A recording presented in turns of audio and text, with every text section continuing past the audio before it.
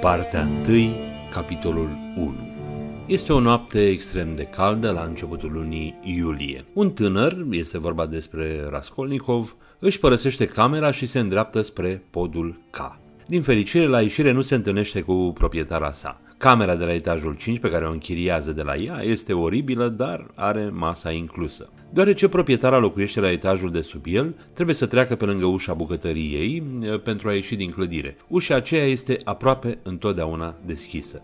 Ori de câte ori omul trece pe lângă ea, se simte inconfortabil și poate chiar speriat. Gândindu-se la asta, el se rușinează și se încruntă, pentru că îi datorează o mulțime de bani proprietarei, el nu vrea să o întâlnească. Citez. Într-una din zilele dogoritoare de la începutul lunii iulie, un tânăr ieși penserat din cămăruța în care sta cu chirie la niște locatari din ulicioara S și, ajuns în stradă, se îndreaptă încet și oarecum nehotărât spre podul K. Pe scară avusese noroc să se strecoare fără a se întâlni cu gazda. Cămăruța lui se afla la mansarda unei clădiri înalte cu patru etaje și semăna mai degrabă cu un dulap decât cu o odaie, iar gazda care închiriase această chilie cu masa și curățenia în preț, locuia cu câteva trepte mai jos într-un apartament separat. De câte ori ieșea din odaie, tânărul era nevoit să treacă prin fața bucătăriei, a cărei ușă era mai întotdeauna larg deschisă spre scară și de fiecare dată avea o senzație bolnăvicioasă de teamă, de care îi era rușine și care îl făcea să se încrunte. Era dator vândut gazdei și se temea să dea ochii cu ea. Nu este vorba despre un uh, tip uh, agresiv uh, sau genul nervos, agitat, doar că în ultima vreme a fost morocănos și încordat într-un mod sumbru și atât de absorbit de sine încât pare că se ascunde de viață. Raskolnikov este extrem de sărac, dar asta nu-l deranjează pentru că a încetat să-și mai bată capul cu problemele vieții obișnuite, cum ar fi plata chiriei în cazul ăsta. Dar uh, încă îi este frică de proprietarea lui. Când ajunge în stradă, este surprins că de fapt îi este frică de ea. Începe să se întrebe cum se poate gândi să facă ceva atât de rău nu vă faceți griji, lucrul acela rău va fi dezvăluit înainte ca partea întâi să se termine și să-i fie frică de lucruri atât de mărunte cum ar fi să dea ochii cu proprietara. Citez. Când te gândești ce faptă pun eu la cale și să-mi fie frică de asemenea fleacuri, se gândi el zâmbind ciudat. Da, totul, totul e în mâinile omului și el lasă totul să-i scape numai și numai din pricina lașității. Hm, asta e o axiomă. Sunt curios să știu, de ce anume se tem mai tare oamenii? Să facă un pas nou, să rostească un cuvânt nou, nemai rostit. De asta se teme mai tare. Dar văd că am început să trâncănesc. Și de aceea nu fac nimic, pentru că trâncănesc. S-ar putea însă să fie tocmai pe dos. Trâncănesc fiindcă nu fac nimic. Am ajuns un palavragiu în luna asta din urmă, de când tot zac zile întregi în unghierul meu și mă gândesc la fantasmagorii. Ia să vedem, pentru ce am pornit-o la drum? Sunt eu în stare să fac asta? Să fie asta ceva serios? Nu, nu, nu este deloc serios. E numai un joc al închipuirii cu care caut să mă amăgesc o nălucire. Da, s-ar putea să nu fie decât o nălucire. Cu greu a ieșit din camera lui în ultima vreme și își petrece mult timp ghemuit într-un colț, mormăind pentru sine și având gânduri sălbatice. Nu știe sigur de ce și-a părăsit camera acum, se întreabă dacă ar putea face cu adevărat acel lucru, după cum ați văzut, Ehm, despre care am auzit înainte. Oricare ar fi, nu este sigur dacă ar face-o cu adevărat sau nu. Este cald și praf, iar Sankt Petersburgul are o putoare unică de vară care îi agravează nervozitatea. Toți bețivii care se plimbă pe aici fac lucrurile să se simtă și mai rău. Așa că privirea lui descrie perfect cum se simte mișunând prin lumea de afară. Potrivit uh, autorului, sub zdrențe, tânărul Raskolnikov arată foarte bine, înalt, slab, cu ochii căprui și păr castaniu. După ce se plânge o clipă de împrejurim, uită din nou unde se află și începe să vorbească singur. El crede că poate gândurile lui sunt atât de încurcate pentru că nu a mâncat nimic de 48 de ore. E îmbrăcat în zdrențe complet, majoritatea oamenilor nu ar merge pe stradă așa, dar se disprețuiește atât de tare încât nu-i pasă cum arată. Un bețiv își bate joc de pălăria lui și se enervează. A fost o pălărie bună când a primit-o, dar acum este veche și uh, arată foarte amuzant. Gândindu-se la pălărie, tânărul se entuziasmează. Pălăria ar putea să strice totul. Ar putea face ca oamenii să-l observe și să-și amintească de el. Trebuie să scape de ea și să-și ia o pălărie normală, zdrențuită, care să se asorteze cu hainele sale ponosite. Există exact 730 de pași de la casa lui până unde se duce. I-a numărat. Luna trecută a început să fantazeze despre a face acel lucru rău dar acum a depășit fanteziile și merge să facă o repetiție pentru ce va urma. Citez.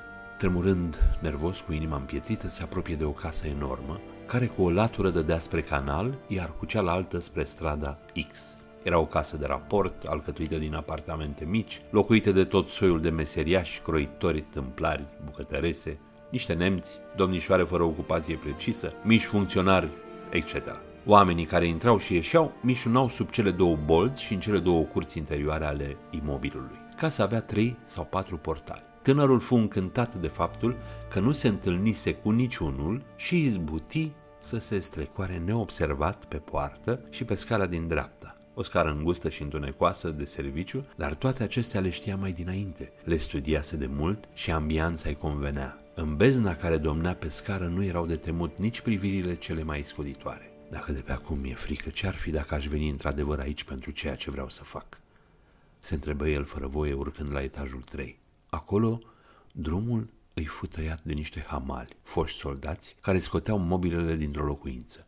Știa că apartamentul era ocupat de un funcționar neamț, familist. Așadar, neamțul se mută. Și la etajul 3, pe scaraș și pe palierul acesta, nu va mai rămâne câtva timp alt locatar decât bătrâna.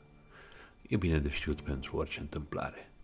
Se gândi el din nou și sună la ușa bătrânei. Bătrâna despre care vorbește el are în jur de 60 de ani, este o femeie minusculă, uscată, cu ochi groaznici și părul ei este grizonat și uns cu ulei din belșug. Tușind și gemând, ea îi aruncă priviri neîngrezătoare. Raskolnikov îi reamintește că este un student care a amanetat ceva cu o lună înainte. Bătrâna exact cu asta se ocupă și se pare că se ocupă bine jegmănindu-i pe cei săraci. Întrebându-se dacă ea este mereu atât de suspicioasă, el spune că vrea să amaneteze altceva. Raskolnikov este invitat înăuntru și vede soarele apunând prin fereastră. Asta îl sperie.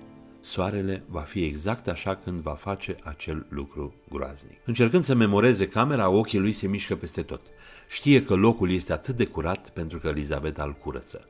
Veți afla destul de curând cine este Elizabeta. Raskolnikov îi arată lui Aliona Ivanovna ceasul de buzunar pe care vrea să-l amaneteze. Acum are loc uh, o tocmeală de amanet complicată. Aliona vrea ca el să plătească și să ia inelul pe care l-a amanetat deja cu două zile. Raskolnikov vrea să plătească dobânda pentru inel în câteva zile și îi cere bătrânei 4 ruble pentru ceas. Ea îi oferă doar o rublă și jumătate și pretinde dobânda în avans. Raskolnikov vrea să iasă, dar își aduce aminte că are și alte motive pentru care e aici. Bătrâna Aliona se duce în spatele unei perdele, iar Raskolnikov o aude deschinzând uh, sertare și se gândește la diferite locuri în care ea își păstrează cheile. Gândurile lui îl îmbolnăvesc. Aliona se întoarce și îi dă o rublă și 15 copeici. Ea îi percepe o lună de dobândă în avans pentru banii pe care i-a împrumutat pentru ceas și o lună de dobândă pentru iner. El ia banii și zăbovește în cameră spunându-i Alionei că ar putea avea ceva special de amanet săptămâna viitoare. O tabachieră. Deocamdată țineți minte acest lucru.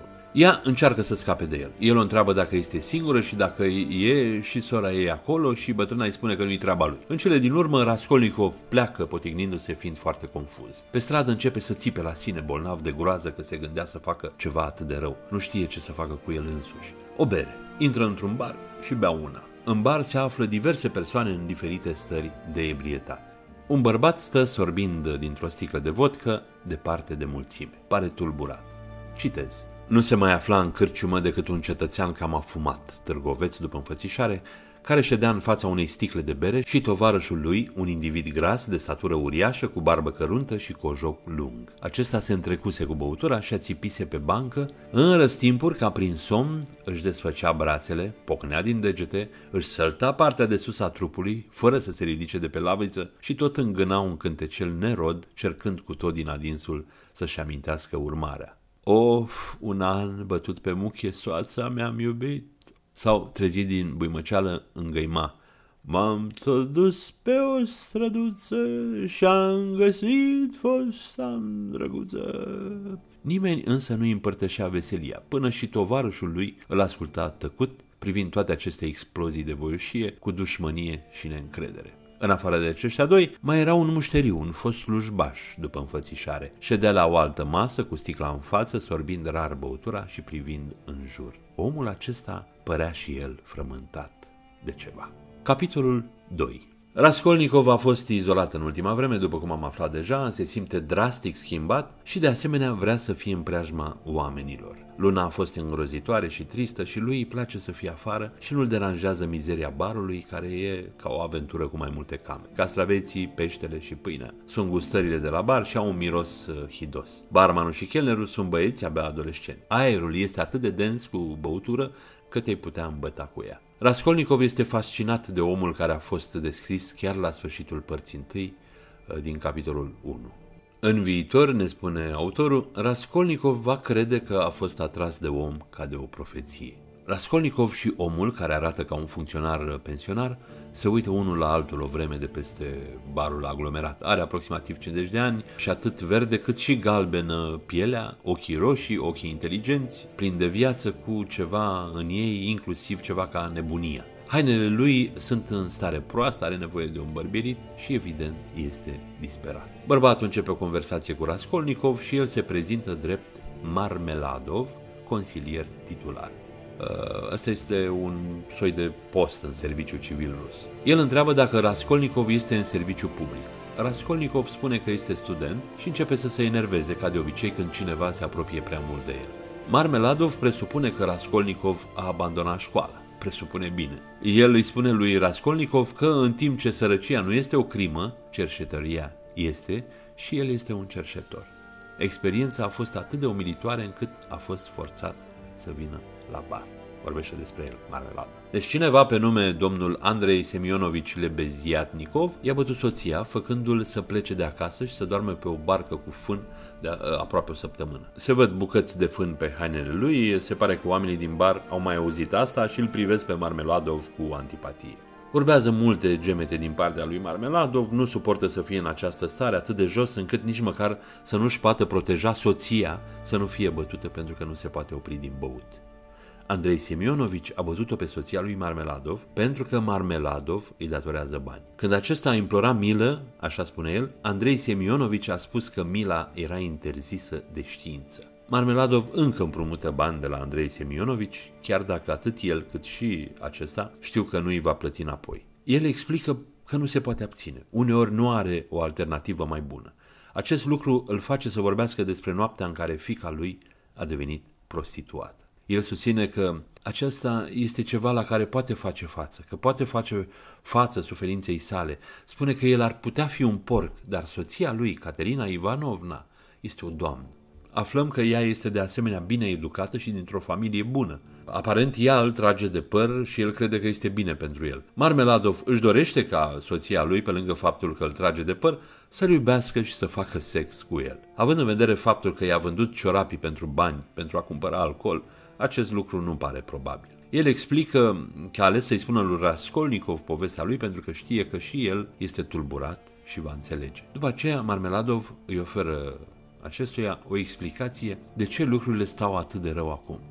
Se întoarce la soția lui uh, Caterina, ea curăță poderele, dar uh, nu face sex cu Andrei Semionovici pentru a compensa datoria soțului ei. De ce a bătut-o Andrei Semionovici? Pentru că ea a refuzat. Marmeladov este cel de-al doilea soț al Caterinei. Uh, primul soț a murit, căsătoria a fost violentă, soțul a avut probleme cu jocurile de noroc, are trei copii cu el, iar propria fica lui Marmeladov avea 14 ani atunci când a cerut-o în căsătorie pe Caterina. Familia ei uh, era împotrivă, dar nu le-a păsat. Marmeladov a încetat să bea în primul an de căsnicie, dar a început din nou când și-a pierdut locul de muncă. A trecut aproximativ un an și jumătate de când s-au mutat aici, în uh, Sankt Petersburg, a primit o slujbă, dar a pierdut-o tot din cauza băuturii. Acum toți locuiesc într-o clădire extrem de supraaglomerată, nici nu știe sigur cum o plătește, cu mulți oameni pe care nu-i uh, cunoaște. Caterina a fost rea cu fica lui Marmeladov, Sonia, în timp ce creștea. Sonia nu a fost niciodată la școală, dar citește și încearcă să facă bani. Ea a făcut niște cămăși pentru un tip, dar el a spus că sunt prost făcute și n-a plătit-o chiar dacă știa că sunt implicați copii infometați. Caterina nu a fost fericită și a certat-o pe Sonia. De unde zăcea beat, le auzea vorbind pe cele două, iar Caterina insista ca Sonia să înceapă să facă sex pentru bani. Sonia a protestat, dar Caterina a insistat. Marmeladov îl roagă pe Raskolnikov să nu dea vina pe Caterina. Vremurile sunt grele, copiilor le este foame, iar când copiii plâng de foame, Caterina îi bate. De aceea, spune Marmeladov, uh, soția lui a fost nevoită să o transforme pe Sonia într-o prostituată. Fica lui a părăsit casa la scurt timp după conversația cu Caterina, apoi s-a întors câteva ore mai târziu cu 30 de ruble pe care i-a prezentat în tăcere Caterinei. Apoi s-a înfășurat în șalul familiei și s-a ghemuit sub el pe pat. Caterina s-a dus la ea, a îngenunchiat lângă pat și a sărutat picioarele toată noaptea. În cele din urmă au adormit îmbrățișându-se.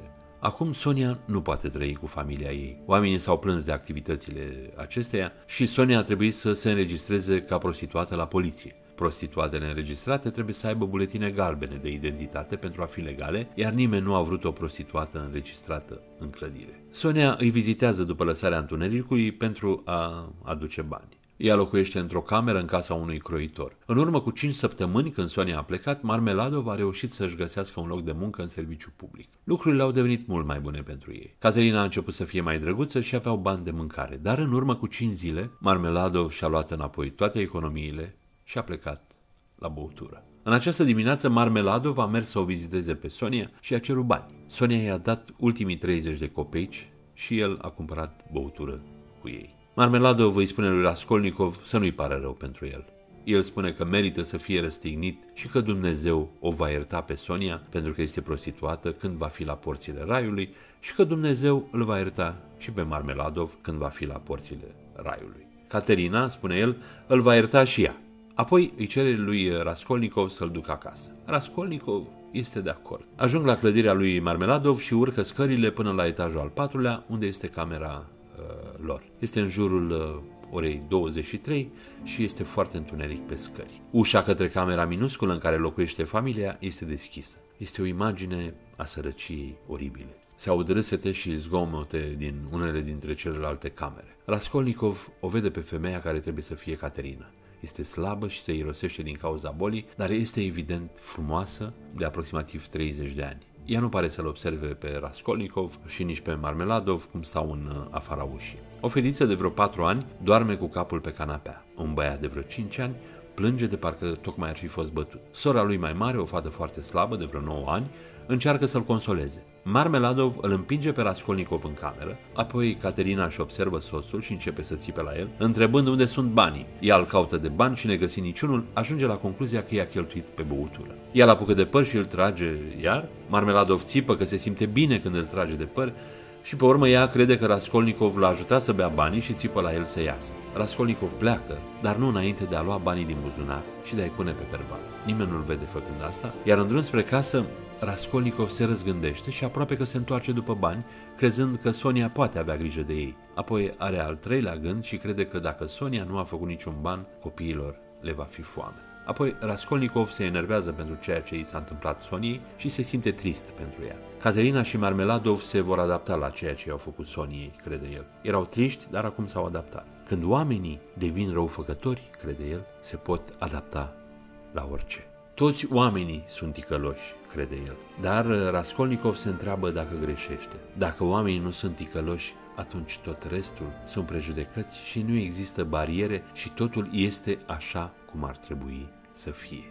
Ce spune el acum va avea mai mult sens un pic mai târziu. Capitolul 3 Dacă mor de nerăbdare să afli cum arată camera lui Raskolnikov, vei afla imediat, pentru că îți voi spune. Se trezește a doua zi după un somn agitat, se uită la camera lui de parcă o urăște cu adevărat. Are aproximativ 6 metri lungime, iar tavanul este atât de jos încât Raskolnikov, care este înalt, dar nu foarte, trăiește cu teama perpetuă că se va ciocni cu capul de el. Vede tapetul de cojit, scaunele vechi, un birou prăfuit și hârtiile prăfuite care nu au fost atinse de multă vreme. O canapea veche, care este de fapt patul în care doarme, ocupă jumătate din cameră. Raskolnikov doarme în hainele lui de zi, fără cearșafuri, înfășurat în vechiul lui pardesiu de student. Perna lui este mică și o completează cu hainele lui amestecate și curate și murdare și el trăiește o viață groaznică care de altfel se potrivește cu felul în care se simte. Aflăm de la autor că Raskolnikov se comportă ca un monoman, adică cineva care se concentrează doar pe un singur lucru până în punctul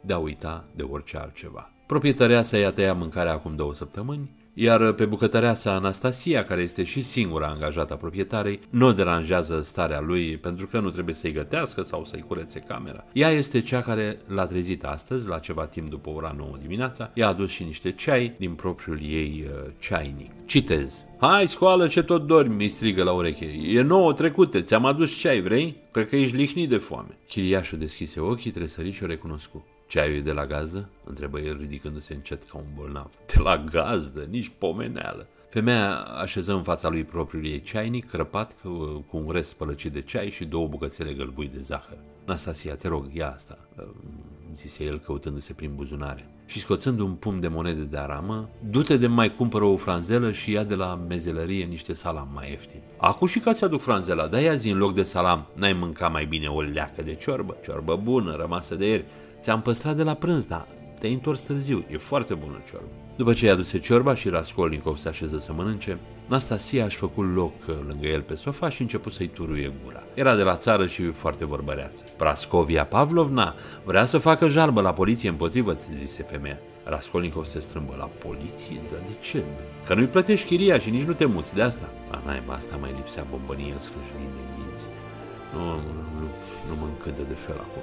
E o proastă, adăugă el tare. Am să trec chiar azi pe la dânsa să stăm de vorbă. nu e mai proastă ca mine, dar tu dacă ești așa deștept, de ce zaci colea ca un sac de tărâțe de nu iese nicio socoteală din ce faci? Altă dată zice că te duci să dai lecții la copii, dar acum de ce nu mai faci nimic? Fac eu, răspunse Raskolnikov cu asprime și fără niciun chef de vorbă. Ce faci? Muncesc. Ce muncești? Gândesc, rosti el serios după o scurtă tăcere.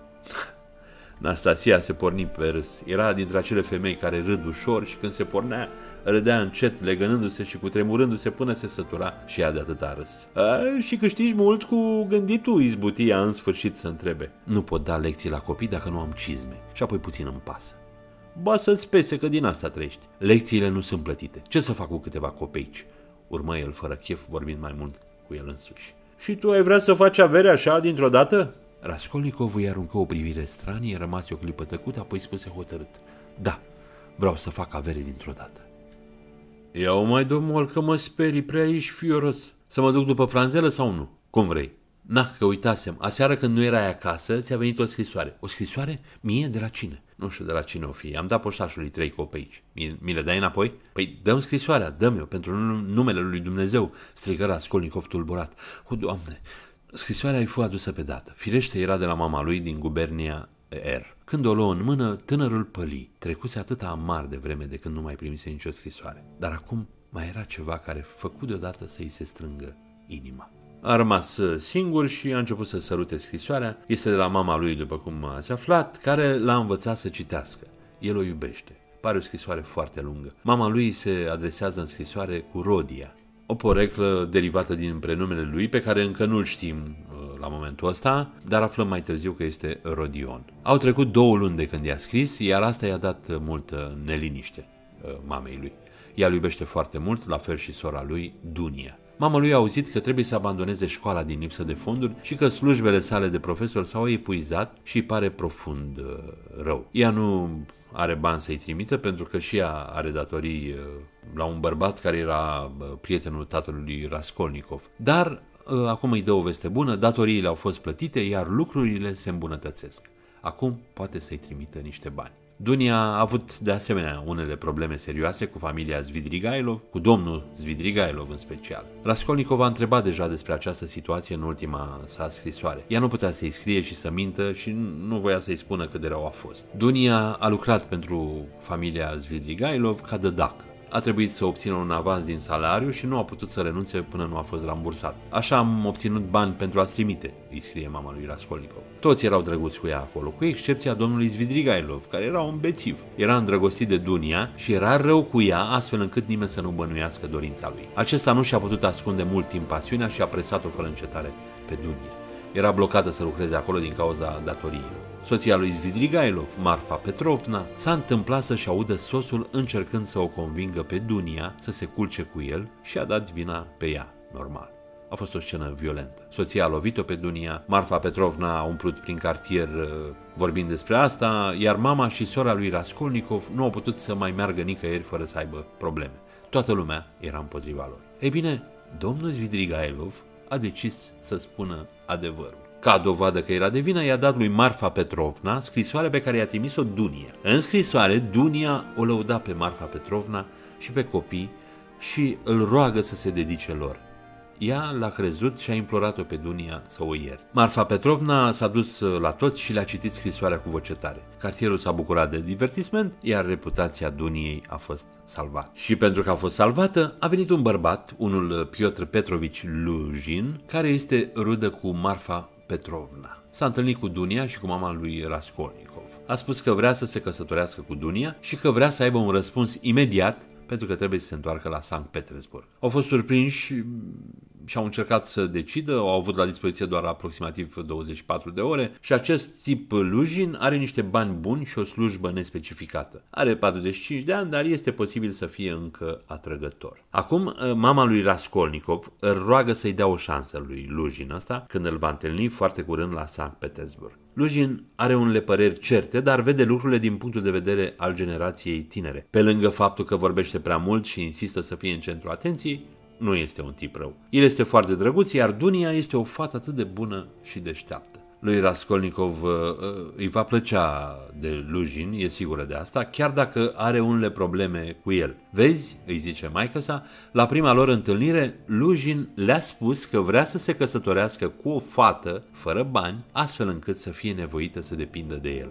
Acesta a fost un accident, iar Lujin a încercat pe urmă să-și retragă cuvintele. Când mama lui Raskolnikov i-a spus Duniei că îi se pare nepotrivit această remarcă, Dunia s-a supărat și a spus că ceea ce fac oamenii și ceea ce spun oamenii sunt două lucruri diferite. Apoi Dunia s-a trează toată noaptea rugându-se. A doua zi ea și-a anunțat decizia de a accepta propunerea. Lujin va veni în Sankt Petersburg și probabil că îi poate face rost lui Raskolnikov uh, de o slujbă, deși nu este 100% sigură de asta. Dunia este extrem de încântată de faptul că Raskolnikov va lucra cu Lujin și că poate să se întoarcă la școală cu ajutorul banilor acestuia. Mama lui scrie că va trăi singură când Lujin și Dunia vor fi căsătoriți. Ea este mai mult ca sigură că va fi invitată să locuiască cu ei, dar ea va spune nu ca să nu le stea în cale. Mai mult, ea și Dunia se mută la Sankt Petersburg într-o săptămână. Mama și sora lui Raskolnikov nu l-au văzut de trei ani și abia așteaptă să-l vadă în curând.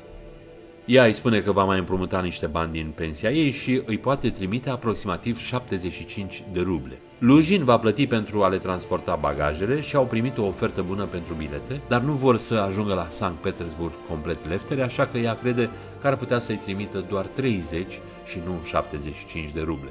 Îl iubește și abia așteaptă să-l vadă, se va ruga pentru el, deși crede că el este probabil unul dintre acei copii moderni care nu mai crede în Dumnezeu. Ea semnează a ta până la moarte, Pulcheria Raskolnikov. Citez. Aproape tot timpul cât a citit scrisoarea de la primele rânduri, ochii lui Raskolnikov fură scăldați de lacrimi. Dar când o sfârși, un zâmbet amar și răutăcios îi schimonosi fața palidă și crispat. Își puse capul pe perna turtită și murdară și rămase mult timp pe gânduri. Inima îi bătea cu putere și gândurile îi se învălmășeau. În cele din urmă simți că se năbușă în odăița lui strâmtă, galbenă, care semăna mai curând cu un dulap sau cu o ladă. Și trupul și sufletul aveau nevoie de spațiu. Își luă pălăria și ieși în stradă de data asta fără teama întâlnirilor de pe scară. Uitase de el. Se îndreptă spre Vasilievski Ostrov, trecând pe bulevardul V, umblă repede ca mânat de o treabă urgentă, dar înainta după obiceiul lui, fără să vadă nimic, mormăind sau chiar vorbind singur, cu glas tare, ceea ce îi mira pe trecători. Mulți îl credeau beat. Capitolul 4 după cum probabil ați ghicit, scrisoarea îi provoacă lui Raskolnikov o foarte mare durere. El știe un lucru sigur. Dunia și Lujin se vor căsători doar peste cadavrul său, iar Lujin se poate duce dracului. Acum ajungem să-l auzim pe Raskolnikov vorbind singur despre scrisoarea mamei lui. Vom trece peste punctele principale. Mama și sora lui s-au gândit că ar putea face toată treaba pe la spatele lui, în așa fel încât să fie prea târziu ca să le oprească. Nu-i vine să creadă că Lujin le presează să se hotărească repede pentru că este atât de ocupat. Acum Raskolnikov începe să se adreseze surorii sale, spunând că știe pentru ce s-a rugat ea toată noaptea înainte să se hotărească. Acest lucru este clarificat mai puțin mai târziu în, în capitol. El spune că știe exact la ce se gândea și la ce se ruga ea când era în genunchi în fața Sfintei Maici din Kazan.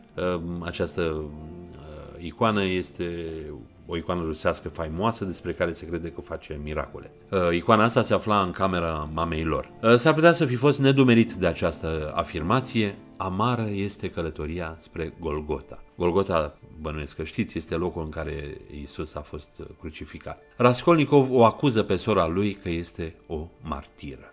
Citez. Ha, ce să-i faci? Așa e măicuța. Dumnezeu soție. Dar Dunia? Dunici, scumpa mea, eu te cunosc prea bine. Doar aveai 19 ani când ne-am văzut ultima oară și ți-am înțeles firea. Măicuța scrie că Dunicica poate să îndure multe. Asta o știam. Asta am știut-o încă acum doi ani și jumătate. Și în acești doi ani și jumătate mereu m-am gândit la asta. Tocmai la faptul că Dunicica poate să îndure multe. Dacă l-a putut suporta pe domnul Zvidrigailov cu tot ce a urmat, înseamnă că într-adevăr poate îndura multe. Și acum dumnea ei și măicuța și-au, și-au închipuit că și domnul Lujin poate fi suportat. Domnul Lujin, care își expune teoria cu privire la avantajul ce oferă soțiile luate din mizerie, pentru care bărbatul este un binefăcător și și-o expune aproape la prima întâlnire. Să zicem că l-a luat gura pe dinainte, deși eu am chipzuit. Așa că s-ar putea prea bine să nu-l fi luat gura pe dinainte, ci să se fi grăbit să-și afirme punctul de vedere. Dar Dunia, Dunia, ea doar vede limpede ce fel de om este Lujin și știe că va trebui să trăiască cu acest om, dar și eu știu că ea s-ar învoi mai curând să se hrănească numai cu pâine neagră și apă decât să-și vândă sufletul, că nu și-ar da libertatea sufletului în schimbul unui pic de confort. În cele din urmă se oprește să mai vorbească cu sora lui și apoi uh, pune întrebarea pe care și-o pun mulți frați. Bătrânul ăsta a făcut sex cu sora lui uh, mai tânără? El o acuză pe mama sa că practic i-a vândut-o pe Dunea lui Lujin în beneficiul lui Raskolnikov. În el se acumulează dezgust și crede că l-ar putea ucide pe Lujin. Pe urmă intră în subiectul bagajelor. Vorbește îngrozitor despre Lujin, că nu face mai mult decât să plătească pentru ca lucrurile lor să fie trimise la Sankt Petersburg. El trebuie să fie conștient de faptul că mama lui Raskolnikov finanțează călătoria împrumutând din pensie. Apoi el se gândește la comentariul mamei sale despre faptul că nu locuiește cu cuplul căsătorit cum era obiceiul la ruși, deoarece ea este văduvă. El decide că Lujin trebuie să fi spus cumva clar că nu a vrut-o acolo. Din ce va trăi ea? Cum își va permite să trăiască singură? Pensia ei, ce a mai rămas din ea după tot, toate împrumuturile și banii de la tricotat, nu îi vor ajunge. Ea se bazează pe sprijinul lui Lujin. Raskolnikov începe din nou să se adreseze surorii sale. Avea 19 ani ultima dată când a văzut-o și știe că ea nu s-a schimbat. Nu se poate schimba. Raskolnikov se gândește la sora lui.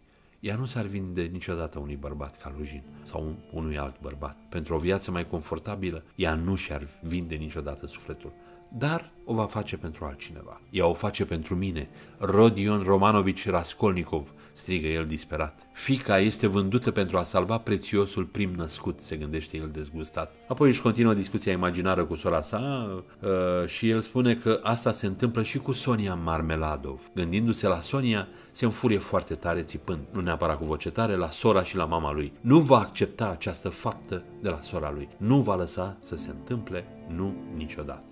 Citez. Raskolnikov se trezi din gândurile lui și se opri. Nu se va face? Dar ce ai să faci tu ca să împiedici acest lucru? Ai să interzici? Dar cu ce drept?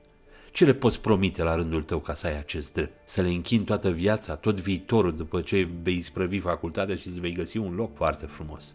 Ăsta e viitorul. Dar astăzi e vorba că trebuie să faci ceva chiar acum, pricep tu. Iar tu ce faci? Le storci de parale. El îți procură bani punându-și la proprire pensia de 100 de ruble pe an și leafa domnilor Zvidrigailov. Dar de Zvidrigailov, de Afanasie Ivanovici Varușin, cu ce le vei apăra, viitor milionar? Zeus care dispui de soarta lor. Peste 10 ani, în 10 ani mama va orbi, tot împletim basmale și poate și din pricina lacrimilor. Va cădea zdrobită de lipsurile ei fără de sfârșit. Și sora, gândește-te ce se poate întâmpla cu sora ta peste 10 ani în cursul acestor 10 ani. Ai ghicit?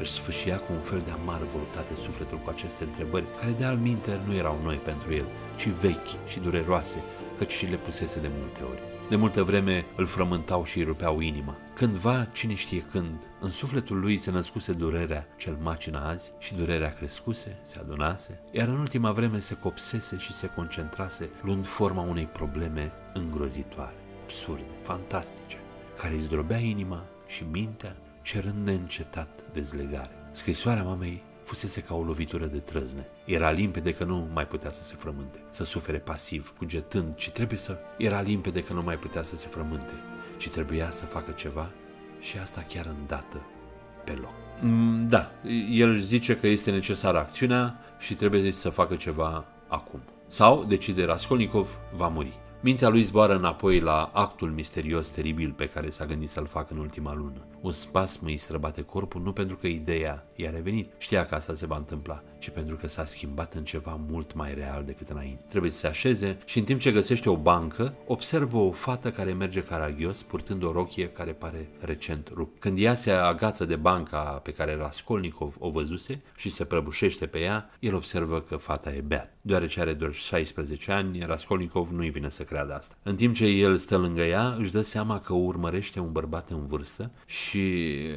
acum arată de parcă așteaptă șansa să sară pe ea. Raskolnikov se apropie de el și îl numește Zvidrigailov și îl amenință că îl bate. Se ceartă și vine un polițist. Raskolnikov explică că fetei i-a rupt rochia cineva și a îmbătat-o, iar acum acest tip vrea să profite de ea. Polițistul este de acord cu evaluarea sa. Raskolnikov îi dă polițistului bani pentru un taxi pentru a o duce pe fata acasă.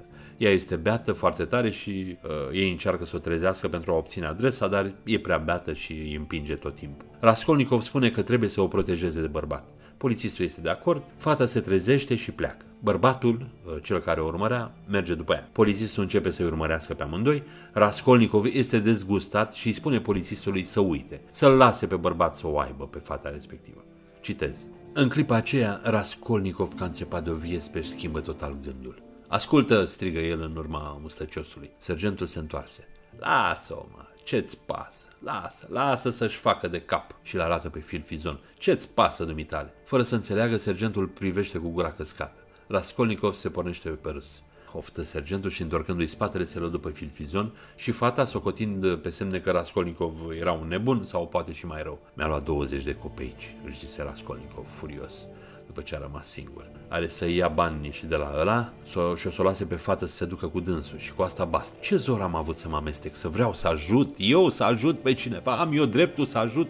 Au decât să se mănânce de vii ce-mi pasă mie. Și apoi m-am îndrăznit să-i dau aceste 20 de copeici. Erau ale ale mele? Dar cu toate aceste cuvinte ciudate simțea inima grea. Se așeză pe banca părăsită, îi se destrămau gândurile și în clipa aceea îi venea greu să mai judece. Ar fi vrut să adoarmă, să uite tot, apoi să se trezească și să înceapă viața nouă. Beata copilă, zise el uitându-se la colțul băncii unde ședuse fata cu o clipă mai înainte. Are să se dezmedicească și are să plângă.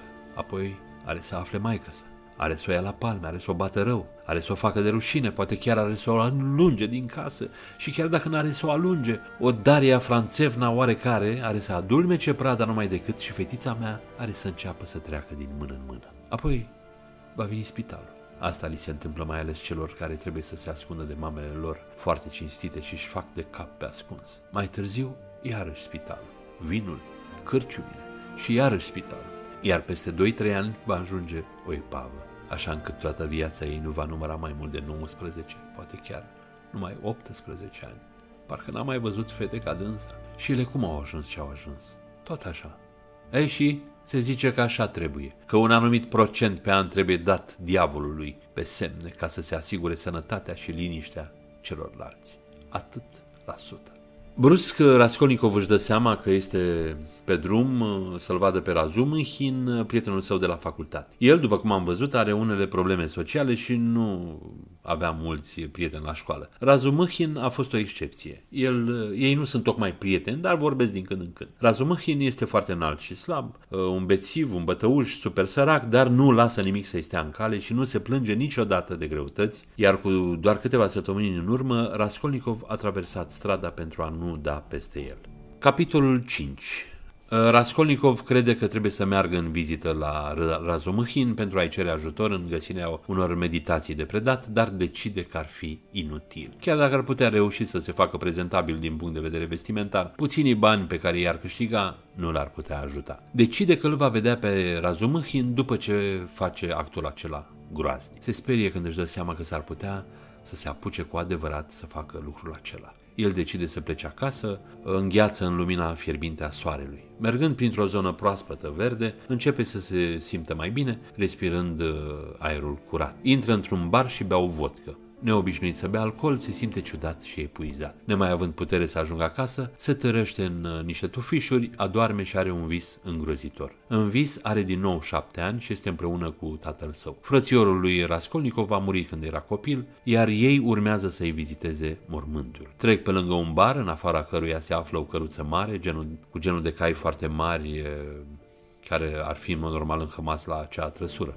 Uh, Raskolnikov iubește caii, dar atașat de această căruță nu este unul un cal mare, este un cal mic, bătrân și Raskolnikov urăște să-l vadă trăgând încărcături supradimensionate. Calul și trăsura aparțin unui tânăr beat pe nume Micolca, care iese din bar cu niște prieteni. Se oferă să-i conducă acasă și prietenii spun că e nebun calul nu o să-i poată căra pe toți. El îi convinge că dacă vor biciui calul, el va reuși. Pe măsură ce calul începe să se miște, ă, proprietarul și alți doi încep să-l biciuie cu bestialitate. Raskolnikov se plânge tatălui său care nu vrea să se implice și bătaia cailor continuă în fața unei mulțimi în afara tavernei. Citez. Tăticule, tăticule, țipă Raskolnikov, tăticule, uită-te ce fac, tăticule, uite cum bat bietul căluț.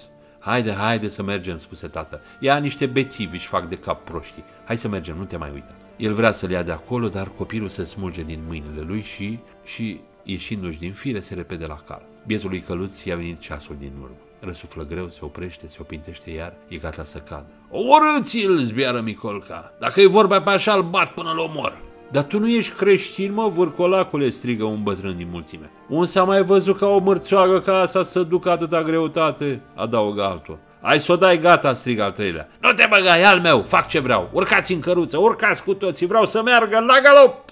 Deodată izbucnește o explozie de râsete care acoperă totul. Epușoara n-a mai putut răbda atâtea lovituri și cu toată neputința ei s-a apucat să zvârle din picioare. Până și bătrânul nu-și mai poate stăpâni zâmbetul. Auzi, dumneata, o mărțoagă prăpătită și zvârle din picioare. Doi flăcăi din mulțime înhață câte un bici și se apropie în fugă să lovească calul din părți, fiecare din partea lui. Pleznește-l peste bot, peste ochi, peste ochi, strigă Micolca. Cântați, fraților! urlă cineva din căruță și toată lumea îi se alătură. Răsună un cântec de chef, o dairea și fluierăturile acompaniază refrenul. Muierușca din căruță sparge alune în dinți și râde. Copilul aleargă pe lângă căluț, se repede în fața lui, vede cum este lovit peste ochi, chiar peste ochi și plânge. Inima ei se rupe de durere, lacrimile îi curg și roaie. Unul dintre bătăuși îl atinge din greșeală peste față, dar el nu simte nimic. Își frânge mâinile, țipă, se repede la bătrânul cel cărunt, cu barba albă care dă din cap și condamnă cele ce se petrec. O femeie îl ia de mână și încearcă să-l ducă de acolo, dar el se smulge și se repede din nou la căluț. Micolca vrea acum să omoare calul. Cineva din mulțime îi sugerează să folosească un topor. Țineți minte toporul ăsta. Micolca folosește o rangă pentru a termina pe bietul cal. Acum mulțimea este supărat. Raskolnikov, uh, copil, plânge, teribil de supărat, își întreabă tatăl care îl duce departe, spunând că nu este preocuparea lor. Încearcă să țipe și apoi se trezește, ușurat că a fost un vis, dar întrebându-se de ce l-a visat. Și acum aflăm detaliile misteriosului act teribil pe care urmează să-l facă. Citez. Își simțea trupul zdrobit, iar sufletul întunecat și neliniștit. Își sprijini coatele pe genunchi și își lăsă capul în palme. Doamne, exclamă el, se poate oare? Se poate să iau toporul, să lovesc, să-i sparg țeasta, să alunec călcând în sângele cald lipicios, să rup lacătul, să fur, să mă ascund tremurând plin de sânge cu toporul. Doamne, se poate oare? Tremura ca varga. Dar ce cu mine? Urmă el copleșit, cuprins iarăși de nespusă iubire. Știu doar că n-am să fiu în stare atunci de ce mă canonesc atât? Ieri, încă seară când m-am dus să fac repetiția aceea, am înțeles clar că este peste puterile mele. De ce atunci mă chinui din nou acum? De ce m-am îndoit până acum? Doar încă seară, în timp ce coboram scara, mi-am spus că este o ticăloșie, o mărșăvie, că este josnic, josnic. Numai închipuindu-mi cum avea să fie în realitate, m-a cuprins cârba și groaza. Nu, n-am să pot, n-am să fiu în stare e peste puterile mele, chiar dacă toate argumentele mele ar înlătura orice îndoială, chiar dacă concluziile la care am ajuns în timpul acestei luni ar limpezi ca ziua, matematic exacte, Doamne, chiar așa fiind, tot n-am să mă pot hotărâ. Nu pot să o fac, este peste puterile mele. Atunci de ce? De ce până acum încă Se sculă în picioare, privi mirat în jurul ca și cum ar fi fost surprins că se găsește acolo și porni spre potul T.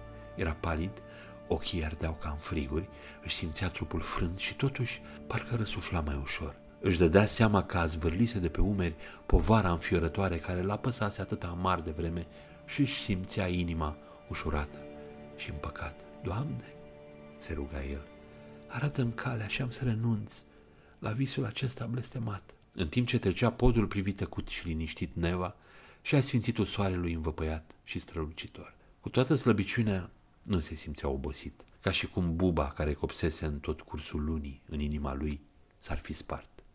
Era din nou liber. Liber.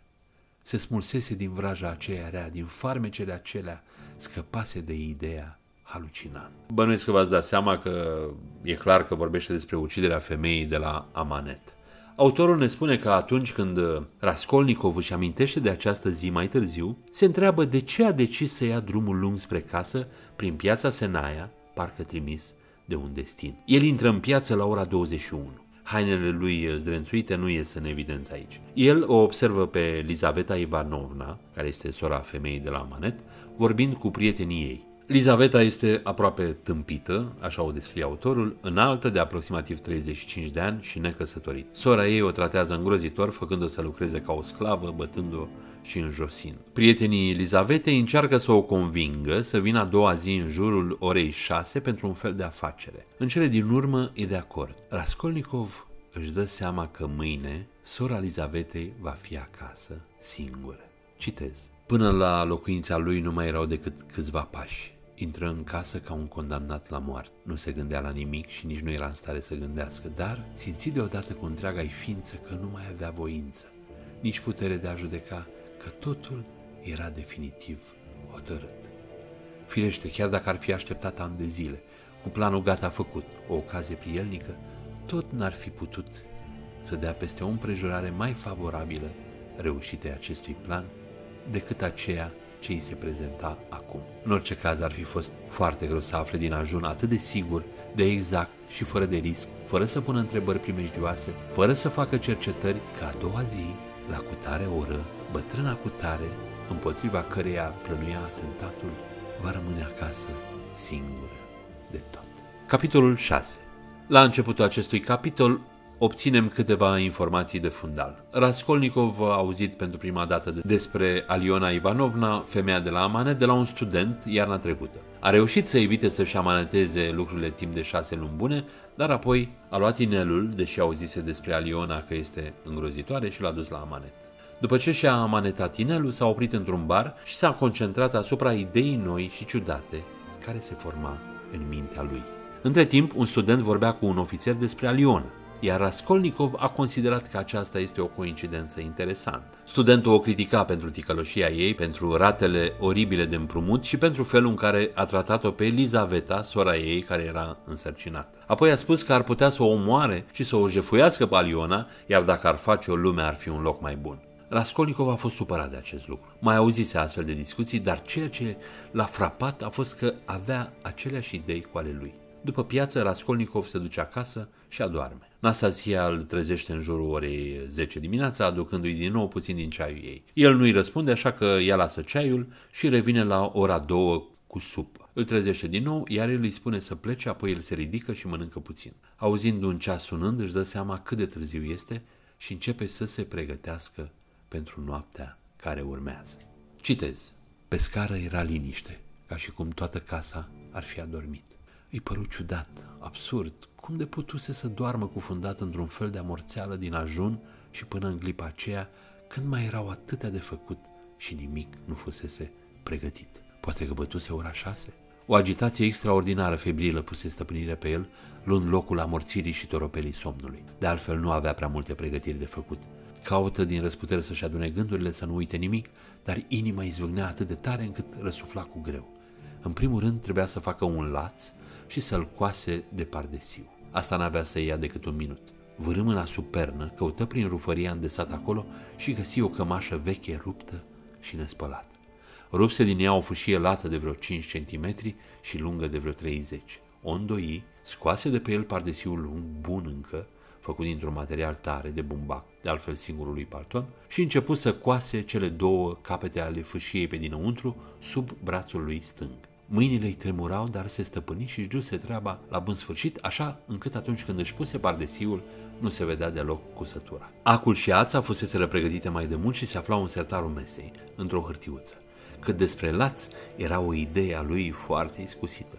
Lațul acesta era făcut pentru topor. Doar nu putea să meargă pe stradă cu toporul în mână, iar dacă l-ar fi ascuns sub pardesiu, ar fi trebuit să-l țină cu mâna și așa ar fi bătut la ochi. Cu ajutorul lațului însă, era de ajuns să introducă înăuntru tăișul și toporul va atârna liniștit sub braț tot drumul. Dacă bagă mâna în buzunar, poate să țină toporiș ca să nu se clate. Și cum pardesiu era foarte larg, un adevărat sac, nu s-ar observa că ține ceva prin buzunar. Acest laț îl născocise cu două săptămâni înainte. După ce îi sprăvi pregătirile, vărât degetele în grăpătura dintre divanul lui turcesc și podea, bâșbâi în colțul stâng și scoase amanetul de mult pregătit și ascuns acolo. De altfel, nu era vorba de un amanet adevărat, ci de o bucățică de lemn bine geluită, de mărimea și grosimea unei tabachiere de argint. O găsise întâmplător într-una din plimbările lui, într-o curte unde într-o aripă a casei se afla un atelier de tâmplărie. Mai târziu îi adăugase o bucățică subțire și netedă de tablă, o bucățică ruptă de la cine știe ce și pe care o găsise în aceea zi pe stradă. Prinsese cele două plăcuțe una peste cealaltă, cruciș, cu un fir de ață, cea de fier fiind mai mică decât cea de lemn, apoi le învelise elegant într-o bucată albă de hârtie și legase pachetul cu un nod complicat. Asta ca să ocupe câteva momente atenția bătrânei și să poată prinde clipa prielnică în timp ce va încerca să dezlege pachetul. Raskolnikov știe că Anastasia, slujnica, va fi departe de bucătărie. El îi poate fura securea. El încearcă să se convingă că uciderea bătrânei nu este greșită din punct de vedere moral, dar nu reușește, în timp ce se îndreaptă spre bucătărie. Anastasia, surpriză, este acolo. Raskolnikov nu poate înțelege de ce a crezut că ea va pleca. Se enervează, dar apoi se gândește la îngrijitor care are și el un topor. Destul de sigur, îngrijitorul este afară, iar Raskolnikov îi fură toporul, îl pune în bucla cusută din interiorul hainei și își continuă drumul. Apoi își amintește că nu și-a schimbat pălăria cu una mai puțin vizibilă. Este totuși târziu și nu mai este timp pentru schimbat uh, pălării. Fascinat de tot ce vede pe parcurs, Raskolnikov ajunge la clădirea cu pricina în timp ce ceasul bate ora 19.30. Un cărucior care transportă fân îl ascunde de oricine ar putea să-l privească când ajunge pe scări.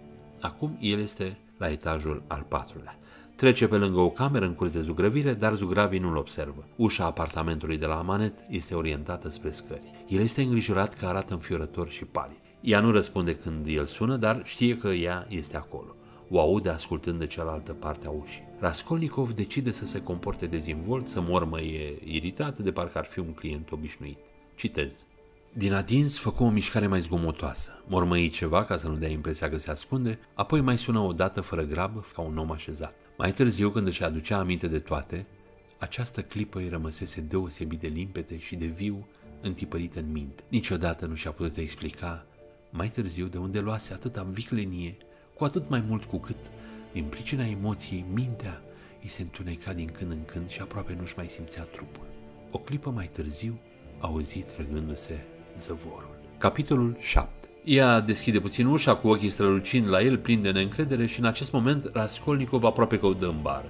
El este nervos că va închide ușa din nou, când va vedea cine a venit să sune, așa că împinge ușa. Deoarece ea încă se ține de mâner, el aproape că o trage afară din casă. Citez. Femeia, speriată să într-o parte, voi să spună ceva, dar nu izbuti și doar îl privea cu ochii mari. Bună ziua, Aleona Ivanovna, începu el cu tonul cel mai firesc cu putință, dar glasul nu îi se supunea, se frânse și începu să-i tremure. V-am uh, adus un uh, obiect, dar haideți mai bine uh, la lumină. Și lăsând-o pe bătrână acolo unde se afla, intră în odaie, fără să mai aștepte să-l poftească. Bătrâna se repezi pe urmele lui, limba îi se dezlăgă brusc. Doamne, dar ce vrei? Cine ești? Ce dorești? Vai de mine, Leona Ivanovna, doar mă cunoașteți, sunt Raskolnikov, uitați-vă, v-am adus uh, amanetul despre care v-am vorbit acum câteva zile. Și îi întinse amanetul. Bătrâna se uită la pachet, dar numai decât ridică iar ochii și pironia asupra musafirului nepoftit cu o privire pătrunzătoare, ciudoasă și bănuitoare. Un minut se scurse. Lui Raskolnikov se păru chiar că citește în ochii ei un fel de ironie, ca și cum femeia i-ar fi ghicit intențiile. Simți că își pierde cumpătul, că aproape se teme și chiar atât de tare încât ar fi în stare, dacă îl mai privește așa fără să sufle o vorbă, încă vreo câteva secunde să o ia la goană. Dar ce vă uitați la mine de parcă nu m-ați cunoaște? Se răstie el furios. Dacă vreți, luați amanetul, dacă nu, mă duc la altcineva. N-am vreme de pierdut. Nici nu se gândise să spună aceste vorbe, izbucniseră din gură de la sine pe neașteptate. Bătrâna se dezmetici, iar tonul hotărât al musafirului pe semne de dădu curaj. Păi da, și dumneata, maică, dar ce, ce te... Dar ce e asta, întrebă ea privind amanetul. O tabacheră de argint, doar v-am spus rândul trecut. Femeia întinse mâna. Dar de ce ești așa alb la față? Și stremură mâinile? Ai fost cumva la baie? Friguri, răspunse Raskolnikov tăios. Pălești, vrei nu vrei, dacă nu ai ce mânca, adăugă el abia rostind cuvintele. Puterile îl părăseau iarăși, dar răspunsul părea verosimil. Bătrâna lua amanetul. ce e asta?" repetă dânsa, cercetându-l din nou cu atenție și cântărind pachetelul în mână. Un obiect, o tabacheră de argint, uitați-vă la ea dar nu prea pare să fie de argint. Iată, uite ce a mai înfășurat-o.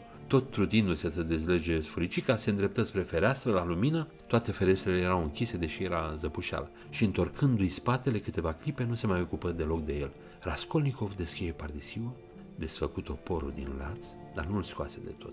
Îl ținea cu mâna dreaptă sub haină.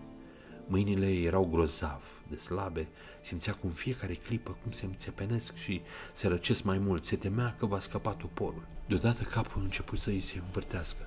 Dar ce e înfășurat aici?" exclamă înciudată bătrâna, făcând o mișcare spre el. Nu mai era nicio clipă de pierdut.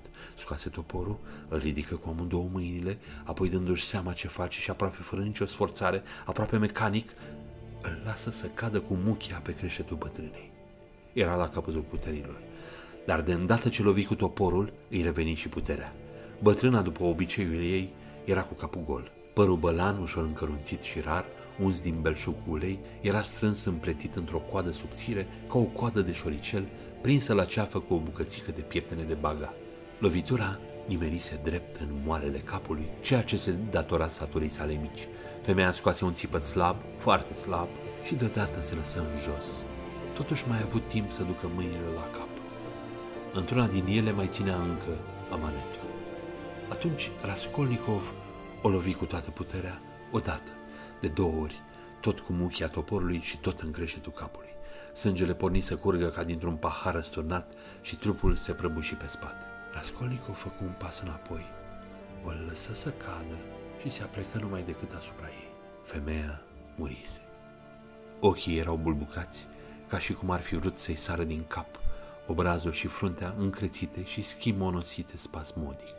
Punând uh, securea jos, el ia cheile, încearcă să deblocheze screen în care ținea ea obiectele de valoare, dar este prea nervos. Poate că e în viață, se gândește el, și se grăbește înapoi la cadavru. El observă că are un uh, șirag în jurul gâtului ei, dar nu îl poate rupe. Îi ia toporul, taie sfoara, mâinile lui și securea sunt mânjite cu sânge. Găsește ceea ce căuta, o poșetă pe care o bagă în buzunar. Mai găsește două cruci și o cheie. Întors în dormitor se încurcă și are probleme cu cheile, dar în curând găsește un cufăr. Deasupra este o blană roșie. Simte nevoia să șteargă mâinile însângerate pe ea, dar apoi își dă seama că acesta nu este un plan bun și se întreabă dacă nebunește sau altceva. Găsește bijuterii învelite în cârpe și își vără cât mai multe piese în buzunare. Aude un zgomot, un strigăt și se repede înapoi în camera cealaltă doar pentru a o găsi pe Lizaveta, sora babei de la Amane. Își ridică securea, ea e atât de obișnuită să fie abuzată încât își ridică încet mâinile la față.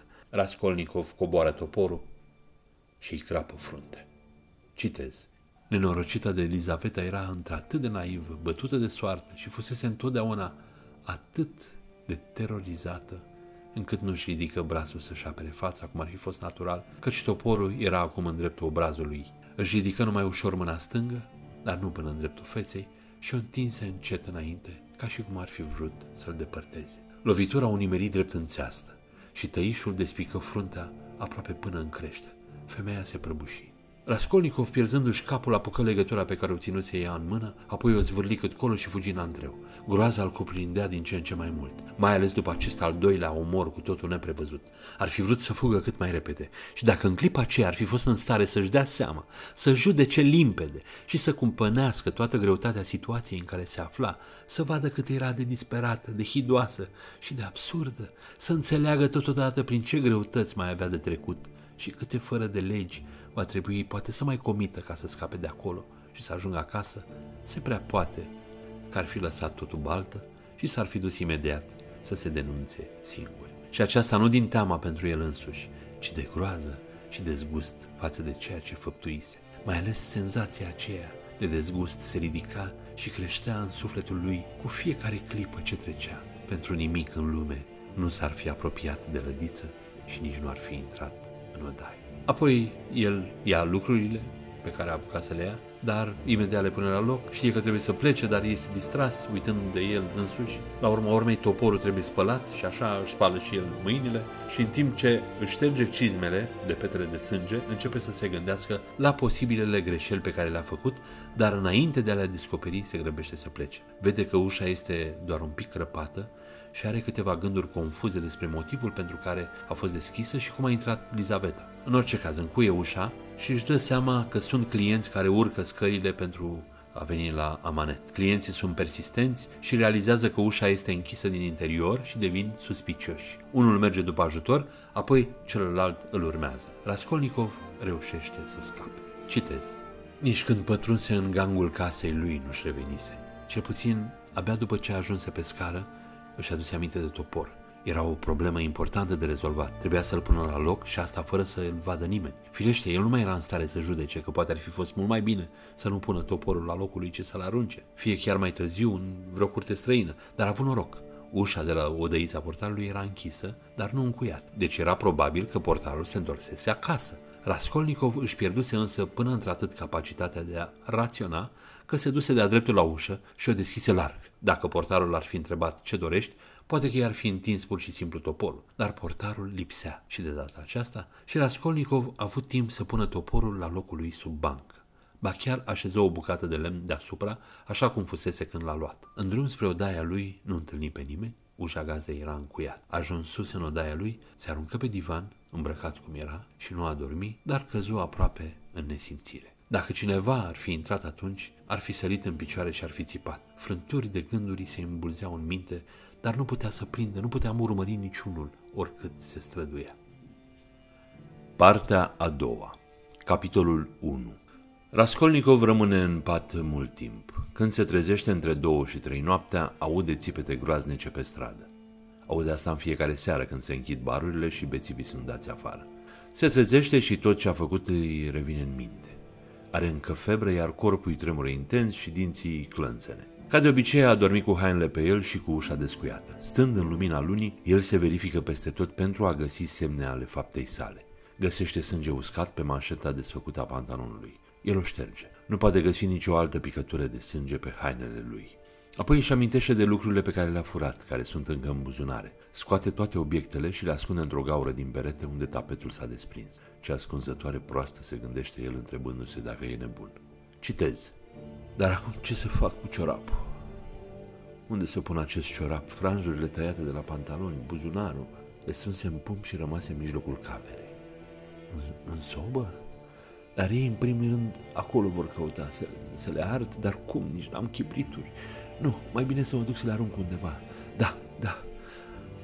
Uh, mai bine să le arunc, repetă el așezându-se pe divan. Să le arunc imediat, chiar în clipa asta, fără zăbavă. Dar în loc să fac așa, capul îi căzu pe pernă. Frisonul chinurilor îi îngheță din nou trupul, trase iarăși mantaua și se înveli. Mult timp, câteva ore în șir, îl chinui în răstimpuri același gând. Acum, chiar acum, fără zgomot, trebuie să mă duc și să le arunc undeva pe toate, să nu le mai văd în fața ochilor cât mai repede, cât mai repede. Încercă să se ridice de pe divan, să se scoale în picioare, dar nu avea putere. O bătaie puternică în ușă îl trezi de-a binele. În jurul orei 10 dimineața o aude pe Anastasia bătând în ușă. Portarul este cu ea. Are o citație pentru Raskolnikov. Poliția vrea să vorbească cu el. Raskolnikov se arată surprins, iar Anastasia comentează că arată extrem de bolnav. Nastasia vede cârpele din mâna lui, a adormit ținându-le și crede că uh, s-a ghemuit așa cum ar face un copil cu o păpușă sau o pătură.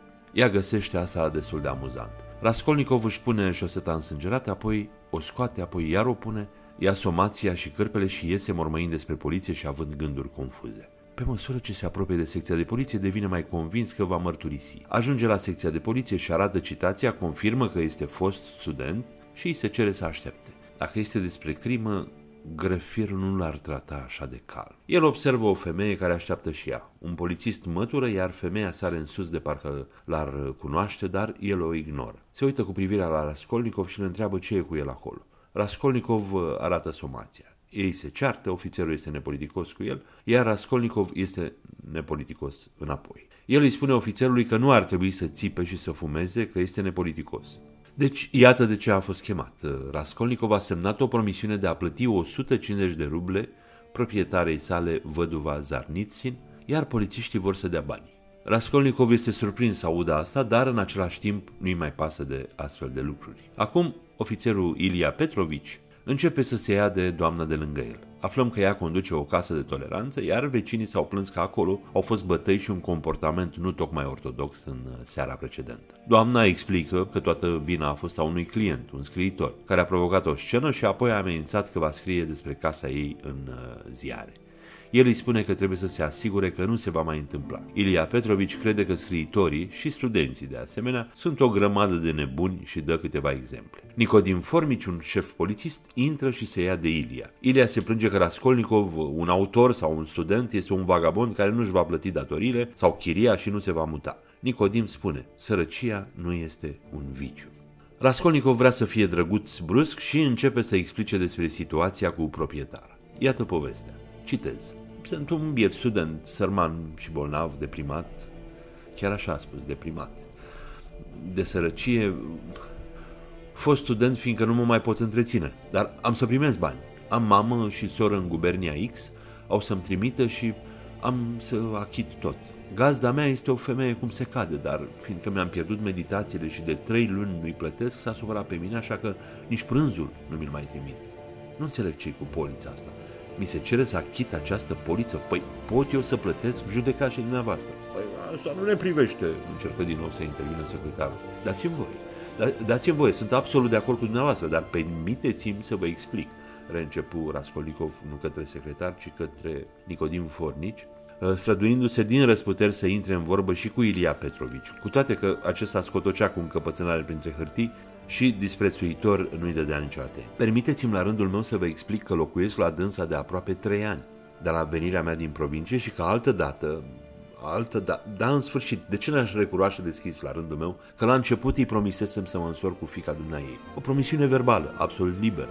Era o fată, de altfel îmi plăcea chiar, deși nu eram îndrăgostit de dânsa într-un cuvânt, tinerețe. Adică vreau să spun că gazda mea, pe vremea aceea, mi-a acordat un credit nelimitat și că, într-o oarecare măsură, am dus o viață, mă rog, am fost cam ușurat. Dar nimeni nu vă cere să ne relatați astfel de intimități, stimate domn, și nici nu avem vreme de pierdut, îl întrerupse grosolan și triumfător Ilia Petrovici, dar Raskolnikov îl opri înflăcărat cu toate că simți deodată că îi vine foarte greu să mai vorbească. Da, dați-mi voie, dați-mi voie să vă explic la rândul meu cât de, uh, cât, cum s-au petrecut lucrurile, cu toate că sunt de acord cu dumneavoastră, că este deprisos să spun toate acestea, dar acum un an, această domnișoară a murit de tifos exantematic, iar eu am rămas chiriaș așa cum am fost. Și când gazda mea s-a mutat în apartamentul pe care îl ocupă acum, dânsa mi-a spus și mi-a spus prietenește, care încredere absolută în mine și toate celelalte, dar că dacă n-am nimic împotrivă să-i dau această poliță, în valoare de 115 ruble, cât aprecia dânsa datoria mea.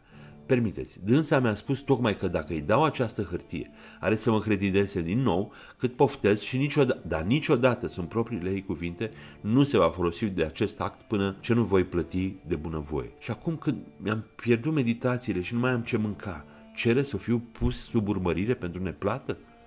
Ce pot spune?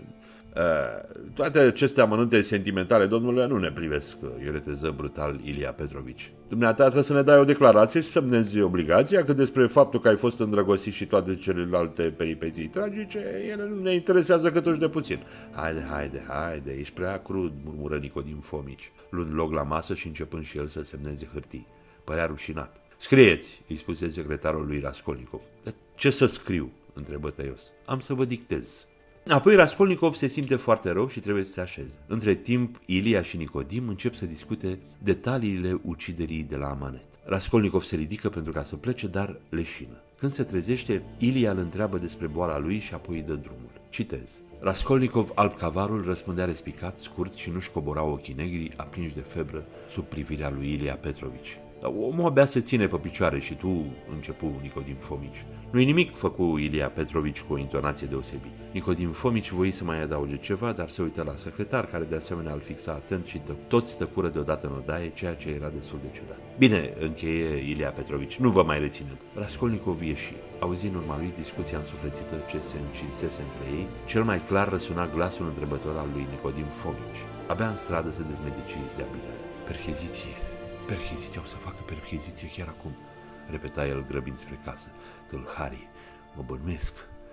Groaza de adineauri îl cuprinse din nou, zguduindu-l din cap până în picioare.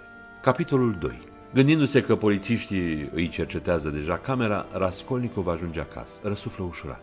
Nimeni nu a fost acolo. Adună repede cele opt obiecte pe care le-a ascuns în gaură, niște bijuterii, o medalie, câteva lucruri învelite în hârtie, nu le examinează prea atent, ci doar le pune împreună cu poșeta însângerată în buzunare și pleacă afară. Plănuiește să le arunce în canal, dar sunt prea mulți oameni în jur. După ce a venit cu mai multe planuri alternative pentru a scăpa de chestii, el descoperă o curte abandonată cu gunoi în ea. El ascunde totul sub o piatră mare și apoi uh, pleacă sigur că este locul suprem. Citez. Ieși se îndreptă spre piață și ca adineauri, la poliție, aceeași bucurie puternică, nestăvâlită, puse stăpânire o clipă pe sufletul lui. Am șters toate urmele.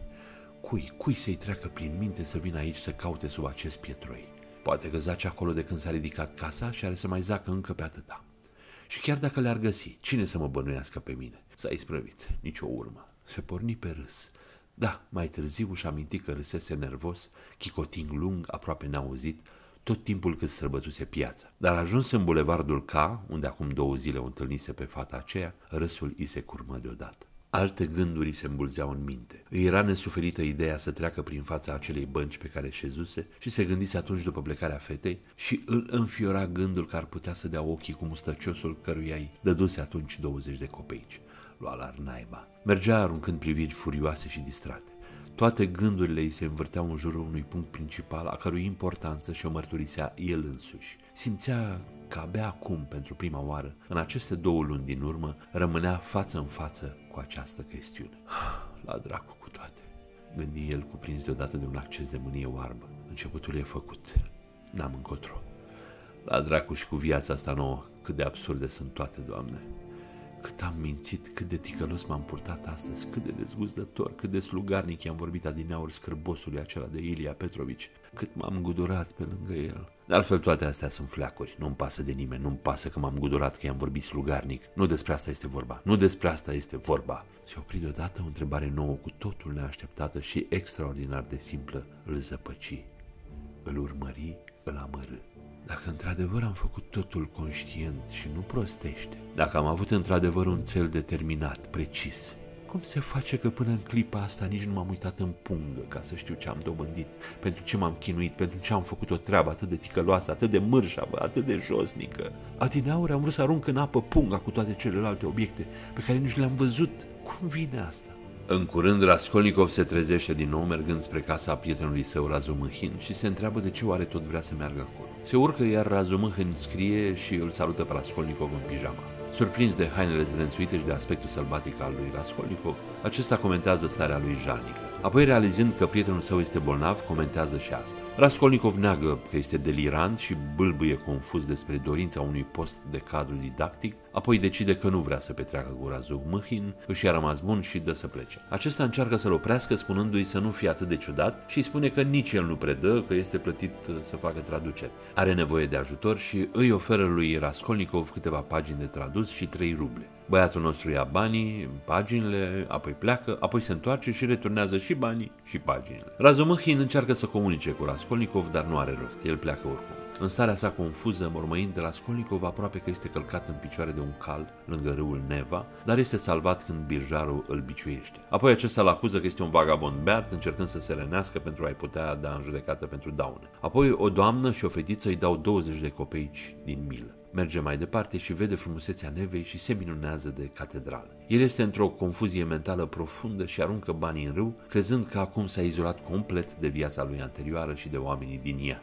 În total, rătăcește aproximativ șase ore, apoi ajunge acasă după amiază târziu. Citez. Se întunecase de-a binelea când îl treziră niște țipete înfiorătoare.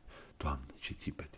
strigăte atât de grozave, asemenea urlete, răgnete, scrâșniri, plânsete, lovituri și înjurături nu auzise și nu văzuse niciodată în viața lui. Nici nu și-ar fi putut închipui atâta brutalitate și sălbăticie. Cuprins de groază, se ridică în capul oaselor cu răsuflarea tăiată chinuit. Loviturile, strigătele și înjurăturile se întețeau mereu. Apoi, spre nespusa lui mirare, recunoscu glasul gazdei. Femeia urla, plângea, se tânguia, vorbea foarte iud. Cuvinte învălmășite îi țâșneau din gură, așa încât uh, nu le puteai desluși. Implora pe semnă să nu mai fie bătută, căci tocmai dânsa era crunt bătută de cineva pe scară. Cel ce o bătea răgnea și el fioros cu atâta mânie și răutate că nu se înțelegea ce spune gătuit de furie. Deodată Raskolnikov început să tremure ca varga. Recunoscu glasul. Era al lui Ilia Petrovici, polițistul acela de la secție. Ilia Petrovici venise acolo și o bătea pe gazda lui. O izbea cu picioarele, o pocnea cu capul de trepte. Auzea clar, își dădea seama după lovituri, după țipetele femei. Dar ce asta? Nu cumva s-a întors lumea pe dos? La toate etajele, pe întreaga scară se strânsese lume multă. Se auzeau glasuri, exclamații, unii urcau, alții coborau, alergau, trânteau ușile. Dar pentru ce, pentru ce și cum se poate? Repeta el, temându-se cu adevărat că își pierde mințile. Dar nu, prea se aude deslușit. Și dacă e așa, atunci vor ajunge îndată și la el. Vor ajunge pentru că e pentru aceeași pricină, pentru cele ce s-au întâmplat ieri. Doamne, ar fi vrut să pună cârligul la ușă, dar n-avea putere să miște brațul. Și apoi era inutil. Groaza îi strângea inima într-o încleștare de gheață. Îl înțepenea, îl chinuia, dar iată că gălăgia care ținuse cel puțin 10 minute începu să se putolească. Gazda gemea și suspina. Ilia Petrovici tot mai amenința și înjura. În sfârșit, iată că s-a potolit și el nu îi se mai aude glasul. Să fi plecat. O, Doamne! Iată că se duce și gazda, pleacă suspinând și plângând. Ușa de la apartamentul ei se trântește cu zgomot. Lumea de pe scară se împrăștie, oamenii discută, oftează, se strigă. Glasurile lor când se ridică până la țipăt, când coboară până la șoaptă, trebuie să fi fost mulți. Se adunaseră aproape toți chiriașii. Da, Doamne, să fie cu putință și apoi pentru ce? Pentru ce a venit aici? Istovit, Raskolnikov căzu pe divan, dar nu mai putu închide ochii, zăcu astfel ca o jumătate de ceas, pradă unei suferințe și unei spaime fără margini și atât de cumplite cum nu simțise încă niciodată. Îngrozit ca niciodată, Raskolnikov se ghemuiește în agonie până când Nastasia intră cu o lumânare și mâncare. El o întreabă de ce a abuzat-o Ilia atât de oribil pe proprietar. Ea îi spune că nu s-a întâmplat așa ceva niciodată. Raskolnikov îi spune că este imposibil, că a auzit totul foarte clar. Citez. Nimeni n-a fost pe aici. Ăsta e sângele care strigă în tine. Sângele când nu-și găsește ieșire și începe să se închege, atunci ți se năzare fel de fel. Vrei să mănânci sau ba? Raskolnikov nu răspunde. Nastasia stătea uitându-se fix la el și nu pleca. Dăm să beau, Nastasiușca. Femeia coborâ în bucătărie și peste vreo două minute se înapoi aducând apă într-o cană albă de faianță. De aici încolo el nu mai știu nimic. Își amintea numai că sorbise o singură înghițitură de apă rece și că restul îi se vărsase pe piept, apoi își pierduse cunoștința. Capitolul 3 Raskolnikov este bolnav, delirează și este în mare parte inconștient. În timp ce este bolnav, crede că mulți oameni sunt prin preajmă, le este frică de el și sunt în căutarea lui. Nastasia pare să fie o prezență constantă, la fel cu un alt bărbat. Bărbatul este familiar, dar uh, Raskolnikov nu își amintește cine este. El uită de crima pe care a comis-o, dar este conștient că a uitat ceva important. Gândurile de evadare mânate de frică îl fac să încerce să scape, dar cineva, crede el, îl ține mereu de picioare. Nu știe de cât timp este bolnav. La 10 dimineața, într-o dimineață, se întoarce înapoi uh, pe lume.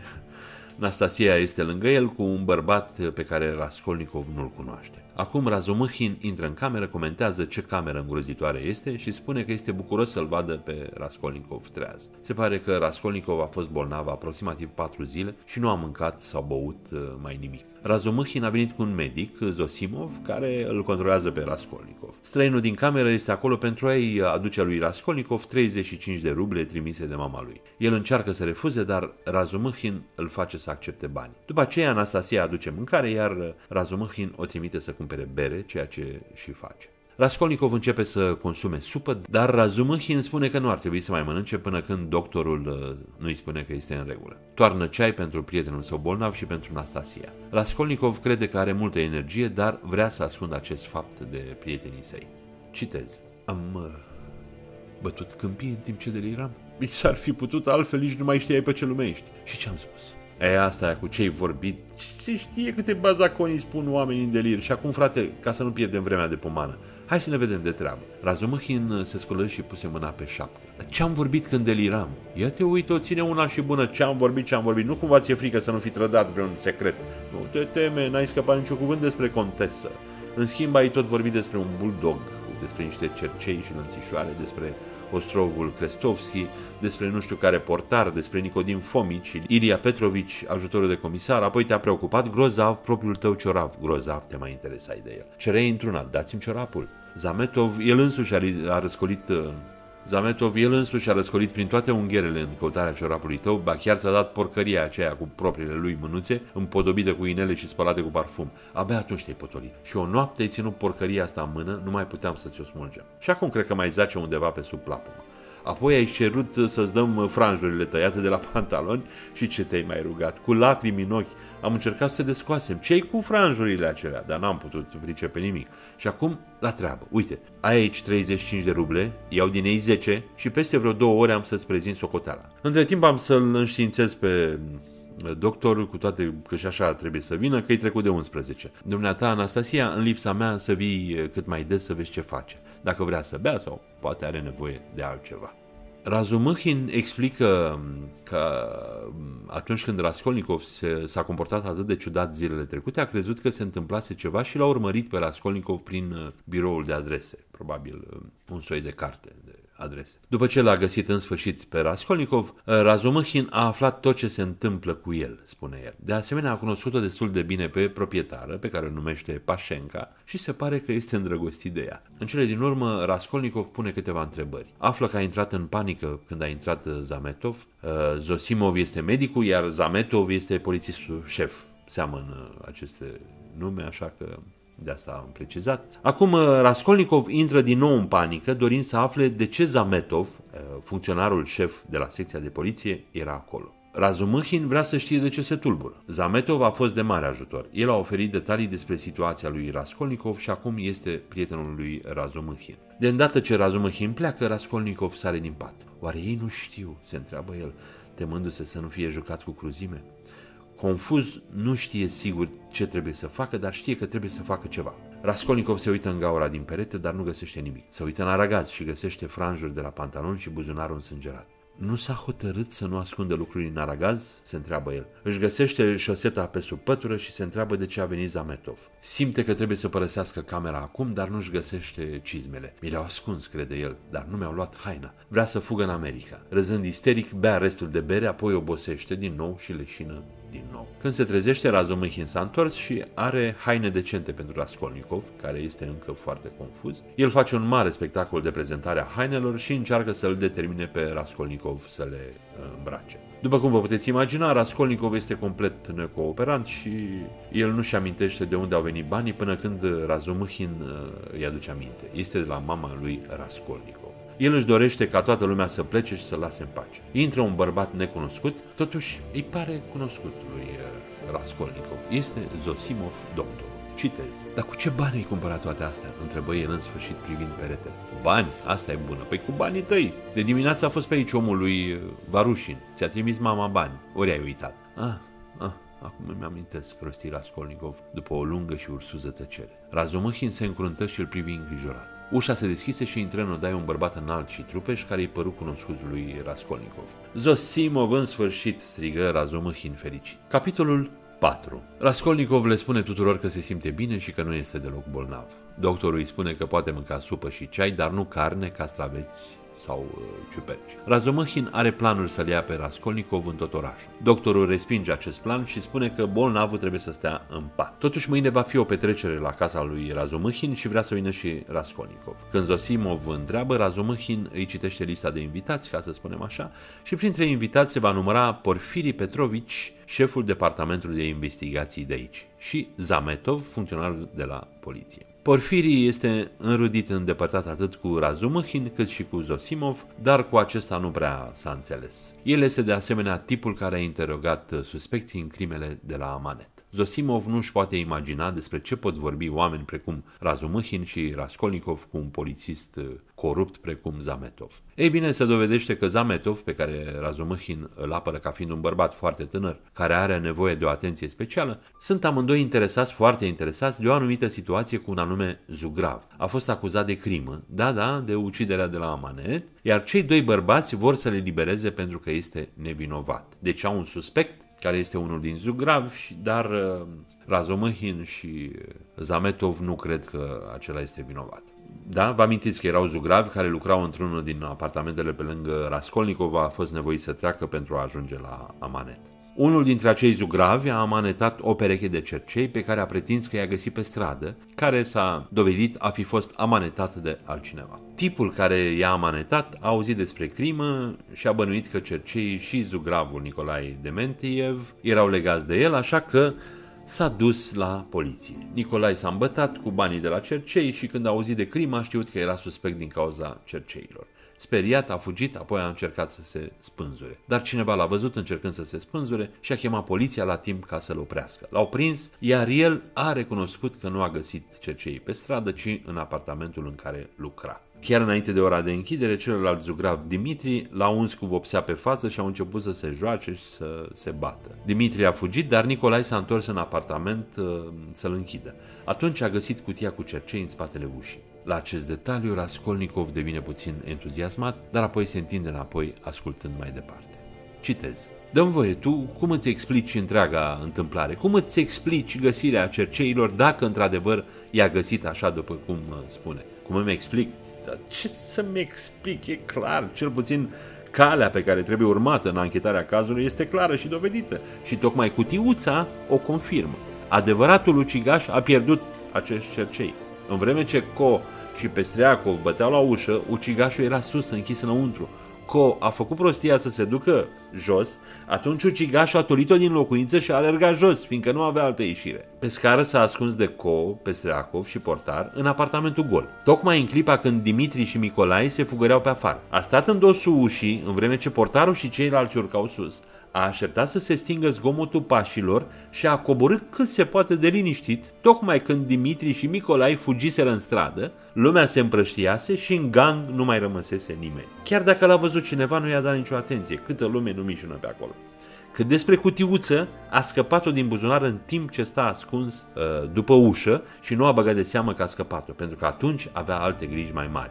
Cutiuța însă dovedește clar că ucigașul s-a ascuns acolo. Și asta e tot. Ingenios? Nu, frate, e prea ingenios. Asta, asta e mai ingenios ca toate. Dar de ce? De ce? Fiindcă prea se îmbină toate. Se îmbină, se potrivesc ca la teatru. Da, exclamă Razumâhin, dar în clipa aceea ușa se deschise și intră în odaie un nou musafir pe care niciunul dintre cei de față nu-l cunoștea. Capitolul 5 Străinul misterios este puțin înțepenit, nu mai este tânăr și pare uimit că s-a trezit într-o cămăruță atât de urâtă. El întreabă de Rodion Romanovici Raskolnikov, student sau fost student. Razomăhin arată spre canapea. Este Lujin, logodnicul Duniei. Se prezintă lui Raskolnikov care se uită la el în gol. Lujin spune că a crezut că Raskolnikov va ști despre el dintr-o scrisoare. Razumăhin căscând îl invită pe Lujin și îi spune că Raskolnikov a fost bolnav în ultimele 5 zile și a leșinat de 3 ori cel puțin. Găsind un loc unde să stea în camera aglomerată, Lujin aduce din nou în discuție scrisoarea. Știu, știu, îi spune Raskolnikov, deci ești logodnicul. Știu și asta e de ajuns. Și apoi se uită la Lujin cu atenție. Raskolnikov îi admiră hainele, inclusiv mănușile violet deschis și cravata cu dungi roz. El crede că arată destul de bine. Evident că și-a cumpărat haine noi pentru a o impresiona pe Dunia și are o barbă frumoasă, o coafură drăguță, arată mai tânăr de 45 de ani. În ciuda aspectului său frumos, ceva nu este în regulă. Citez. După ce îl studie în voie pe domnul Lujin, Raskolnikov zâmbi sarcastic, se lăsă pe pernă și își aținti din nou privirile în Bagdadie. Dar domnul Lujin se stăpâni, părea hotărât să nu dea deocamdată nicio atenție acestor ciudățenii. Îmi pare foarte, foarte rău că, că vă găsesc în această stare, începu el ca să curme tăcerea. Dacă aș fi știut că sunteți bolnav, aș fi venit mai curând, dar știți treburile. Afară de asta, în legătură cu activitatea mea de avocat, am la Curtea de Casație un proces de mare importanță, fără să mai vorbesc despre acele griji pe care le bănuiți de sigur și dumneavoastră. Aștept din clipă în clipă sosirea măicuței și a surioarei dumneavoastră. Raskolnikov făcu o mișcare de parcă ar fi vrut să spună ceva. Pe fața lui se citea o oarecare emoție. Piotr Petrovici se întrerupse, așteptăm, dar văzând că Raskolnikov tace, urmă. Da, ă, din clipă în clipă. Le-am găsit și o locuință unde să stea până un alta. Unde? întrebă cu voce slabă Raskolnikov. Foarte aproape de aici, în casa lui Bacaleev.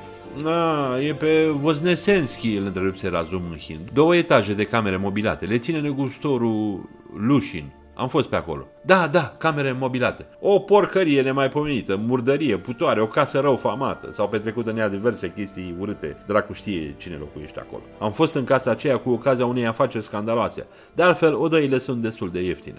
Fiind de puțină vreme în oraș, n-am putut firește avea atâtea informații. Obiectă înțepat Piotr Petrovici. Sunt două odăițe cât se poate de curate și pe urmă nu le-am închiriat decât pentru scurtă vreme. Am și găsit o locuință adevărată, adică viitoarea noastră locuință, se întoarse el spre Raskolnikov.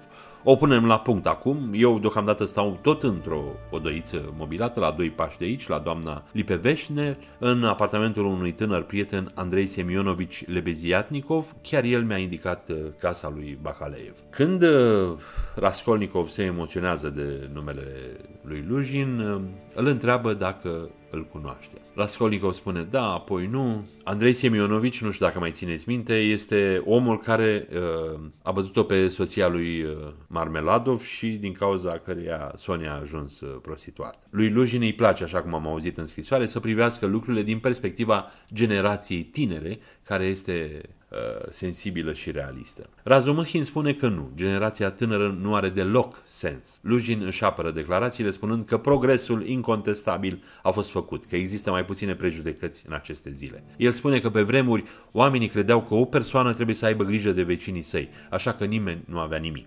Dar dacă fiecare persoană are grijă de sine, toată lumea va avea destul.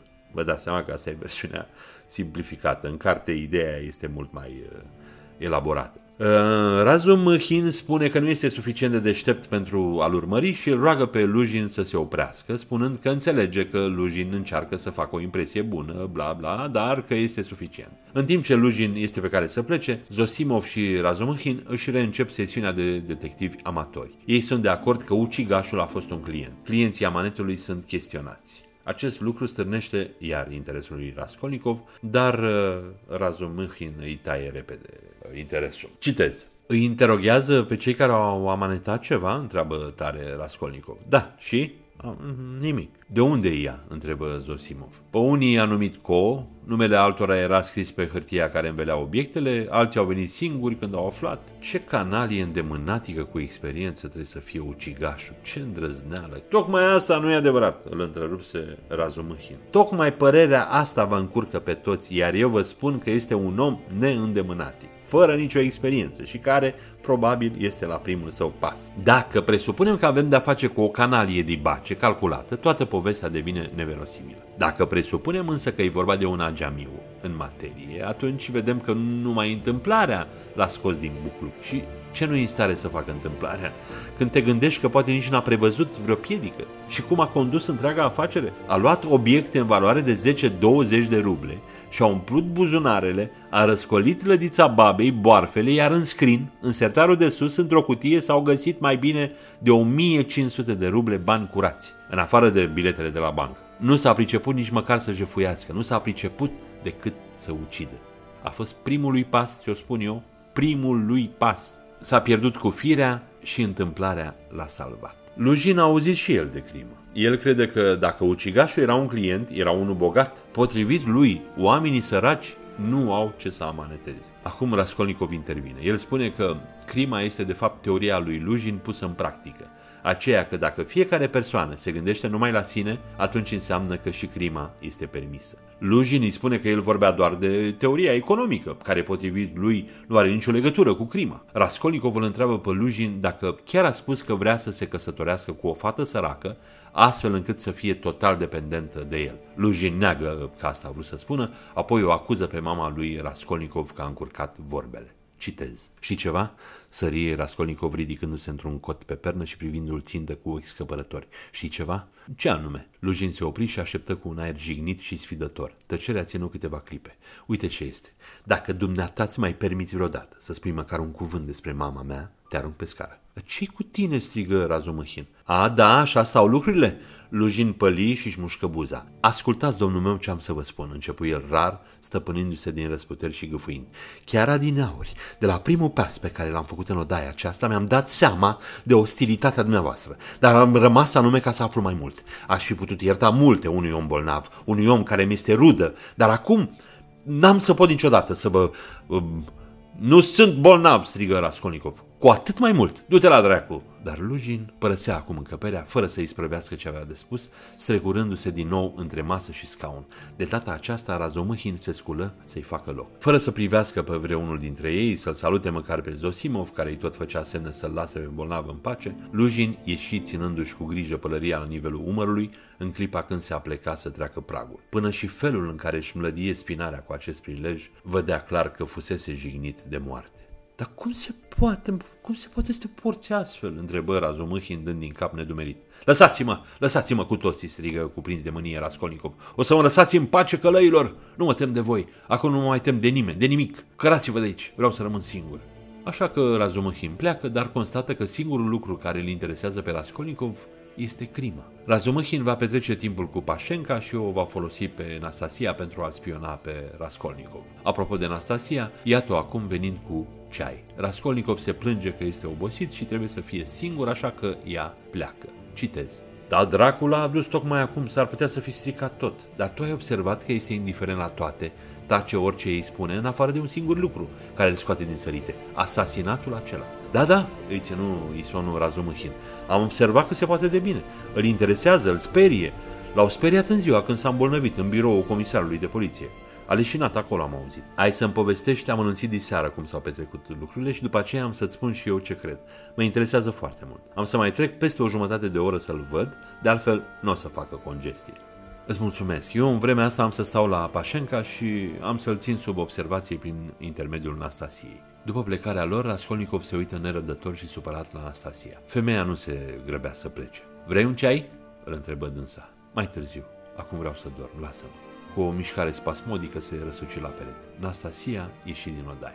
Capitolul 6 în cele din urmă, singur, Raskolnikov sare în picioare și se îmbracă cu câteva din hainele sale noi. Simțindu-se liniștit dintr-o dată, ia banii și apoi iese neobservat în stradă. Vrea să mărturisească astăzi. Rătăcind fără scop, se trezește la Palatul de Cristal, care e un soi de restaurant, decide să nu bea și să angajeze o prostituată și ajunge într-un alt uh, restaurant. Unii bărbați beau șampanie. Crede că îl vede pe Zametov, funcționar de poliție, dar nu este sigur. Raskolnikov comandă ceai și cere ziare din ultimele 5 zile scanează hârtiile și găsește veștile pe care le caută. Exact când Zametov apare la masa lui. Raskolnikov este entuziasmat și vorbește cu Zametov. Îi mulțumește că i-a găsit ciorapul când era bolnav. El vorbește de asemenea despre detaliile anchetei despre care i-a auzit discutând pe Razumhin și Zosimov. Zametov crede că Raskolnikov se comportă ciudat și ar trebui să fie încămpat. Apoi Raskolnikov se joacă cu detectivul spunându-i că vrea să mărturisească sau mai degrabă să dea o declarație. Citez. Raskolnikov îl privi ciudat și același zâmbet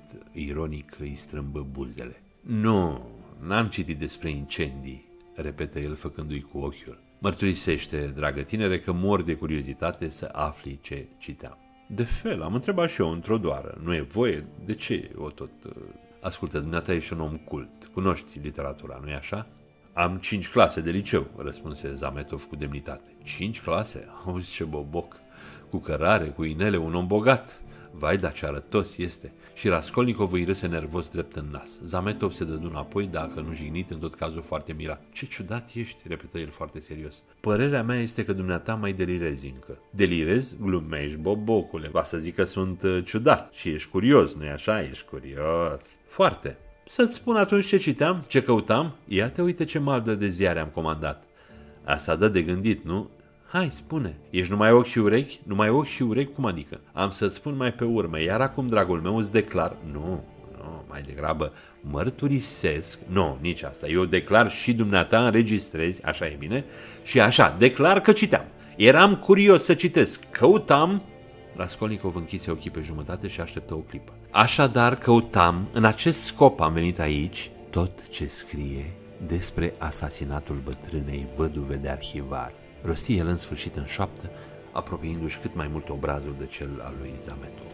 Zametov îl privea țintă fără să facă vreo mișcare, fără să-și depărteze obrazul. Ceea ce îi părut ciudat mai târziu lui Zametov e că un minut întreg s-au privit astfel unul pe altul, fără o vorbă, în tăcere. Ei, și ce dacă citeai despre asasinat? strigă el deodată, nedumerit și enervat de purtările ciudate. Ce-mi pasă mie? Ce importanță are? E vorba de bătrâna aceea, urmă Raskolnikov tot în șoaptă, fără să tresară la exclamația lui Zametov. De bătrâna aceea despre care s-a vorbit atunci la birou, îți amintești când am leșinat? Eh? Acum pricepi? Dar ce cu asta? Ce să pricep? întrebă Zametov aproape speriat. Obrazul grav și nemișcat al lui Raskolnikov își schimbă deodată expresia și același râs nervos de adineauri sculptură în praznic de parcă n-ar fi fost în stare să-l stăpânească.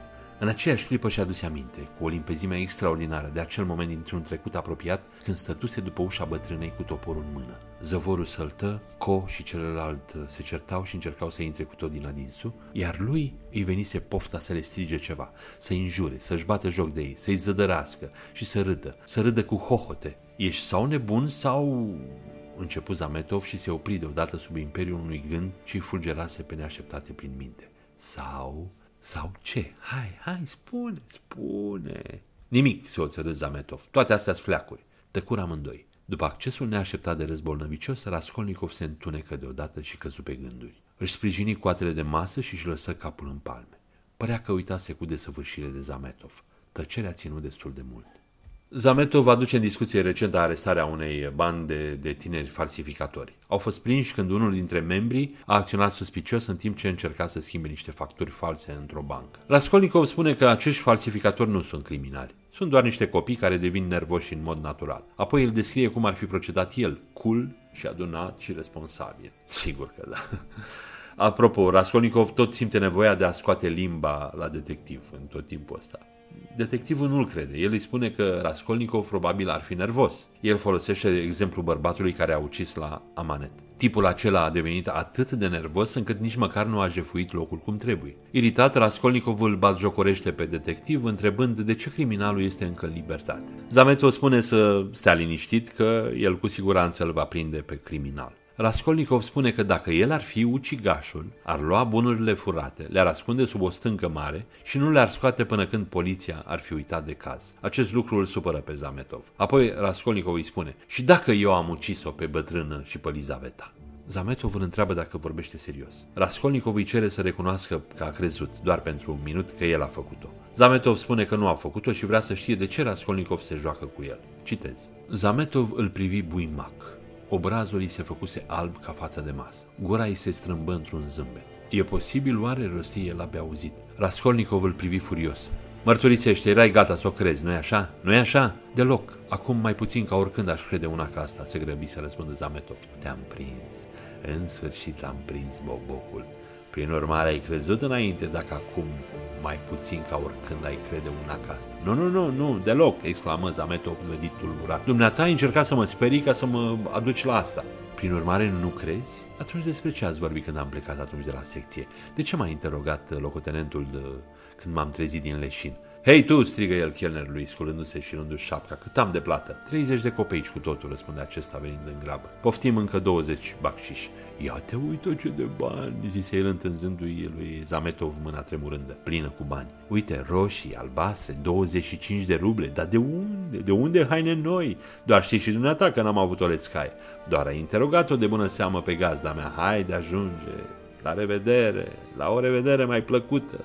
Zametov pare convins de ceva, fie de nevinovăția sau vinovăția lui Raskolnikov, nu știm încă, și mai crede că Ilia este un idiot pentru că a gândit contrariul. Raskolnikov aproape îl lovește pe Razumahin când iese din restaurant. Toată lumea a fost îngrijorată de starea lui. Raskolnikov spune că trebuie să fie singur, iar Razumahin amenință că îl va ridica și îl va duce acasă. Acesta îi spune că nu are nevoie de mila lui. Ofensat, Razumahin îl insultă, îl face prost, apoi îl invită la petrecerea lui, la care Raskolnikov spune că nu va participa. Razumahin insistă că el va veni, că oamenii nu pot ști dinainte ce vor face. Apoi îl întreabă despre întâlnirea sa cu Zametov dar refuză să-i răspundă și în cele din urmă scapă de el. Se duce la un pod și se uită la apă. Brusc, o femeie sare într-o tentativă de sinucidere.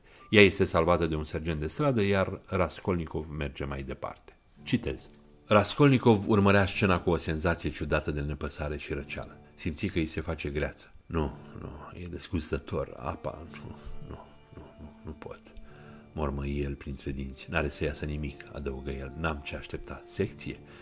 De ce Zametov nu este la secție? Secția e deschisă la ora 10. Se întoarse cu spatele la balustradă și își roti privirile împrejur. Ei și, poate n-ar fi rău, hotărâi el unindu-se din loc și pornind înspre secție. Inima îi era pustie și surdă la toate. Nu voia să se gândească, nu mai simțea nici anxietate, nu mai avea nici urmă din energia de adineauri când plecase de acasă hotărât să sfârșească cu toate. O apatie totală le luase locul și asta ar fi o ieșire, se gândea el mergând încet, apatic pe cheiul canalului.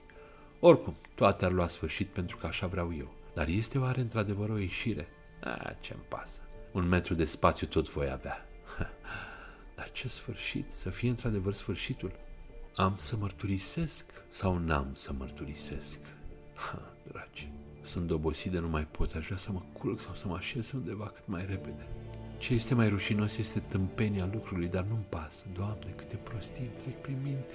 Ca să ajungă la secție trebuia să meargă drept înainte și să cotească după a doua stradă la stânga. Era la doi pași. Dar, ajuns la primul colț, el se opri, se gândi puțin și intră în ulicioară ca să facă un ocol de două străzi. Poate că o făcuse fără niciun scop sau poate ca să lungească cu un minut drumul și să câștige timp. Mergea cu privirile în pământ. Deodată îi se păru că cineva îi șoptește ceva la ureche. Ridică ochii și văzu că se afla în dreptul casei aceleia în fața gamului. Ajuns acolo, el nu poate rezista să nu intre. A fost uh, renovat și remodelat, deși se aștepta să fie cumva exact la fel ca atunci când uh, l-a lăsat cu bălți de sânge peste tot. Sunt muncitori acolo și el face o scenă cu ei spunând că vrea să închirieze locul și îi întreabă dacă au reușit să ascundă toate petele de sânge. Ei cred că e nebun și Raskolnikov încearcă să-i determine să meargă cu el la secția de poliție. Se plâng portarului care îl dă afară. Citez. Și apucându-l pe Raskolnikov de umăr, îl împinse în stradă. Raskolnikov se potigni, era cât pe ce să cadă, dar își restabili repede echilibru. Se uită tăcut la cei din față și își văzu de drum. Ciudat om, zise lucrător. Tare ciudată lumea de astăzi, îi ține Isonu baba. Trebuia să o duceți la secție, adăugă târgovețul. Ce să ne mai încurcăm cu el, hotărâ portarul cel voinic. Un derbedeu, caută pe dracu, dar dacă te potrivești la el, pe urmă nu mai scapi. Îi cunosc eu pe derbedei ăștia. Așadar să mă duc sau să nu mă duc. Se gândea Raskolnikov oprindu-se în mijlocul străzii la răscruce și privind de jur împrejur ca și cum ar fi așteptat de la cineva un sfat. Dar nimeni nu-i răspuns. Totul era mut și mort ca pietrele pe care călca, mort pentru el, numai pentru el. Deodată, undeva departe, poate la 200 de pași, în capătul celălalt al străzii, în, în întunericul care se îndesa, desluși o mulțime de oameni, larmă, strigăte, înconjurată de mulțime, era o caleașcă oprită. O luminiță licări pe la mijlocul străzii. Ce să fie? Raskolnikov coti la dreapta și se îndreptă spre mulțimea aceea. Părea că vrea să se agațe de orice și acest lucru îl făcu să zâmbească ironic, fiindcă era ferm hotărât să se ducă la secție și știa sigur că în curând totul se va sfârși. Întors pe stradă, observă ceva zarbă în depărtare. El este sigur acum. Se duce la secția de poliție. Capitolul 7 Raskolnikov se apropie de locul larmei. Un om beat a fost lovit de o trăsură de cai foarte elegantă. Raskolnikov vede că bărbatul beat este Marmeladov. Uh, Raskolnikov încearcă să convingă un polițist că Marmeladov ar trebui dus la casa lui despre care știe că este în apropiere. El susține că acesta va muri înainte de a-l duce la spital. Raskolnikov și alți câțiva bărbați ajută la transportatul bărbatului rănit uh, acasă. Între timp, soția lui Marmeladov, Caterina Ivanovna, este acasă, vorbește cu fica ei de 10 ani, Polenca, și își pregătește fiul și fica mai mică de culcare. Caterina este bolnavă și tușește îngrozitor. Îi povestește lui Polenca despre vremurile bune când erau bani și speranță. siguranță. Intră Raskolnikov și echipajul care îl așează pe Marmeladov, însângerat și leșinat pe canapea. Raskolnikov îi spune Caterinei că un medic este pe drum. Ea începe să șteargă cu dragoste fruntea soțului ei cu o cârpă umedă și o trimite pe Polenca să o aducă pe Sonie. Apoi ordonă mulțimii să iasă din casa ei, ceea ce aceștia și fac. Intră proprietara și îi spune Caterinei să-l scoată pe muribund din casa ei și să-l ducă la spital. Ea o dă afară, Marmeladov își recapătă cunoștința, iar Caterina își dă seama că pieptul lui este zdrobit și că în curând va muri. Muribundul cere un preot, iar uh, ea îi spune că preotul este pe drum.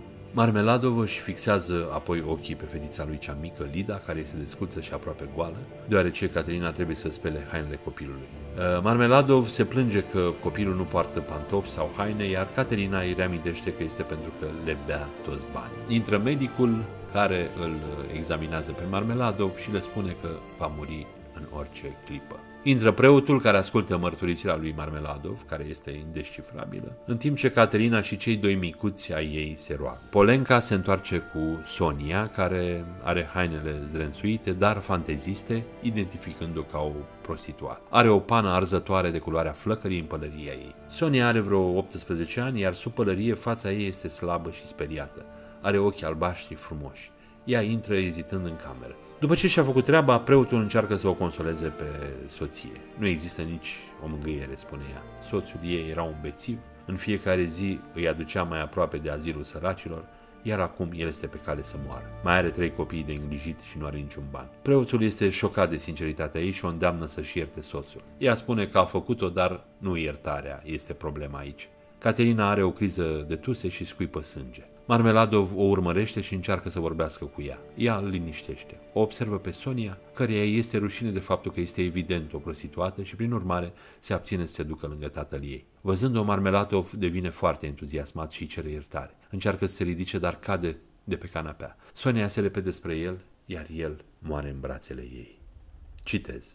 Caterina Ivanovna, începu el, săptămâna trecută răposatul mi-a povestit întreaga lui viață și toate împrejurările. Țin să vă asigur că a vorbit despre dumneavoastră cu cea mai mare admirație și respect. Din seara aceea când am aflat ce devotat v-a fost tuturora și mai ales cât v-a iubit și v-a stimat pe dumneavoastră, Caterina Ivanovna, cu toată slăbiciunea lui nenorocită pentru băutură, din seara aceea am fost prieteni. Permiteți-mi acum, spune Raskolnikov, să contribui la ultima datorie față de răposatul meu, prieten. Aici, aici sunt 20 de ruble, așa mi se pare, și dacă ele vă pot fi de folos, atunci eu într-un cuvânt am să vin la, pe la dumneavoastră, am să vin negreșit, poate chiar mâine. Rămâneți cu bine. Și ieși grăbit din odaie. Își croi cât mai uite drum prin mulțime și ajunse pe scară, dar aici se ciocni deodată în față în față cu Nicodin Fomici, care, aflând despre accident, venea să dea dispoziții personale. De la scena petrecută la secție, ei nu se văzuseră. Nicodin Fomici îl recunoscu numai decât.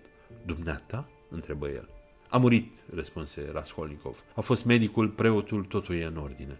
Nu tulburați prea mult pe biata femeie și așa e bolnavă de piept. Îmbărbătați-o dacă puteți. Sunteți un om bun, știu, adăugă el cu un zâmbet privindu-l drept în ochi. Dar te-ai pătat cu sânge, zise Nicodim Fomici, observând câteva pete proaspete pe jiletca lui. Da, m-am pătat.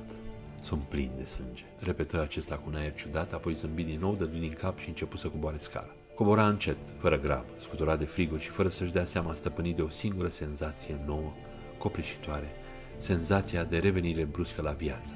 O viață ce pulsează în el intens și puternic, ceva asemănător cu ce ar simți un condamnat la moarte căruia îi se anunță deodată grațiere. Înainte să ajungă la ieșire, Polenca vine în fugă în spatele lui. Evident, foarte fericită că vorbește cu el, îi spune că Sonia a trimis-o să-i afle numele și adresa. El o întreabă dacă o iubește pe Sonia, iar fata îi spune, o iubesc mai mult decât pe oricine. Raskolnikov o întreabă dacă ar putea să-l iubească și pe el. Ea îi răspunde oferindu-i o îmbrățișare și plângând. Îi spune că este tristă pentru ceea ce s-a întâmplat cu tatăl ei. El îi spune că îl cheamă Rodion. Polenca îl îmbrățișează din nou, îi dă adresa lui și apoi pleacă. Polenca este fericită. Acum Raskolnikov este din nou lângă pod, chiar acolo unde femeia încercase să se sinucidă mai devreme în acea zi. El decide că viața lui nu s-a terminat, că a terminat de trăit într-un mod atât de înfiorător și că de aici încolo va fi puternic și va trăi din nou în lume nu mai este bolnav și este plin de mândrie și încredere în sine. Deoarece casa lui Razumăhin este aproape, Raskolnikov decide că va merge la petrecere doar pentru o secundă. La Razumăhin, Raskolnikov îi spune că a venit doar să-i spună că Razumăhin a avut dreptate. Oamenii nu își pot prezice propriile acțiuni. Doctorul spune că Raskolnikov trebuie să se întoarcă în pat și că Razumăhin ar trebui să-l conducă acasă. Îi dă lui Raskolnikov câteva medicamente pe loc și câteva pentru a le lua acasă mai târziu. În timp ce merg, Razumăhin mărturisește că Zosimov crede că Raskolnikov și-a pierdut mințile și că l-a trimis pe el uh, să încerce să obțină informații de la el. Zosimov este foarte interesat de sănătatea lui mentală. Uh, Raskolnikov îl întreabă de ce crede ei că e nebun. Razumahin răspunde că are mult de a face cu conversația anterioară a lui cu Zametov, care a fost uh, la petrecere.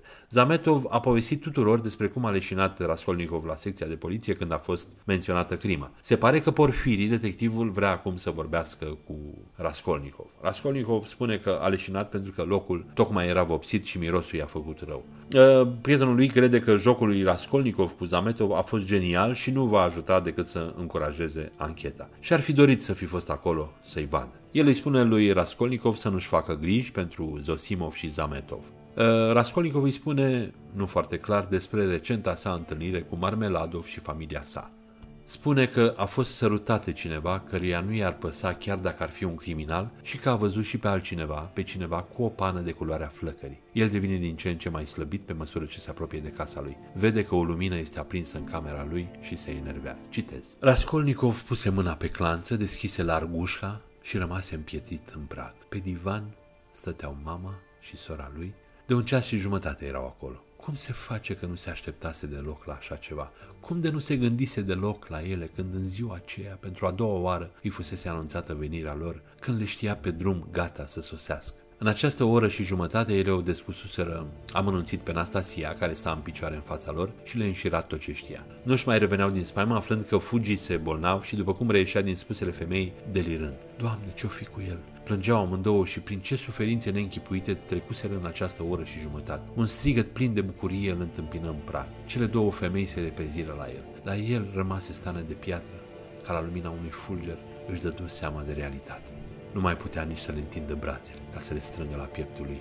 Mama și sora lui îl îmbrățișau, îl sărutau, râdeau, plângeau. El făcu un pas, se clătină și se prăbuși în nesimțire pe podea panică, țipete de groază, suspine. Razomăhin, care rămăsese în prag, dădu buza înăuntru, îl apucă pe bolnav în brațele lui vârjoase și îl culcă într-o clipită pe divan. Nu-i nimic, nu-i nimic, strigă el mamei și surorii. Nu-i decât un leșin fără nicio gravitate. Chiar acum mi-a spus doctorul că este mult mai bine, că este chiar sănătos. Apă, iacă, vedeți, a început să-și vină în fire. Uitați-vă, uitați-vă la el că își revine. Și apucând-o de mână pe Dunicica, o scutura aproape să-i scoată brațul din încheietură și o sili să se aplece ca să vadă că își revine. Mama și sora îl priveau pe Razumâhin cu înduieșare și recunoștință, socotindu-l o adevărată providență. Aflaseră de acest tânăr îndatoritor, cum îl numea în aceeași seară într-o discuție intimă cu Dunia, însăși Pulheria Alexandrovna Raskolnikova.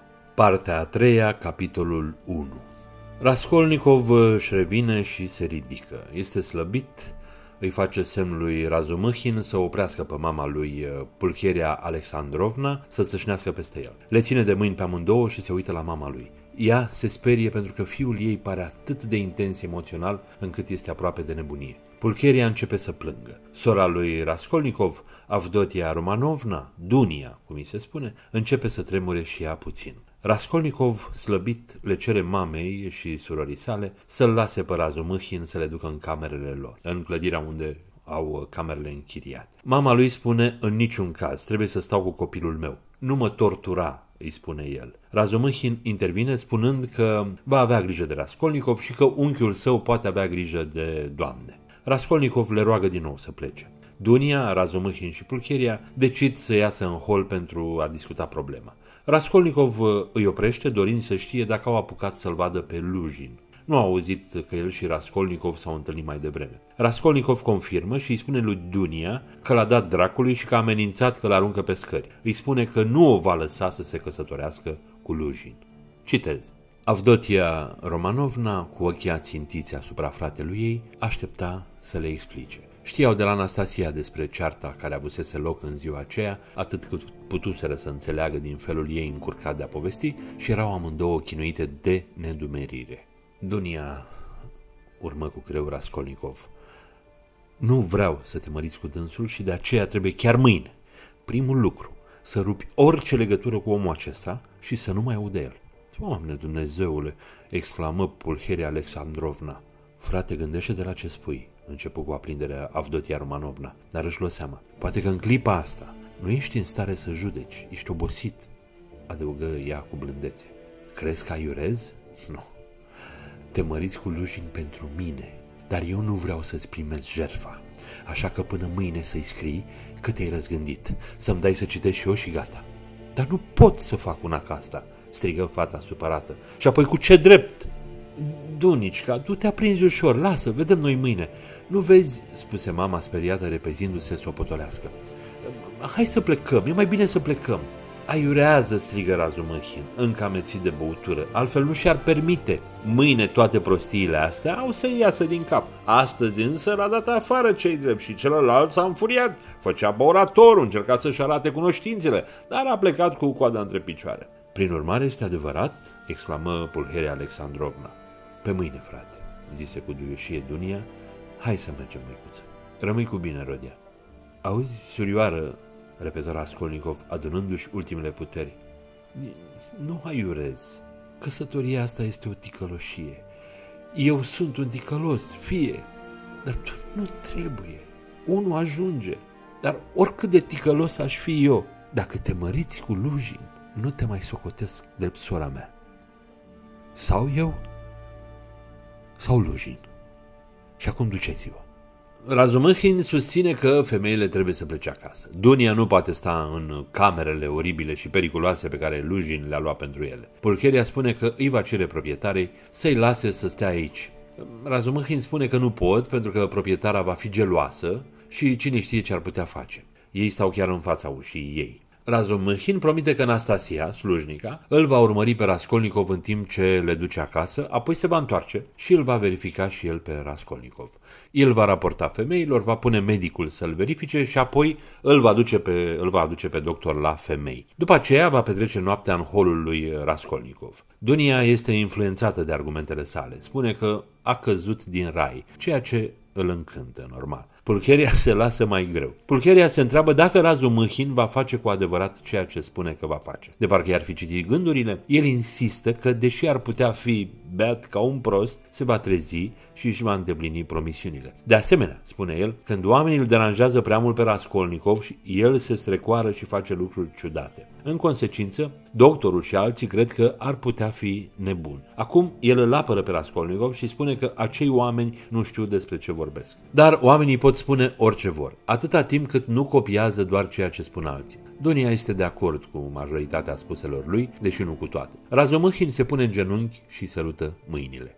El declară că ea este minunată și că nu merită să fie în aceeași cameră cu ea. Ei ajung în uh, camerele în care urmează să stea femeile. Uh, Razumâhin se plânge că Lujin nu a obținut un loc mai bun și le lasă pe cele două femei în cameră, promițând că se va întoarce în curând. Dunia încearcă să-și consoleze mama, punând totul pe seama că Raskolnikov este bolnav. Se îmbrățișează și apoi așteaptă cu nerăbdare să se întoarcă Razumâhin uh, și nu sunt sigure că o va face. Dunia se plimbă adâncită în gânduri. Acum obținem o descriere lungă a cât de frumoasă este Dunia și a modului în care Razumâhin nu este doar atras de ea pentru că este beat. Citez. Firește, Razomâhin, uh, aprins de beție, era ridicol cu pasiunea lui fulgerătoare față de Avdotia Romanovna, dar dacă o priveai pe tânăra fată, mai ales acum când era tristă și gânditoare și se plimba prin odaie cu brațele încrucișate, mulți l-ar fi înțeles fără să pună acest lucru pe seama stării lui euforice. Avdotia Romanovna era uimitor de frumoasă înaltă, mlădioasă, o fire tare, sigură pe ea ceea ce se simțea în fiecare gest al ei, fără să-i știrbească totuși grația și gingășia mișcărilor. La față semăna cu fratele ei, dar o puteai numi într-adevăr frumoasă. Avea părul blond închis, o nuanță totuși mai deschisă decât a lui, ochii aproape negri, strălucitori, mândri și în același timp, în unele clipe, extraordinar de blânzi. Era palidă, dar nu de o paloare bolnăvicioasă, îi strălucea obrazul de prospețime și sănătate. Gura era destul de mică, iar buza inferioară, proaspătă și roșie, ieșea puțin în afară, odată cu bărbia. Era singura trăsătură neregulată a acestui obraz perfect. O trăsătură care îi dădea o expresie deosebită, ceva hotărât și oarecum semeț Fața aceasta era îndeopște mai curând gravă și visătoare decât veselă. În schimb, ce farme căpăta când se însuflețea și râdea vesel, tinerește, deschis. Era ușor de înțeles de ce Razumăhin, înflăcărat, sincer, naiv, cinstit, voinic ca un viteaz legendar și pe deasupra beat, el care nu văzuse niciodată nimic asemănător și a pierdut capul de la cea din tâi privire. Și apoi întâmplarea parcă anume făcuse ca el să o vadă pe Dunia tocmai în clipa când avea fața transfigurată de iubire pentru fratele ei și de bucuria revederii. Apoi văzuse cum îi tremura buza de indignare la porunca brutal, nerecunoscătoare și crudă a lui Rodea și nu se mai putuse împotrivi.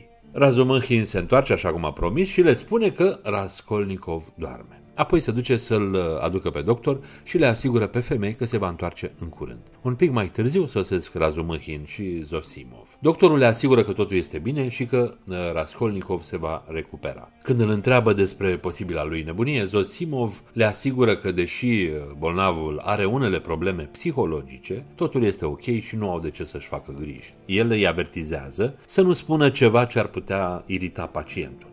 Când Zosimov și Razumăhin revin pe stradă, doctorul comentează despre aspectul frumos al Duniei. Razumăhin îl sperie puțin spunându-i să nu mai vorbească niciodată despre Dunia. Zosimov este amuzat de faptul că amândoi sunt fermecați de ea. Razumăhin spune că știe că Dunia nu și-ar dori niciodată un tip ca el, un biet fost student. Citez. Razumăhin, foarte tulburat, rupse tăcerea. Ascultă, zise el, Ești un băiat de treabă, dar pe lângă o mulțime de alte cusururi ale tale, mai ești și un afemeiat, o știu prea bine, și încă un afemeiat ordinar. Da, ești ordinar. Ești aiurit, slab de înger și de prea mult răsfăț, nu-ți refuzi nimic și asta după mine este o ticăloșie fiindcă te duce de-a dreptul la ticăloșii. Te-ai răsfățat într-așa hal că mărturisesc nu pricep cum de izbutești să fii un medic bun și chiar plin de abnegație. Dormi pe puf și te scoli noaptea din pat pentru un bolnav peste trei ani n-ai să te mai scoli pentru niciun bolnav. Da, la dracu, nu despre asta e vorba. Astă noapte dormi în apartamentul gazdei, abia am convins-o, iar eu în bucătărie.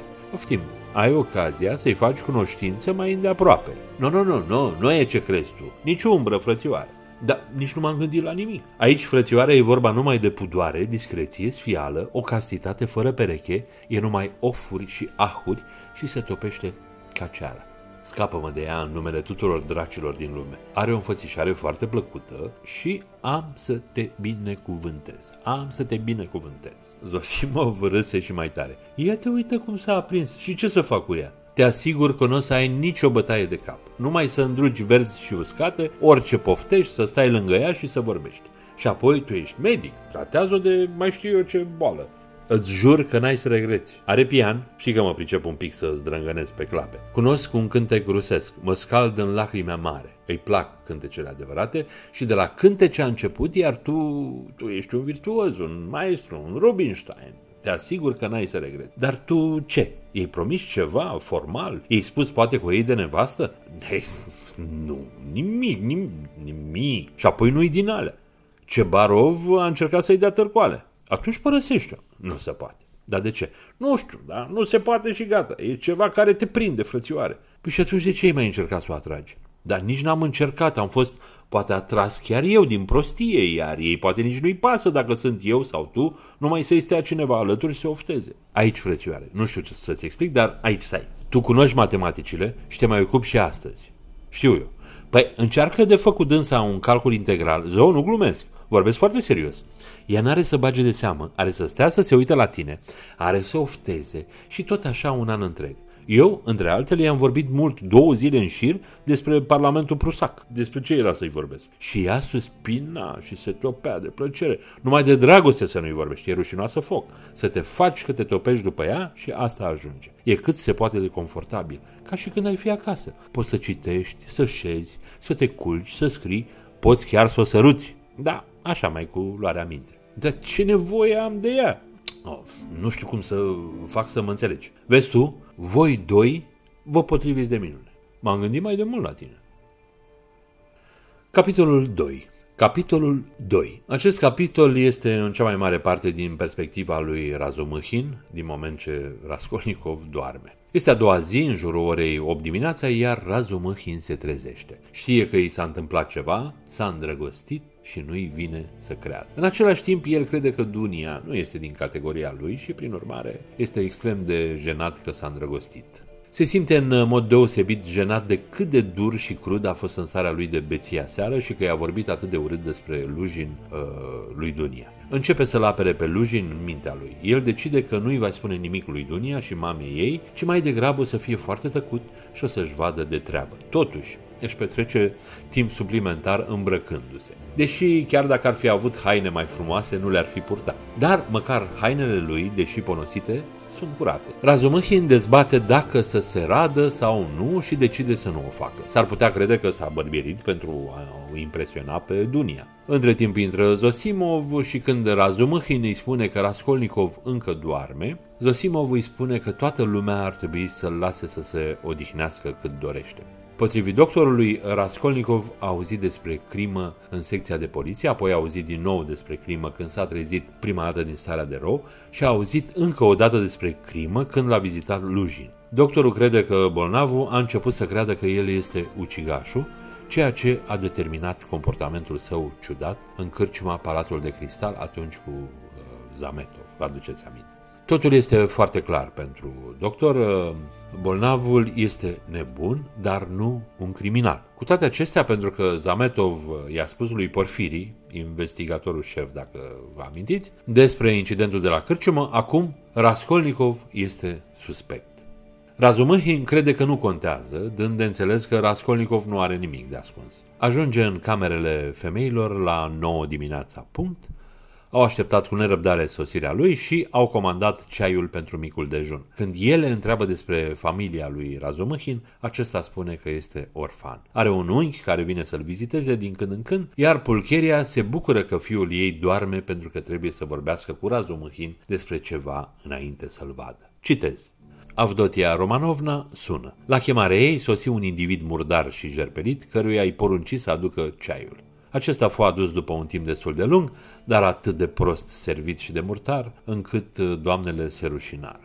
Razumăhin înjură energic hotelul, dar, aducându-și aminte de Lujin, tăcu stingherit și se bucură nespus când întrebările Pulherie Alexandrovna începură să plouă asupra lui, scăpându-l astfel din încurcătură. Răspunzând la întrebările ei, vorbi vreo trei sferturi de oră, mereu întrerupt, descusut, pe îndelete și izbuti să comunice faptele cele mai importante, semnificative din câte știa că îi se întâmplaseră lui Rodion Romanovici în cursul ultimului an de viață, încheind cu descrierea amănunțită a bolii. De fapt, trecu sub tăcere unele lucruri care trebuiau lăsate deoparte, între altele nu pomeni o vorbă despre scena de la secție și despre urmările ei. Fu ascultat cu aviditate și când crezu că îi sprăvise și le satisfăcuse curiozitatea, văzu că pentru ele parcă abia începuse să vorbească.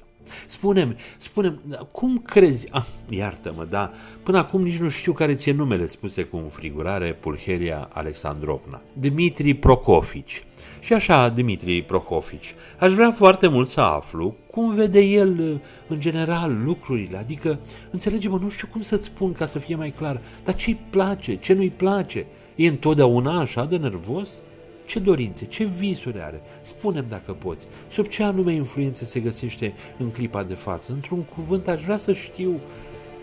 Vai, măicuțo, cum ar putea cineva să răspundă dintr-o dată la toate? spuse Dunia. O, oh, Doamne, nu m-am așteptat deloc, dar, dar, dar deloc să, să-l găsesc așa cum l-am găsit, Dimitri Procofici. El le spune că Raskolnikov este amabil, deștept, nobil, etc., dar e și o fire rece care trăiește în capul lui, cu toate sentimentele închise în el. Este aproape ca și cum ar fi doi oameni complet diferiți.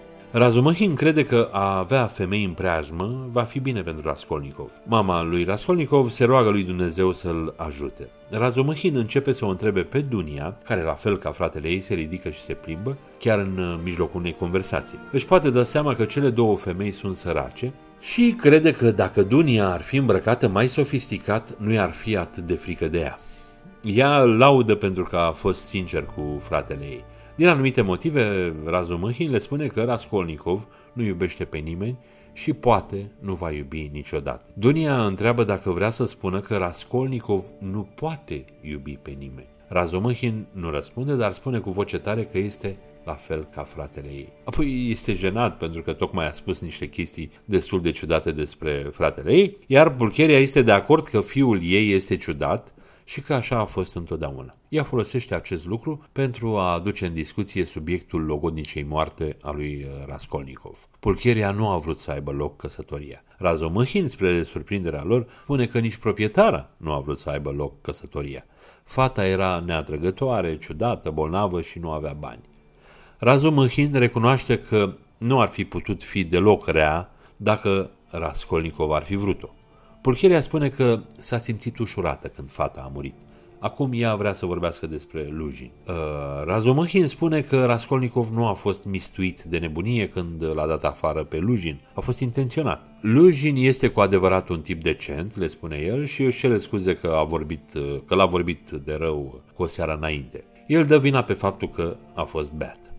Apropo de Lujin, doamnele vor să-i arate lui Razumăhin o scrisoare de la el. În scrisoare, el își cere scuze că a fost preocupat cu munca pentru a le vedea, dar promite că le va vedea mâine seară la ora 8.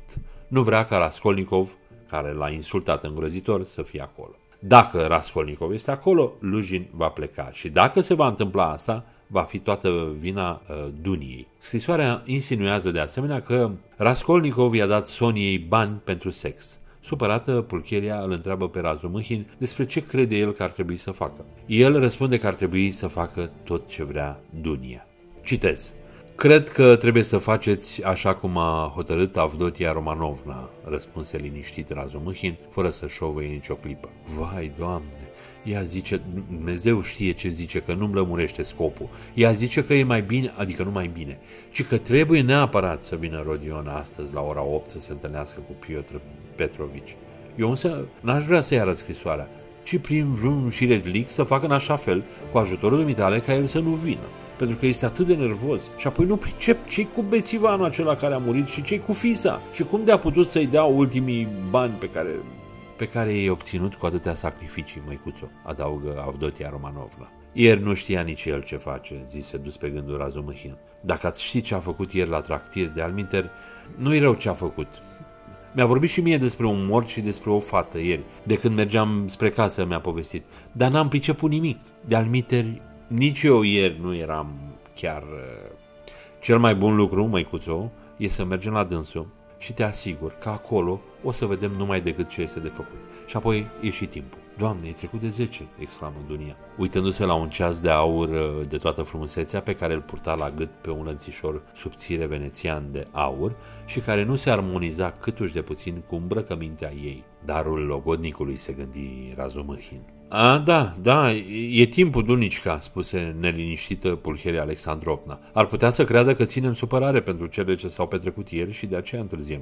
Vai, doamne! Vorbind își puse în grabă mântăluța și pălăria. Dunișca se îmbrăcă și ea. Mănușile ei nu numai că erau uzate, dar chiar rupte. Fapt pe care îl observă Razomăhin numai decât și cu toate acestea sărăcia vădită a strailor dădea celor două femei un aer de o deosebită distinție, așa cum se întâmplă întotdeauna cu cei care știu să poarte cu demnitate o îmbrăcăminte săracă. Razumăhin o privea cu evlavie pe Dunișca și era mândru să o însoțească pe stradă. Regina care își crăpea ciorapii la închisoare, gândea el și în clipa aceea arăta ca o adevărată regină, poate chiar mai mult decât în timpul celor mai somptuoase solemnități și recepții. Nu știu dacă vă mai amintiți despre Marfa, este soția lui Svidrigailov. Am auzit despre ea în prima scrisoare a Pulcheriei. Razumăhin nu știe cine este, dar Dunia spune că îi va spune povestea mai târziu. Ajung în clădirea lui Raskolnikov, Pulcheria se sperie când ajung la etajul al patrulea unde locuiește proprietara, ei văd mai întâi ochii cuiva care se uită din spatele ușii ei. De îndată ce ochii le văd, ușa se trântește.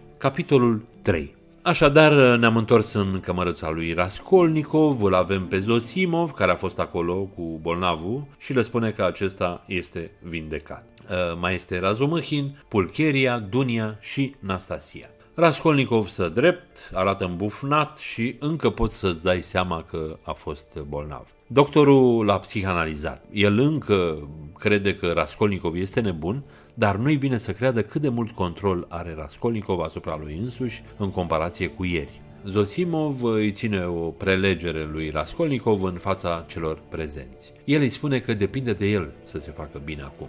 Trebuie să facă ceva cu el și să nu se mai ascundă de ceilalți. Uh, Raskolnikov le spune că se va întoarce la facultate foarte curând și atunci totul va fi bine. Citez. Zosimov, care dăduse aceste sfaturi înțelepte mai ales ca să impresioneze doamnele, rămase firește oarecum descumpănit când, isprăvindu-și perorația și privindu-și bolnavul, observă pe obrazul acestuia o vădită ironie. De altfel, aceasta nu ținu mai mult de o clipă. Dar Pulheria Alexandrovna se grăbi să-i mulțumească și îndeoseb pentru vizita ce le făcuse în cursul nopții la hotel. Cum a fost la voi noaptea? întrebă Raskolnikov oarecum alarmat. Prin urmare, voi nici nu v-ați culcat după o călătorie atât de obositoare? Vai, Rodea, dar n-am stat decât până la ora două. Nici acasă Dunia și cu mine nu ne culcăm înainte de ora două. Nici eu nu știu cum să-i mulțumesc, urmă Raskolnikov, încruntându-se deodată și plecând ochii în jos. Lăsând deoparte chestiunea bănească, iartă-mă că pomenesc despre asta, expuse el lui Zosimov, nici nu știu cu ce am meritat această atenție deosebită. Nu pot să înțeleg și mi-e greu tocmai pentru că nu înțeleg. Ce-o spun deschis.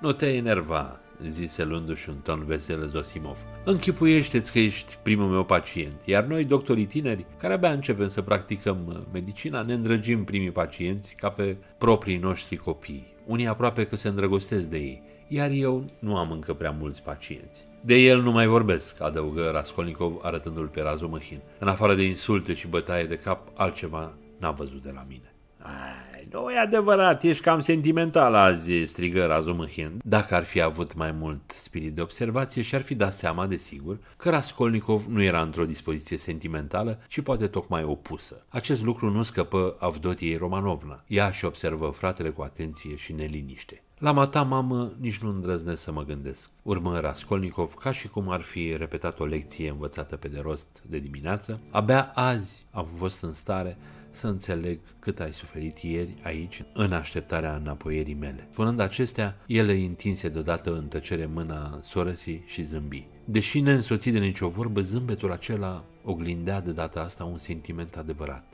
neprefăcut. Dunia, fericită și recunoscătoare, apucă numai decât și strânse cu căldură mâna întinsă. Era primul semn din partea lui după cearta din ajun. Chipul mamei strălucea de fericire la vederea acestei împăcări tăcute și de pline între frate și soră. Uite, pentru asta mi-e drag, șopti Razomăhin, gata oricând să exagereze tot, răsucindu-se pe scaun. De asemenea, Raskolnikov își cere scuze că nu i-a vizitat în acea dimineață, doar că avea sânge peste haine și Nastasia Uh, le spală pentru el. El explică cum a murit Marmeladov și că a dat bani familiei. Cerându-și scuze că a dat banii, el spune că știe că a fost greșit și de fapt nu erau ai lui ca să-i dea. Pentru a umple tăcerea, Pulcheria îi spune lui Raskolnikov despre moartea uh, soției lui Zvidrigailov, Marfa, imediat după ce i-a trimis scrisoarea. Se pare că soțul ei a bătut-o rău și la scurt timp uh, a făcut infart. Raskolnikov are ideea că toată lumea se teme de el și Dunia confirmă acest lucru. Raskolnikov încearcă să-și consoleze mama, dar apoi se sperie brusc, se ridică de parcă ar vrea să plece. Cumva își recapătă controlul și continuă conversația. În această perioadă, doctorul pleacă. Raskolnikov întreabă despre frumosul ceas al Duniei. El crede că este un cadou de la Lujin, dar regretata Marfa i l-a oferit de fapt. Lujin nu i-a făcut niciun cadou. Ei vorbesc despre cât de proastă este camera lui Raskolnikov și sunt de acord că a fost o mare parte a problemei lui. În curând, ă, acesta spune că îi pare rău că a fost un nesimțit și a pus-o să aleagă între el și locodnicul ei. Dunia îi spune că el a greșit când a spus că ea se căsătorește cu Lujin pentru a-l ajuta pe Raskolnikov. Nu, o face pentru că vrea să trăiască o viață mai confortabilă. Lujin nu este perfect, dar este mai bun decât alternativa. El nu o crede, se ceartă, iar el pare să leșine din nou. Mama lui intră în panică, acuzând-o pe Dunia că l-a supărat. Ea îi spune să-i dea lui Raskolnikov scrisoarea de la Lujin. După ce citește, el spune că este surprins că Lujin este un tip needucat. El se referă la stilul său de scris și nu la conținutul scrisorii. Este supărat că acesta l-a acuzat că i-a dat Soniei bani pentru sex și le explică că banii au fost dați direct Caterinei. Citez. Și atunci tu, Rodea, ce-ai hotărât? întrebă Pulheria Alexandrovna și mai alarmată ca din aur de felul așezat de a vorbi de tonul oficial al discuției. Ce să hotărăsc? Păi, ai văzut ce scrie Piotr Petrovici? Să nu vii astă seară la noi, că el se retrage dacă vii tu. Și de aceea te întreb, ce ai de gând să faci? Rămâne să hotărăști în primul rând mata dacă această cerere a lui Piotr Petrovici nu te jignește. Și în al doilea rând, Dunia. Dacă nici ea nu se simte jignită, eu am să fac ce vreți voi, adăugă el cu răceală. Dunișca a și hotărât și eu sunt cu totul de părerea ei, se grăbi să spună Bulheria Alexandrovna. Eu cred, Rodea, că trebuie neapărat să fii de față la această întâlnire și te rog insistent să vii astă seară la noi, zise Dunia. Ai să vii? Da. Și am să te rog și pe dumneata să fii la noi la ora 8, adăugă ea către Razumăhin. Mamă, îl poftez și pe dumnealui. Foarte bine, Dunișca. Eh, și acum dacă ați hotărât așa, adăugă Pulheria Alexandrovna, fie cum vreți voi. Parcă mă simt mai ușurată, nu-mi place să mă prefac și să mint, mai bine să vorbim pe față. Nu are decât să se supere acum, dacă are poftă Piotr Petrovici. Capitolul 4 Brusc, Sofia Semionovna Marmeladov, adică Sonia, intră în cameră. La început, Raskolnikov nu știe cine este. Ea este foarte tânără și astăzi este îmbrăcată într-o rochie simplă, deși încă își poartă umbrela de soare. O recunoaște până la urmă și îi găsește un loc. Sonia moare de rușine. Ea nu se aștepta ca toți acești oameni să fie acolo. Mama ei a trimis-o să-l invite pe Raskolnikov la mormântarea lui Marmeladov. După ce a promis că va încerca să participe, el o prezintă pe Sonia, mamei și surorii sale. Mama lui este nepoliticoasă cu ea, fără să spună nimic de fapt. Uh, Sonia încearcă să scape, dar Raskolnikov insistă ca ea să rămână. Sonia uh, își repetă cererea ca el să participe la mormântare și de asemenea la cina de după. Ei vorbesc, uh, el îi admiră ochii frumoși și crede că pare mult mai tânără de 18 ani. O observă că se uită prin cameră și o întreabă de ce face asta. Ea spune în șoaptă de recunoștință, Păi, tu ne-ai dat totul ieri. Pulcheria se ridică pentru a merge, invitându-i pe Raskolnikov și Razomâhin la cină mai târziu. Razomâhin este pe care să meargă cu ei, dar Raskolnikov îi spune că trebuie să vorbească cu el. După ce pleacă, el îi spune Soniei că cei vii trebuie să trăiască. Fața ei se luminează. Îi lăsăm uh, așa o clipă și ne alăturăm pe stradă Duniei și Pulcheriei. Pulcheria se simte mai bine că um, acum uh, Raskolnikov s-a mai întremat, dar Dunia spune că poate vedea că este încă bolnav. Mama lui este îngrijorată de Sonia. Ea crede că Raskolnikov este interesat de fată și o îngrijorează teribil chestia asta. Dunia nu este de acord. Pulcheria aduce în discuție ceea ce Lujin a spus despre ea în scrisoare, aceea că este o prostituată. Dunia spune că Lujin nu știe despre ce vorbește și este un mare ticălos. Acum ne întoarcem în camera lui eh, Raskolnikov. Acesta începe să vorbească cu Razumâhin. Sonia se ridică să plece, dar el îi cere să rămână spunând că nu îl deranjează să audă și ea conversații. Citez. Atunci am să-i comunic Caterinei Ivanovna că o să veniți, spuse grăbită Sonia, ridicându-se ca să plece. Îndată, Sofia Semionovna, așteptați mai o clipă, nu ne încurcați deloc, nu avem secrete. Aș vrea să vă mai spun două vorbe. Ascultă, se întoarse el către Razomăhin, fără să-i sprăvească, parcă tăind cu toporul. Îl cunoști pe la, cum îi zice, Porfiri Petrovici. Cum să nu-l cunosc? Mi-e rudă. Dar ce este cu el? Adăugă Razumăhin foarte mirat. El uh, anchetează cazul acela, mm, asasinatul despre care ați discutat ieri, nu? Da, și? Razumăhin holbă ochii. I-a interogat pe cei cu amanete. Am avut și eu două lucrușoare acolo, niște fleacuri. Totuși, Totuși e un ineluș al soremii pe care mi-l dăduse ca amintire la plecare și ceasul de argint al tatălui meu. Toate la un loc nu fac mai mult de 5-6 ruble, dar țin la ele ca amintiri. Și acum ce să fac? Nu vreau să se piardă, mai ales ceasul. Am tremurat adineauri care să ceară mama să-l vadă când s-a vorbit de ceasul dunicicăi. E singurul lucru care a rămas de la tata. Mama se îmbolnăvește dacă se pierde. așa sunt femeile. Învață-mă tu ce să fac. Știu că ar trebui să mă duc să dau o declarație, dar n-ar fi bine să mă duc chiar la Porfirie Petrovici. Ce zici? Ce crezi? Aș vrea să-i sprăvesc cât mai repede. Hai, hai să vezi că mama are să întrebe de ceas, încă înainte de masă.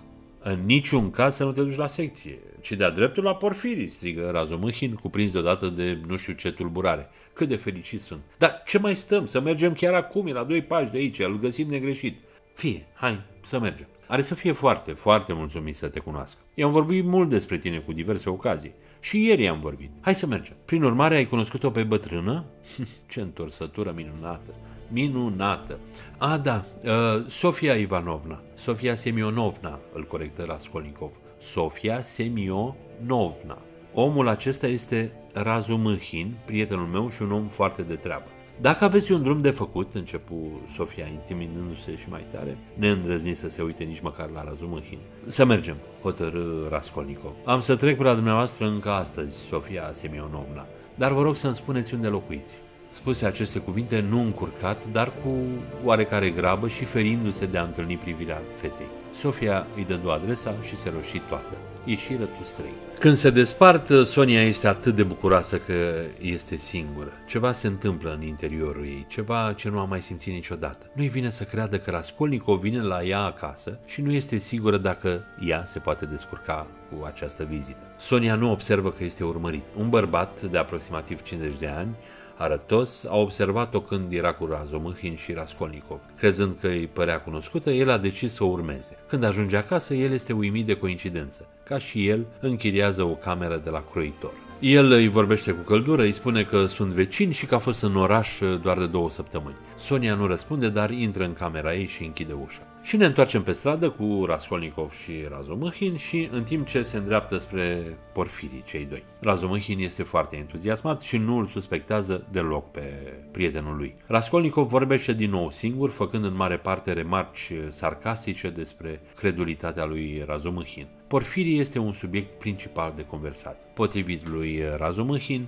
el uh, este un investigator cu adevărat de succes care rezolvă cele mai dificile cazuri de crimă și de asemenea îi place să se joace cu oamenii. Se pare că Porfirii vrea să-l cunoască pe Raskolnikov de ceva vreme. A auzit totul despre el de la Razomâhin, care a început să-și ceară scuze pentru beția de aseară. Raskolnikov îl liniștește, nervos din cauza polițistului și încercând să decidă o strategie. Vrea să știe dacă Porfiri știe că s-a dus la camera amanetului și a făcut o scenă acolo ieri. Începe să-l tachineze pe Razumăhin despre cât de înfrumusețat arată, dând de înțeles că este îndrăgostit de Dunia. Spune că o va aduce la cină glumesc și se joacă și râd zgomotăți când intră în casa lui Porfiri, ceea ce își și dorește Raskolnikov, să dea această aparență. Razomăhin îi ordonă să nu spună niciun cuvânt despre Dunia în fața lui Porfiri. Citez.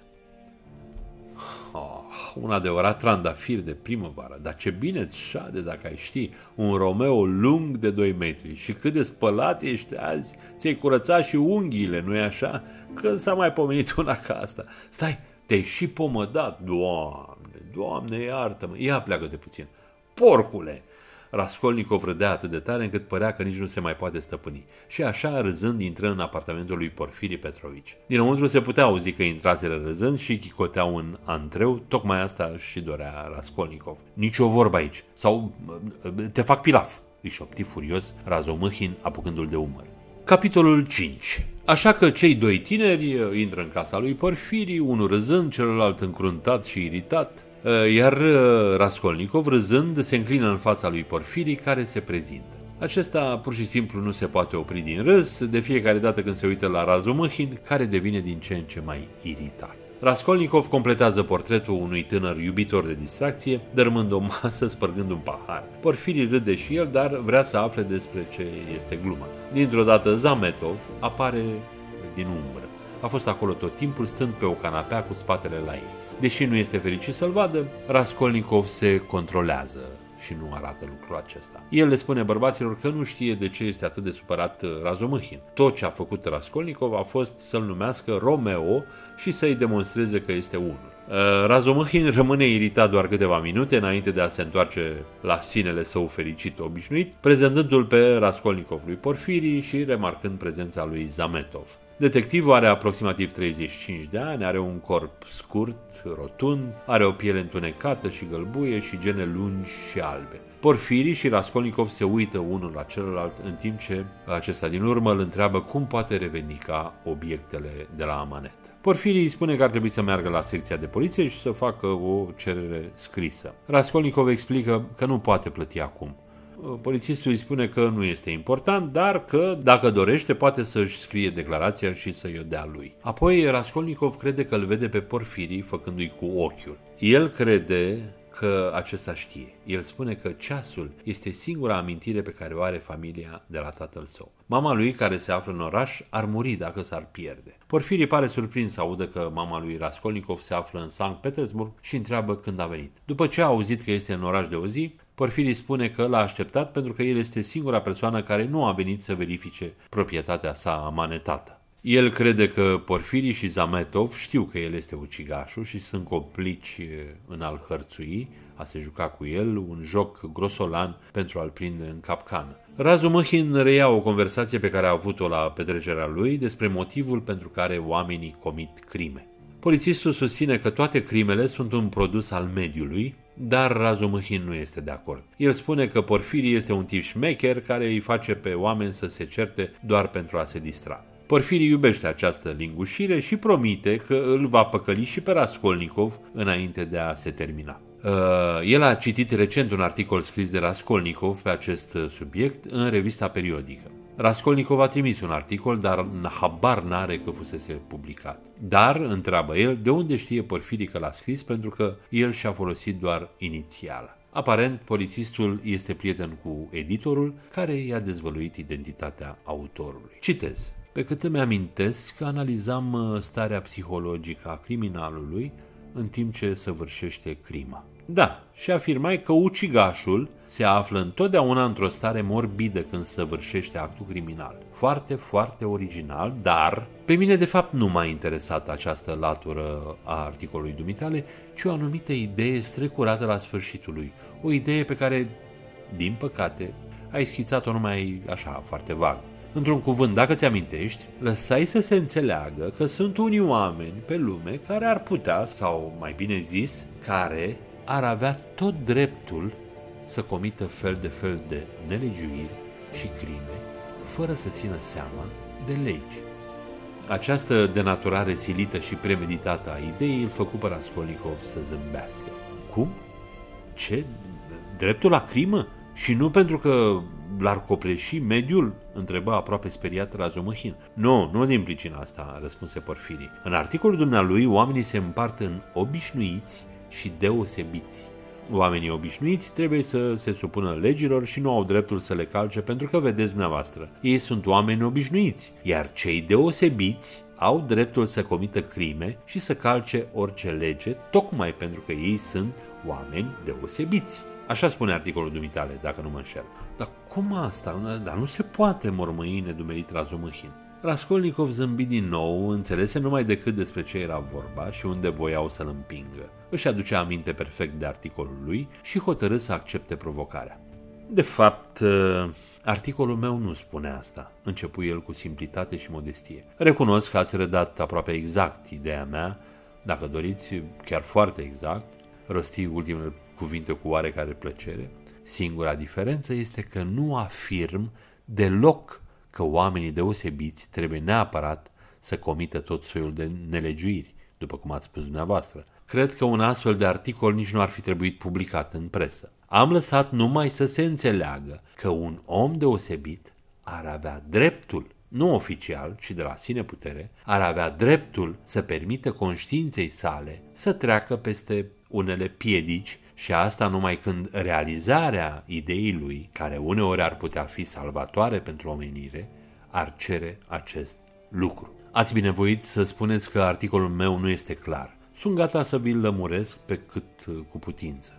Poate că nu greșesc, presupunând că tocmai asta este dorința dumneavoastră. După părerea mea, dacă descoperirile lui Kepler sau Newton, din pricina unor împrejurări, nu ar fi putut să ajungă la cunoștința oamenilor decât jertfindu-se viața unui om a 10, a 100 și chiar a mai multora, care ar întârzia aceste descoperiri sau ar fi piedici în calea lor, atunci Newton ar fi avut tot dreptul sau chiar datoria să îi înlăture pe acești 10 sau chiar 100 de oameni ca să aducă descoperirea lui la cunoștința lumii. De aici nu rezultă că Newton ar fi avut dreptul să ucidă pe cine i s-ar fi năzărit sau să fure în fiecare zi la piață. Raskolnikov explică mai departe că extraordinari sunt oamenii care aduc o idee nouă. Chiar și crima este justificată din punct de vedere moral dacă este de dragul ideii. El îl aduce pe Napoleon ca exemplu de persoană extraordinară. Când veți citi cartea, veți vedea că Raskolnikov se identifică puternic cu Napoleon. El petrece mult timp explicându-și ideea. Apoi Porfirii îl întreabă dacă crede în Dumnezeu și dacă mai crede că Lazar a fost readus din morți de Isus. Raskolnikov spune că el crede aceste lucruri la propriu. Porfiri spune că doar se întreba. Polițistul întreabă pe Raskolnikov despre ideea lui și, în timp ce el detaliază, îi spune că nu este nimic de care să-și facă griji. Nu sunt mulți oameni extraordinari. Oamenii obișnuiți care pretind a fi extraordinari se sting întotdeauna înainte de a putea face mult rău. Razumihin se sperie. Nu poate să creadă că Raskolnikov spune că crima este uneori corectă din punct de vedere moral. După mult mai multe întrebări, Porfirii îl întreabă pe Raskolnikov dacă el a fost unul dintre oamenii extraordinari și prin urmare a ucis oameni și le-a furat lucrurile. Raskolnikov spune că nu crede că este unul dintre cei extraordinari. Nu a spus sau gândit nimic nou. Raskolnikov se pregătește să plece. Citez. Vezi, dumneata, nu știu cum să mă exprim mai bine. Ideea mea e cam uh, poznașă, psihologică. În timpul când ai scris uh, articolul acela, nu se poate, cred eu, să nu te fi considerat măcar cât de cât unul dintre acei oameni deosebiți, un om care rostește cuvântul nou în sensul dumitale, adică, nu-i așa? Se prea poate, răspunse cu dispreț Raskolnikov. Dar uh, dacă e așa, atunci te-ai putea hotărâ oare în virtutea cine știe căror insuccese, greutăți sau pentru a contribui la binele întregii omeniri, să treci peste acest obstacol, de pildă să omori sau să jefuiești pe cineva? Și Porfirii parcă i făcut din nou cu ochiul stâng, râzând tăcut, în tocmai cum făcuse mai adineauri. Chiar dacă aș trece, fără îndoială nu v-aș spune nimic, îl sfidă Raskolnikov cu dispreț și trufie. Pe mine mă interesează mai în principiu. Am întrebat ca să pătrund mai bine înțelesul articolului dumitale. Ha, ce cusută coața albă este viclenia lui, gândi Raskolnikov dezgustat. Dați-mi voie să vă atrag atenția, răspunse el pe un ton sec, că nu mă consider nici Mahomed, nici un Napoleon sau un alt personaj de acest fel și prin urmare nu vă pot da o lămurire satisfăcătoare asupra felului cum aș proceda. vai, Dar cine la noi în Rusia nu se consideră azi un Napoleon? Spuse deodată cu neplăcută familiaritate Porfirii. De data asta până și intonația glasului trăda un gând ascuns. Oare nu cumva un Napoleon în devenire a dat-o gata săptămâna trecută și pe Aleona Ivanovna noastră, făcut deodată din ungherul lui Zametov? Raskolnikov tăcea, uitându-se atent și dârz la Porfirii. Razumăhin se încruntă supărat. Și înainte îi se păruse că această discuție ascunde ceva. Își roti furios privirile asupra lor. O clipă domni o tăcere apăsătoare. Raskolnikov se întoarse să plece. Pleci?" întrebă amabil Porfirii, întinzându-i cât se poate de prietenos mâna. Mi-a făcut mare, mare plăcere să te cunosc. Cât despre rugămintea dumitale, să n-ai nicio grijă. Scrie așa cum ți-am spus. Ar fi bine să mai treci pe la mine zilele astea, chiar mâine. Am să fiu singur pe la 11. O să aranjăm tot și mai stăm de vorbă. Dumneata ai fost acolo printre ultimii, poate că ne-ai putea spune ceva, adăugă el cu aerul cel mai blajin. Doriți să-mi luați interogatoriul în mod oficial, după toate regulile? întrebă tăios Raskolnikov. Ai, dar pentru ce? Nu, nu e vorba deocamdată de așa ceva. Nu, nu, nu, nu mai înțeles. Vezi, dumneata, eu nu vreau să scap nicio ocazie și am stat de vorbă cu toți acei care amanetau la ea. Uneori le-am luat declarații, dumneata ești ultimul. Apoi uh, Porfirii îl întreabă dacă, atunci când a mers ultima oară la Amanet, între orele 19 și 20, a observat vreun bărbat care zugrăvea. El spune că nu a văzut pe nimeni. Razumăhin spune că nu i-ar fi putut vedea pe zugravi decât dacă ar fi fost acolo în noaptea crimei. Porfirii își cere scuze susținând că trebuie să fi încurcat el uh, lucrurile. Razumăhin și Raskolnikov pleacă și ies în stradă. Capitolul 6 acest capitol începe cu Raskolnikov și Razumăhin apropiindu-se de camera lui Pulcheria și Dunia puțin mai târziu. În cele din urmă, ei vorbesc direct dacă Raskolnikov este sau nu suspect de crimă. Acesta crede că este, iar Razumăhin argumentează intens că nu este. Potrivit lui, este îngrozitor că insultă un fost student sărac și bolnav cu acuzații de crimă. Când sunt pe cale să intre, Raskolnikov îi spune prietenului său să intre singur și că se va întoarce în mai puțin de o oră. Razumăhin merge singur la mama și la sora lui Raskolnikov. Întors acasă, Raskolnikov se grăbește spre mica gaură din perete și se uită cu atenție. Îi este teamă că există o mică dovadă acolo și este sigur că vor căuta acolo în curând. Mulțumit că nu există nimic, își părăsește camera pentru a se întâlni cu mama, sora și cu Razumăhin. În timp ce iese, portarul îl arată către un bărbat. Raskolnikov vrea să știe despre ce este vorba, iar uh, portarul spune că bărbatul întreba de el. Raskolnikov îl ajunge din urmă pe bărbat și îl întreabă care este problema lui. Bărbatul se uită la el și îi spune doar atât. Ucigaș! Și continuă să meargă. Merg împreună o vreme, iar uh, Raskolnikov îl întreabă despre cine vorbește când spune ucigaș. Acesta îi spune în față că se referă chiar la el. În cele din urmă, Raskolnikov se întoarce și în camera lui și se prăbușește pe canapea cu multe gânduri în cap. Citez. Cine este? Cine este acel om răsăricat din pământ? Unde a fost? Ce a văzut? A văzut tot, asta e sigur. Dar unde a stat? De, de unde a văzut? De, de ce abia acum a ieșit la suprafață? Și cum a putut să vadă?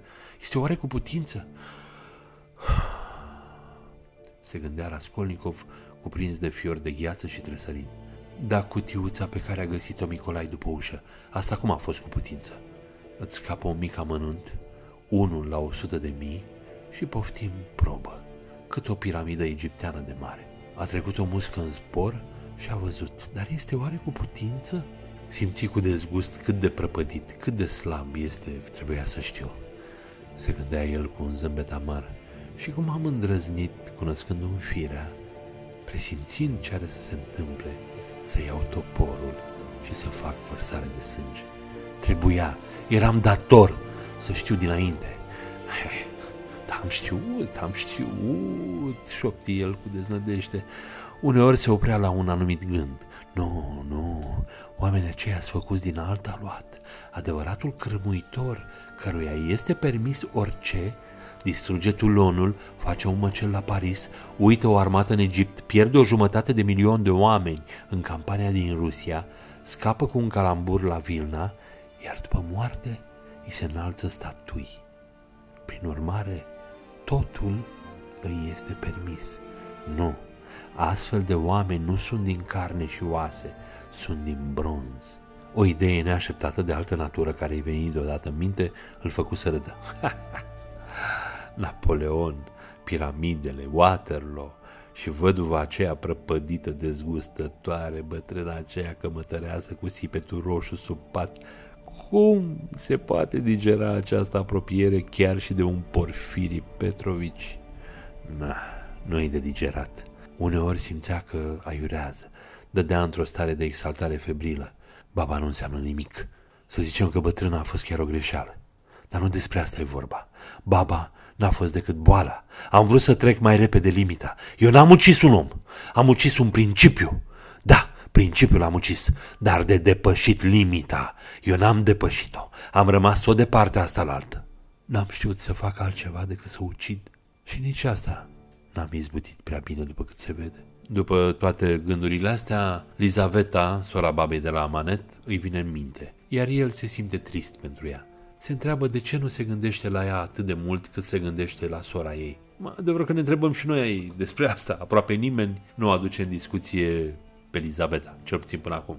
O compară pe Elizabeta cu Sonia. Sunt oameni buni, dulci, care nu luptă împotriva lumii care vrea să-i mănânce de vii. El adorme și apoi uh, visează că este pe stradă sub uh, luna plină. Îl vede iar pe bărbatul care l-a numit criminal și care îl urmărește, apoi dintr-o dată este în clădirea amanetului, e în camera babei, se ascunde cineva în spatele unei mantii și uh, Raskolnikov se duce să verifice și este ea, baba. Își scoate secura și începe să o lovească cu ea, dar nu are niciun efect asupra ei. Dintr-o dată ea râde, nebunește, dar fără zgomot. El aude un zgomot și apoi un râs din dormitor, așa că începe să o lovească din nou cu toporul. Râsetele din dormitor devin mai puternice, încearcă să fugă, dar oamenii sunt peste tot și nu poate trece. Ajunge la scară, de este plină cu oameni, privindu-l în tăcere. Când se trezește din acest coșmar teribil, Raskolnikov crede că s-ar putea să mai viseze încă. Este un bărbat în camera lui, un bărbat mai în vârstă.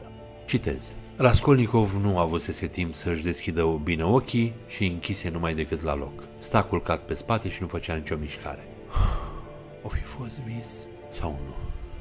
Se întrebă el și și întredeschise ușor ploapele ca să se uite pe neobservate la necunoscutul din cameră. Acesta se afla într-același loc și nu contenea să-l privească. Apoi trecu cu băgare de seamă pragul, închise cu grijă ușa, se apropie de masă, mai așteptă o clipă, toate acestea fără să-și ia niciun moment ochii de la el și încet, fără zgomot, se așeză pe scaun alături de divan, își puse pălăria pe podea, își sprijini mâinile în baston și bărbia în mâini. Se vede că se pregătea să aștepte mult. Pe cât putea să-l vadă printre gene, omul nu mai era tânăr, era gras și avea o barbă deasă, blondă, aproape albă. Se scurseră vreo 10 minute. Afară era lumină, dar se făcuse târziu. În odaie domnea o liniște de plină. Nici dinspre scară nu venea niciun zgomot. Doar o muscă mare zumzăia și se izbea din zbor de geam. În sfârșit, situația ajunse de neîndurat, Raskolnikov se ridică și se așeză pe divan. Hai, spune ce vrei. Știam că nu dormi, că te faci numai, răspunse omul cu un ton ciudat, zâmbind liniștit. Dăm voie să mă prezint. Arcadi Ivanovici Zvidrigailov.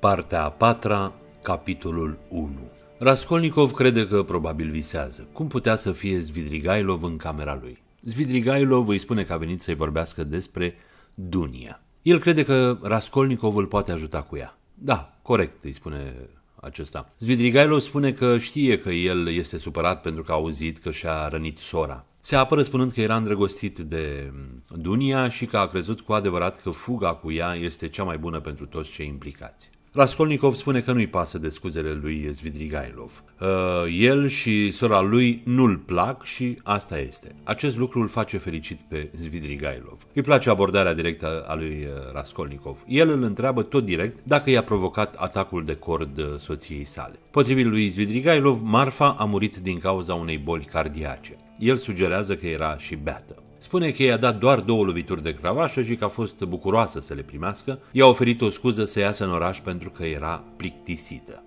Zvitrigailov vrea ceva acțiune. A fost liniște de când a sosit în oraș, el nu a mai fost la Sankt Petersburg de 8 ani. N-au mai fost petreceri pentru el. Nu vrea să fie cartofor, așa cum a fost uh, când și-a cunoscut-o pentru prima dată pe regretata soție Marfa. Ea atunci i-a acoperit datoria la jocuri de noroc și l-a salvat de la închisoare. Dar ea i-a adus aminte tot timpul de datoria plătită, amenințându-l că va încerca să o recupereze dacă o părăsește. Zvidrigailov îl întreabă pe Raskolnikov dacă el crede în fantome. El susține că Marfa l-a bântuit, deși nu într-un mod uh, înfricoșător. Citez. Mi se pare că îți lipsește mult, Marfa Petrovna.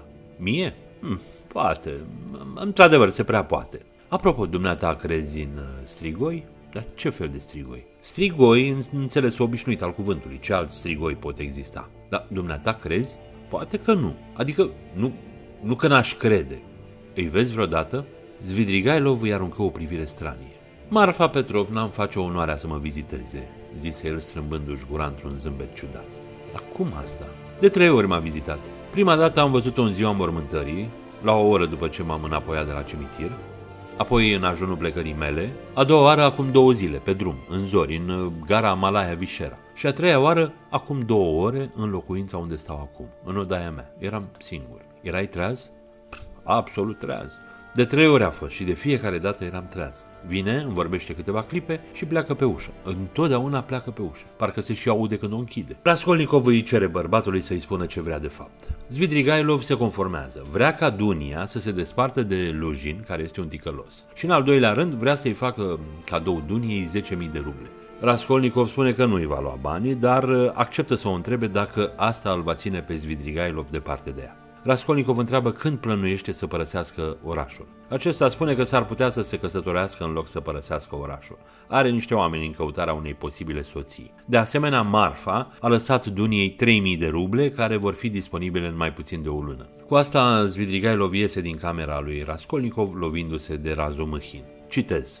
Nu că aș vrea să mă impun în fața dumitale cu tot din adinsul și chiar venind încoace nici nu prea credeam că o să stăm de vorbă, deși azi dimineață m-a izbit uh, fața dumitale. Unde mai văzut de dimineață? Se neliniști Raskolnikov. A, întâmplător. Tot îmi pare că e ceva cu dumneata care face să ne asemănăm oarecum. Dar nu te neliniști, nu scârciogar din fire. Am știut să mă pac și cu măsluitorii și nici pe cneazul Serbiei, ruda mea de departe și mare demnitar, nu l-am plictisit. Am știut să-i scriu uh, doamnei Prilucova în album despre Madonna lui Rafael și cu Marfa Petrovna am trăit șapte ani la țară și în casa lui uh, Viazenski pe Senaia mi-am petrecut nopțile pe vremuri și poate că am să spor cu Berg în balonul lui. Bine, și acum dăm voie să te întreb dacă ai de gând să pleci curând în călătorie. Care călătorie? Ei vorbesc despre voiajul acela despre care ai pomenit chiar dumneata. Despre voiaj? A, da, da, chiar așa, am vorbit despre voiaj. E, asta e o problemă mai vastă. Dacă ai ști ce întrebare ai pus,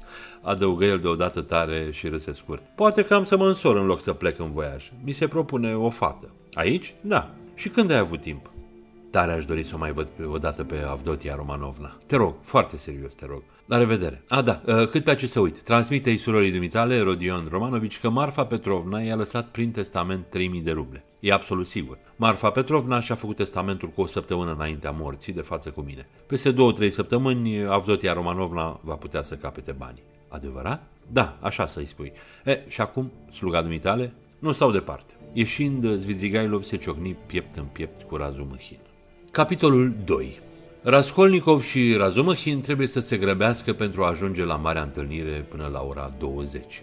Razumăhin întreabă despre Zvidrigailov.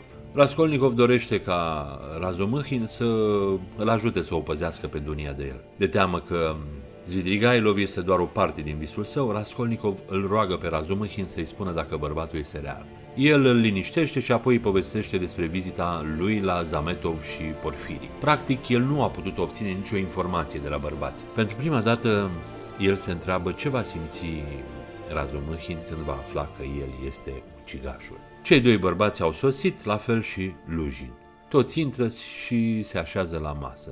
Se prepară un samovar de ceai, Dunia și Lujin stau unul în fața celuilalt, Lujin se gândește cum uh, aproape a plecat când l-a văzut pe Raskolnikov. Plecarea ar pedepsi femeile, dar el voia ca lucrurile să se rezolve. Pe lângă asta, el ar, uh, le-ar putea pedepsi oricând vrea el. Începe întâlnirea. Există discuții încordate, inconfortabile, în timp ce Lujin le întreabă pe femei cum a decurs călătoria lor. Apoi nimeni nu spune nimic o vreme, așa că Pulcheria aduce din nou în discuție moartea lui Marfa. Lujin spune că a auzit multe lucruri despre asta și că va auzi mai multe în curând, pentru care legături. Zvidrigailov este cel mai uh, ticălos tip, spune el, și probabil că este dus de cap dacă a urmărit-o pe Dunia până aici în oraș, cu trupul soției sale rece pe masă.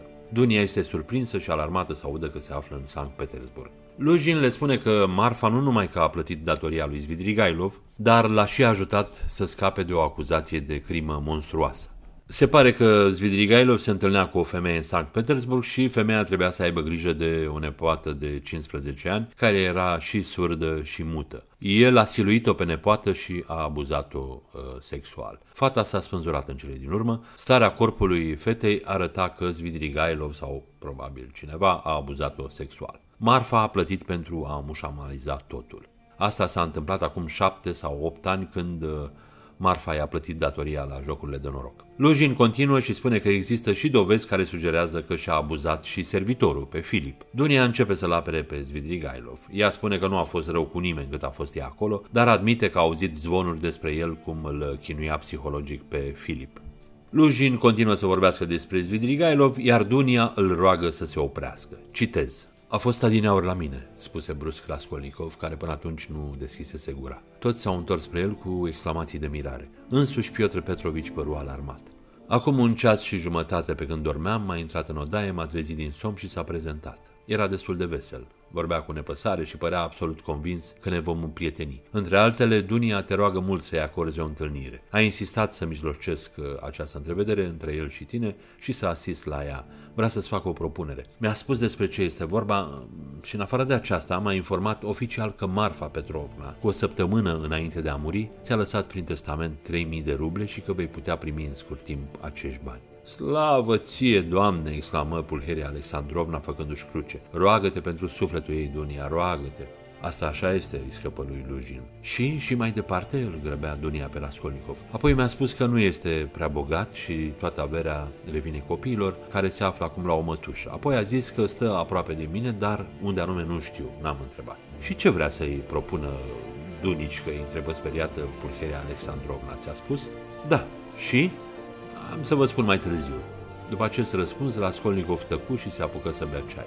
Piotr Petrovici scoase ceasul și se uită la el. Trebuie să plec întrucât mai am unele treburi, așa că n-am să vă stingherez, făcu el cu un aer cam jignit și dădu să se scoale de la masă. Ă, rămâi, Piotr Petrovici, zise Dunia. A fost vorba să stai cu noi toată seara și apoi chiar dumneata ai scris că ai vrea să ai o explicație cu mama. E adevărat, Avdotia Romanovna, răspunse cu enfază Piotr Petrovici, așezându-se din nou, dar tot ținând pălăria în mână. Am vrut, e drept, să am o explicație cu dumneata și cu mult stimata dumitale mamă și încă una foarte importantă, dar ca și fratele dumitale, care nu poate să explice în prezența mea unele propuneri ale domnului Zvidrigailov, tot așa nici eu nu pot și nu vreau să mă explic în prezența altora, cu privire la unele puncte foarte importante. Și apoi rugămintea mea riguroasă și stăruitoare a fost nesocotită.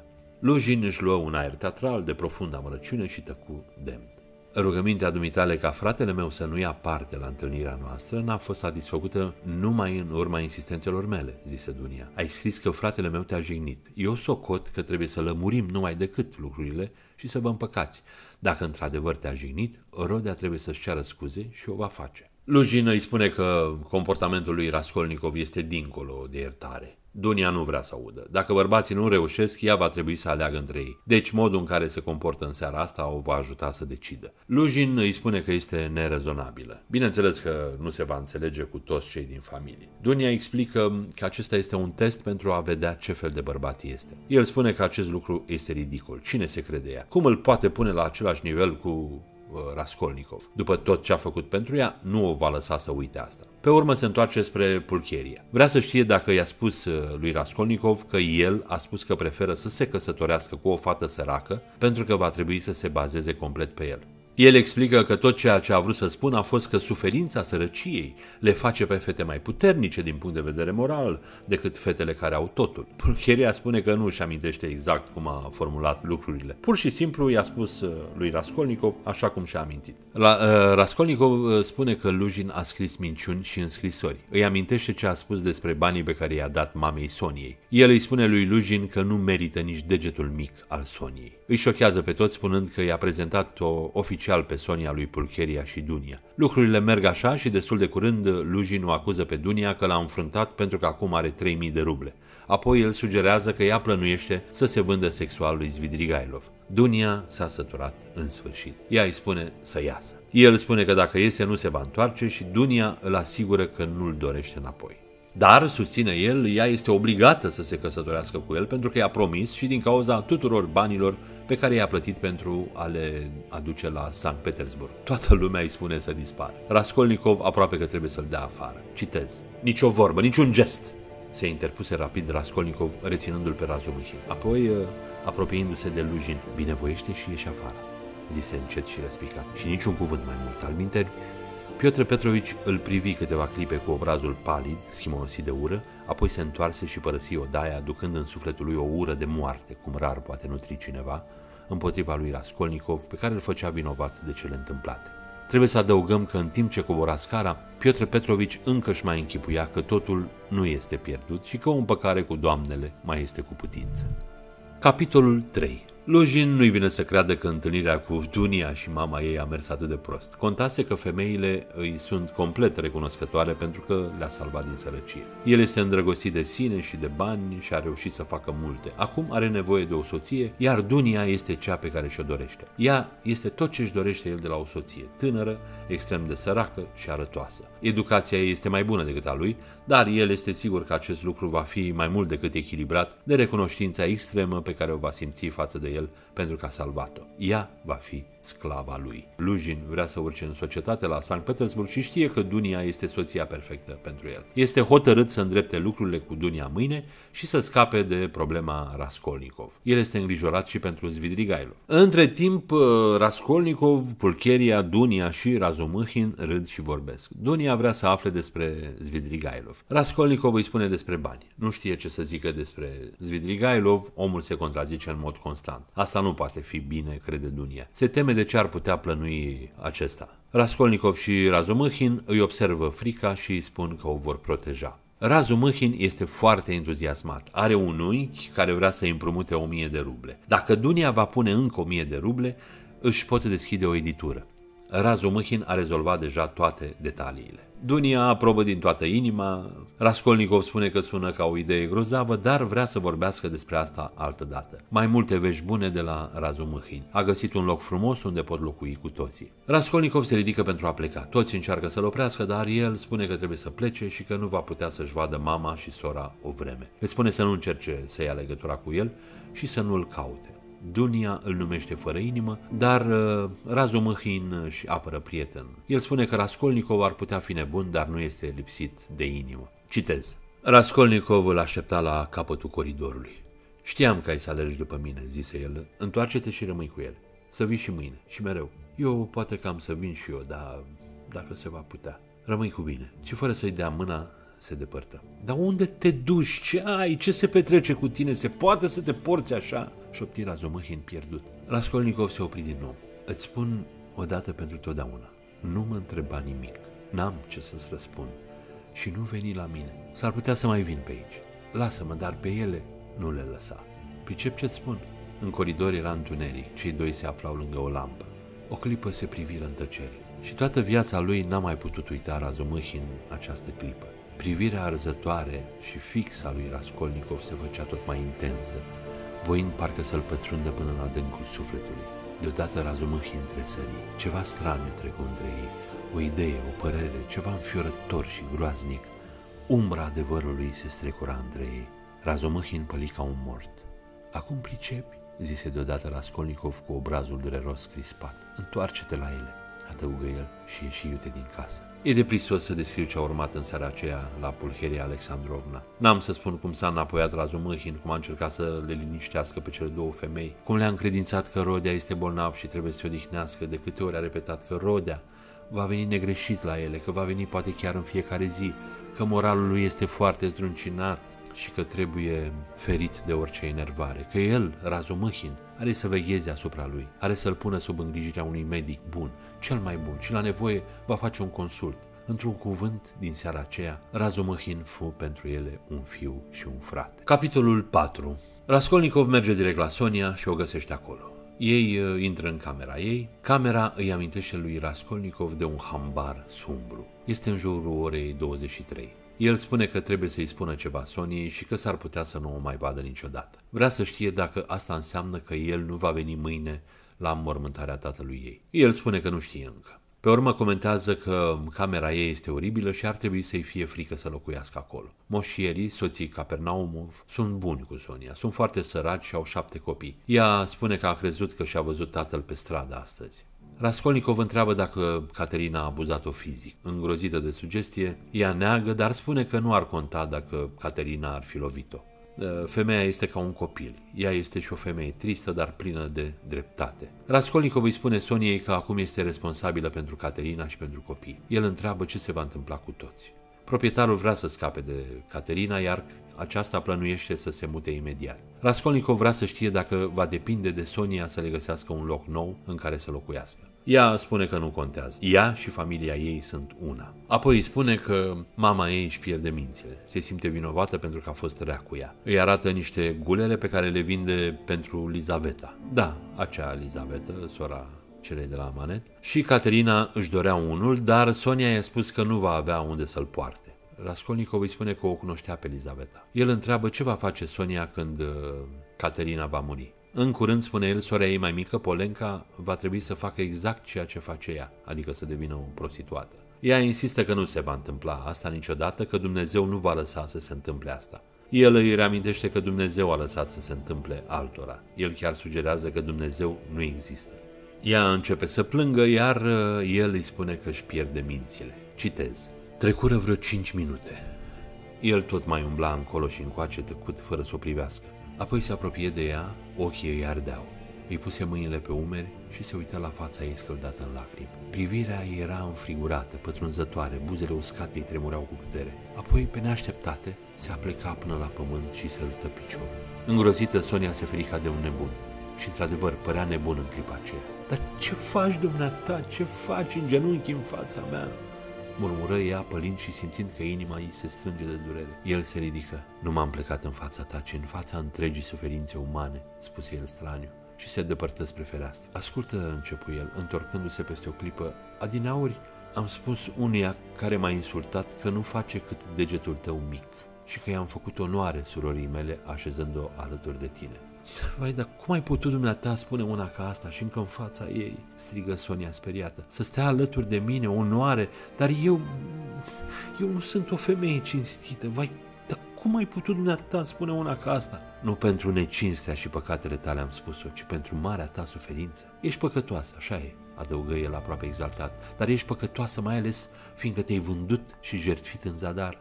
Există oare o grozăvie mai mare? Există oare ceva mai înfiorător decât viața pe care o duci în murdăria asta, pe care o urăști și care o știi prea bine? Ajunge doar să deschizi ochii. Nu ajută pe nimeni, nu salvează pe nimeni. spune în sfârșit, rosti el aproape frenetic, cum poate această rușine, ce această murdărie să se îmbine în sufletul tău cu sentimente atât de opuse, cu sentimente atât de sfinte? Era mult mai bine, de o mie de ori mai bine și mai cu minte să te arunci cu capul în apă și să-i sprăvești cu toate. Și cu ei ce s-ar fi întâmplat? întrebă cu glas din Sonia privindu-l chinuită și fără să pară deloc mirată de propunerea lui. Raskolnikov o privi ciudat și din această privire înțelese tot. Prin urmare, ea însăși avusese acest gând. Îi devine clar cât de importantă este familia pentru ea, iar el poate vedea că viața degradată a Soniei nu a atins-o în interior.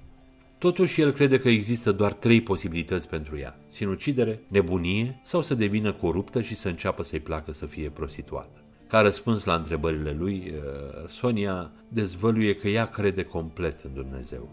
Acest lucru îl face pe el să tragă concluzia că ea este o fanatică religioasă. El vede o Biblie în camera ei, o traducere în limba rusă a Noului Testament. A fost un cadou de la Lizaveta. El îi cere să-i citească povestea lui Lazar. În cele din urmă, ea îi citește. Lazar moare și este îngropat. După patru zile, Isus cere ca piatra de înmormântare a lui Lazar să fie mutată. Apoi îl cheamă pe Lazar, iar Lazar iese din mormânt viu. Asta e, îi spune Sonia. Citez. Nu citi mai departe și nici n-ar fi putut să mai citească. Închise cartea și se sculă brusc de pe scaun. asta e tot despre învierea lui Lazar, șopti răspicat și aspru, oprindu-se nemișcată cu privirile într-o parte, parcă nemai îndrăznind și rușinându-se să ridice ochii spre el. Tot o mai scuturau fiorii. Mucul de lumânare pâlpâia, gata să se stingă în sfeșnicul strâm, luminând slab odăița sărăcăcioasă, unde un ucigaș și o femeie pierdută citiseră împreună din Evanghelie. Se scurseseră vreo cinci minute, poate mai mult. Am venit să-ți vorbesc serios, zise deodată cu putere Raskolnikov încruntat, se sculă și se apropie de Sonia. Ea își ridică în tăcere ochii. Privirea lui era neobișnuit de severă și parcă oglindea o hotărâre sălbatică. Azi mi-am părăsit familia, zise el. Mi-am părăsit mama și sora. N-am să mă mai duc la ele. Am rupt toate legăturile. Dar pentru ce? întrebă Sonia mărmurită. Întâlnirea din dimineața aceea îi lăsase o impresie adâncă, deși poate încă neclară. Știrea rupturii o îngrozi. Nu te mai am decât pe tine, urmă el. Hai să plecăm împreună. Am venit la tine. Amândoi suntem blestemați. Să plecăm de ce amândoi. Ochii scânteiau. Parcă ar fi nebun, se gândi la rândul ei Sonia. Dar unde să plecăm? întrebă ea speriată, făcând fără voi un pas înapoi. Dar de unde vrei să știu? Știu numai că drumul și țelul sunt aceleași pentru tine și pentru mine. Asta o știu sigur și altceva nimic. Ea îl privi fără să înțeleagă, dar își dădea seama din spusele lui că este grozav de distrus. Niciunul nu te-ar înțelege dacă ei vorbi, zise el, dar eu te-am înțeles. Am nevoie de tine, de ce am venit. Dar nu înțeleg, șopti Sonia. Ai să înțelegi mai târziu. Parcă tu n-ai făcut ca mine și tu ai trecut peste unele margini și ai putut să treci. Ai ridicat mâna asupra ta, ți-ai distrus viața. Viața ta este același lucru, ai suflet și minte, ai fi putut să trăiești, dar ai să-ți închei zilele în senaia. Dar tu n-ai să poți rezista dacă rămâi singură. Ai să nebunești, de-al minter și eu. De pe acum chiar par cu mintea rătăcită. Prin urmare, noi doi trebuie să mergem împreună pe același drum. Hai să plecăm. El repetă că aceasta ar putea fi ultima dată când se văd, dar dacă poate, se va întoarce a doua zi și va dezvălui identitatea ucigașului Lizavetei. După ce el pleacă, ea simte că își pierde mințile. Toate grijile ei se învârt în jurul capului și are vise urâte. Se gândește la Raskolnikov. Se pare că cei doi au avut public.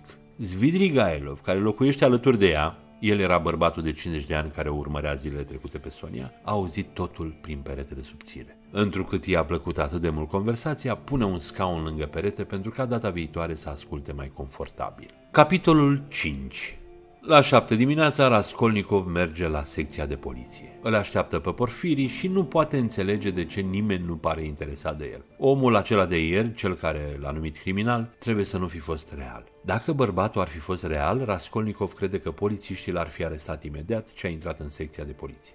Se gândește cât de mult îl urăște pe Porfiri și decide că nu îi va oferi omului nicio informație. Apoi el este chemat în biroul uh, polițistului. Uh, polițistul e singur, închide ușa în urma lui Raskolnikov.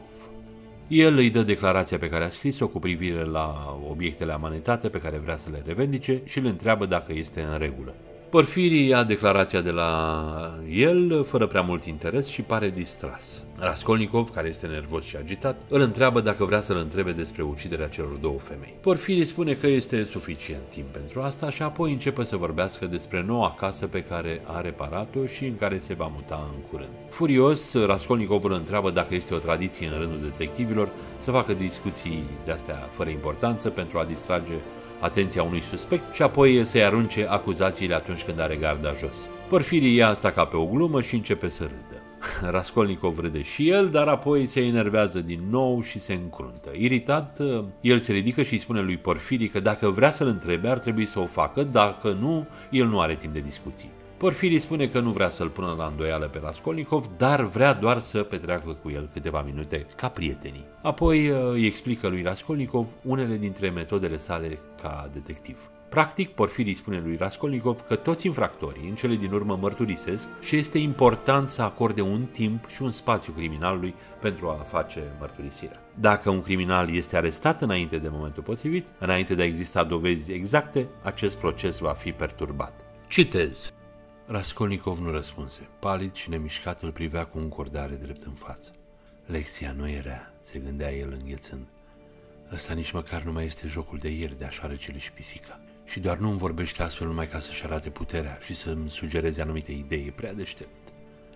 Trebuie să aibă un scop. Dar care anume? Fleacuri, frățioare, vrei să mă sperii, faci pe șmecherul. N-ai niciun fel de dovezi și omul de ieri nu există. Vrei pur și simplu să mă zăpăcești, să mă scoți din sărite și în starea asta să mă prinzi, dar nu, te înșeli, n-ai să reușești. Dar de ce, de ce, pentru ce îmi sugerează atât de clar unele lucruri? Se bizuie pe nervii mei slăbiți. Nu, frățioare, te înșeli, n-ai să izbutești, ai să-ți frângi gâtul, cu toate că știu că mi-ai pregătit ceva. Hai să vedem ce anume mi-ai pregătit. Își adună toate puterile ca să poată înfrunta acea catastrofă grozavă necunoscută, cel amenința. Uneori îi venea să se repeadă la Porfiri și să-l sugrume pe loc. Încă de la intrare se temuse că nu-și va putea stăpâni ura. Simțea că îi se usucă gura, că îi crapă buzele, inima îi bătea cu putere și totuși se hotărâse să tacă, să nu rostească niciun cuvânt înainte de vreme. Înțelese că în situația lui aceasta era cea mai bună tactică, pentru că așa nu numai că nu se trăda, ci din potrivă. Cu tăcerea lui putea să-și scoată din fire dușmanul și să-l facă să se dea el însuși de gol. Cel puțin așa spera Raskolnikov. Ridicându-se, Raskolnikov îi cere să-l arunce în închisoare chiar acum dacă este suspect sau să-l lase în pace dacă nu este. Porfiri încearcă să-l facă să bea apă, spunând că trebuie să fie din nou bolnav. El îi spune că doar halucinează. Am mai văzut astfel de cazuri. Un tip a fost bolnav, are loc o crimă, așa că omul bolnav ajunge să-și imagineze că el este ucigașul sau că are vreo implicare în crimă. Porfiri spune că de aceea Raskolnikov a mers să viziteze locul crimei zilele trecute, când i-a întrebat pe muncitori dacă au curățat tot sângele de pe podea. Raskolnikov îi spune că nu era, nu delira când a făcut asta.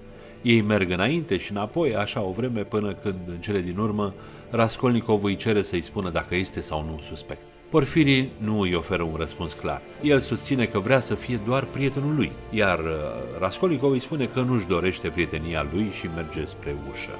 Acest lucru îi se pare amuzant uh, lui Porfirii, care îi spune că nu poate pleca fără să vadă surpriza lui. El îi spune să deschidă o ușă de la biroul uh, de lângă pentru a găsi surpriza. Citez. Raskolnikov se apropie de ușă și voi să o deschidă, dar ușa era încuiată. E încuiată, uite cheia. și Porfirii îi arătă cheia pe care o scosese din buzunar. Minți! urlă Raskolnikov ieșindu-și din fire. Minți, paiață blestemată! Și se năpustia asupra lui Porfirii, care se retrăsese lângă ușă, fără totuși să pară câtuși de puțin speriat. Acum înțeleg tot, se repezi la el Raskolnikov. Mă minți și mă zădărești ca să mă trădez. Ar fi greu să se trădeze cineva mai mult, drăguță Rodion Romanovici. Uite în ce hal ești. Nu țipa altfel, chem oamenii. Minți! N-are să se întâmple nimic. Hai, cheamă oamenii. Știai că sunt bolnav și ai vrut să mă scoți din fire, să mă faci să turbez, ca să mă trădez. Ăsta ți-a fost scopul. Nu, mie să-mi dai fapte concrete.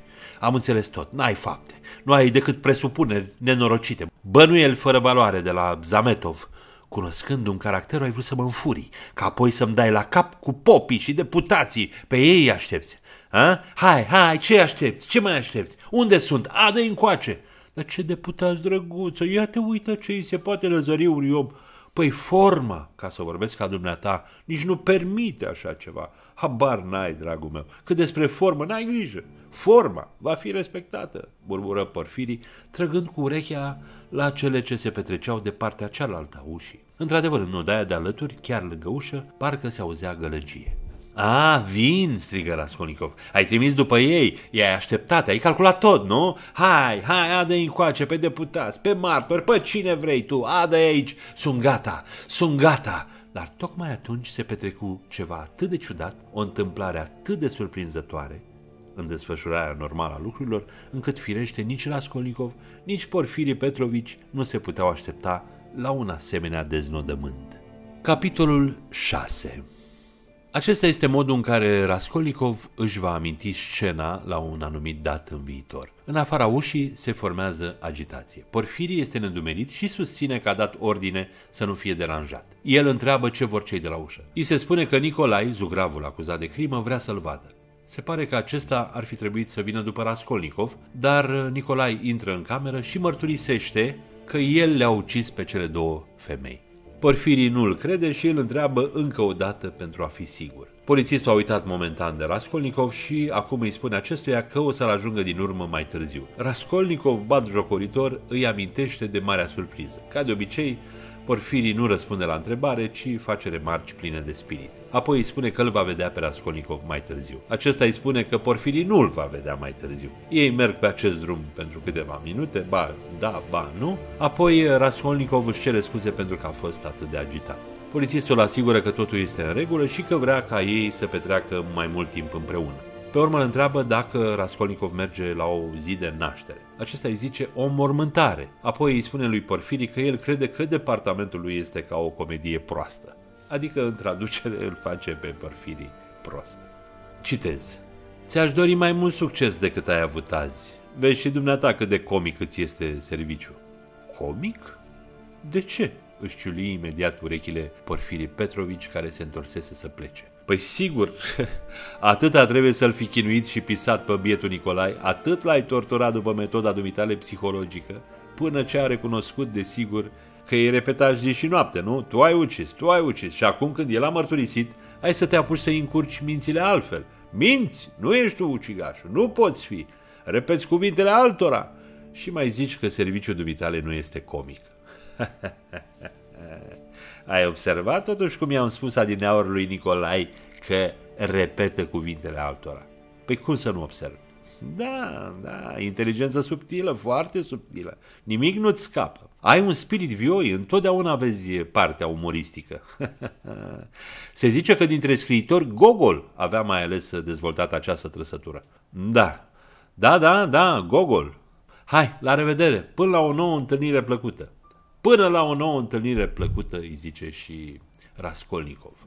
Apoi el pornește spre casă. Era atât de zăpăcit și de încurcat că ajuns în odaia lui, se aruncă pe divan și rămâne așa mai bine de un sfert de ceas, căutând să-și revină și să-și adune gândurile. La Nicolai nici nu încerca să se gândească. Era mărmurit. Simțea că mărturisirea lui Nicolai era inexplicabilă, că se ascundea de sub o taină pe care deocamdată era cu neputință să o dezlege. Mărturisirea aceasta însă era un fapt real – iar urmările acestui fapt erau ușor de ghicit. Minciuna nu putea să rămână în picioare multă vreme și atunci iar aveau să cadă bănuielile asupra lui Raskolnikov. Dar până una alta era liber. dar până un alta era liber și trebuia neapărat să ia măsuri în vederea pericolului pe care îl socotea iminent. Și totuși, în ce măsură era amenințat? Situația începea să se clarifice. Amintindu-și în linii generale întreaga scenă de adineauri, nu putea să nu se înfioare de groază. Firește, nu cunoștea toate gândurile lui Porfiri și nu putea să înțeleagă pe ce se bizuize acesta, dar cât ghicise din jocul lui, era destul ca să-și dea seama mai bine ca oricine cât de primejdioasă fusese pentru el această mișcare strategică a lui Porfiri. Încă puțin și ar fi putut să se dea de gol fără scăpare. Brusc, Raskolnikov se bucură, vrea să ajungă la mormântare ca să meargă și la cină pe urmă și să o vadă pe Sonia. Apoi arată de parcă ar fi suferit și spune cu voce tare, Astăzi, astăzi, da, astăzi, deci trebuie să fie... Apoi îl vede pe tipul de ieri, cel care l-a acuzat că este un criminal. Bărbatul spune că l-a acuzat în mod fals pe Raskolnikov. Era acolo în clădirea de la Amanet când uh, Raskolnikov a întrebat despre sânge și s-a prefăcut că vrea o cameră. A aflat ce putea despre el și apoi s-a dus la Porfiri. Acest bărbat trebuia să fie surpriza lui Porfiri. Raskolnikov întreabă dacă a auzit interviul cu Nicolai, dar se pare că polițistul l-a gunit imediat după ce l-a lăsat să plece pe Raskolnikov. Bărbatul spune, iartă-mă pentru gândurile mele rele și pentru calomniile mele. Citez. Să te ierte Dumnezeu, răspunse Raskolnikov și după aceste vorbe târgovețul se închină din nou, dar nu atât de adânc, ci numai până la brâu, se întoarse încet și părăsi odaia. Niciun fapt concret, numai probe cu două tăișuri, repetă Raskolnikov, înviorându-se și ieși din odaie. E, acum ne mai putem lupta, își zise el cu un zâmbet de mânie coborând scara. Mânia era împotriva lui însuși, se disprețuia și se rușina de cât de laș fusese. Partea a cincea, capitolul 1 Este a doua zi pentru Lujin, după dimineața în care a fost abandonat. El pare că se împacă cu realitatea. Crede că poate găsi pe altcineva care să se căsătorească cu el, poate chiar pe cineva mai bun decât Dunia. El este cu Andrei Semionovici la el unde a închiriat cât stă în oraș. Totul mergea prost pentru el astăzi, inclusiv faptul că nu a putut să-și recupereze depozitul pentru redecorarea și mobilierul pe care le cumpărase pentru casa lui și a lui Dunia. Când a ajuns acasă, după comisioane, a trecut pe lângă casa Caterinei, care se află în aceeași clădire cu Andrei Semionovici, gazda lui, și a văzut-o pregătind lucrurile pentru înmormântare. Și a amintit că a fost invitat și că va fi și uh, Raskolnikov acolo. Lujin îl detestă pe Andrei Semionovici. Acesta face parte dintr-un grup de oameni care reacționează împotriva normelor sociale. Potrivit autorului, Lujin are o viziune stereotipă despre astfel de oameni și îi urăște. Se pare că el se teme că acești oameni ar putea afla ceva despre el și să-l denunțe. Totul este foarte misterios, suficient pentru a ne face să ne întrebăm ce ascunde uh, Lujin. El stă cu Andrei Semionovici pentru a se infiltra în uh, echipa lui și a afla dacă e periculos. Andrei Semionovici este un tip bolnovicios care aproape întotdeauna are ceva în neregulă cu ochii lui. Chiar dacă este un tip blând, el începe să nu-l placă pe Lujin. Crede că acesta ar putea fi un mincinos. Lujin a încasat niște cecuri dimineață și acum își numără toți banii în fața lui Andrei Semionovici folosind un abac. Andrei Semionovici, care este doar un sărac funcționar, crede că acesta își arată banii doar pentru a fi un nesimțit. Mai rău, Lujin nu acordă atenție la ceea ce spune Andrei Semionovici, ceea ce este foarte important. În loc să asculte, el întreabă despre înmormântare, prefăcându-se că nu este cu adevărat interesat de ea și că nu își amintește să fi fost invitat. O critică pe Caterina pentru că a cheltuit bani atât de frivol. El spune că nu va merge. Andrei Semionovici spune că nici el nu va merge. Lujin râde cu răutate și spune sigur că Andrei Semionovici nu merge pentru că a bătut-o pe Caterina. Vă amintiți că Marmeladov uh, i-a spus uh, asta lui Raskolnikov. Andrei Semionovici se supără negând asta. Spune că ea l-a atacat și că el doar s-a apărat. Lujin râde uh, și Andrei Semionovici îi spune că este morocănos pentru că tocmai a fost părăsit.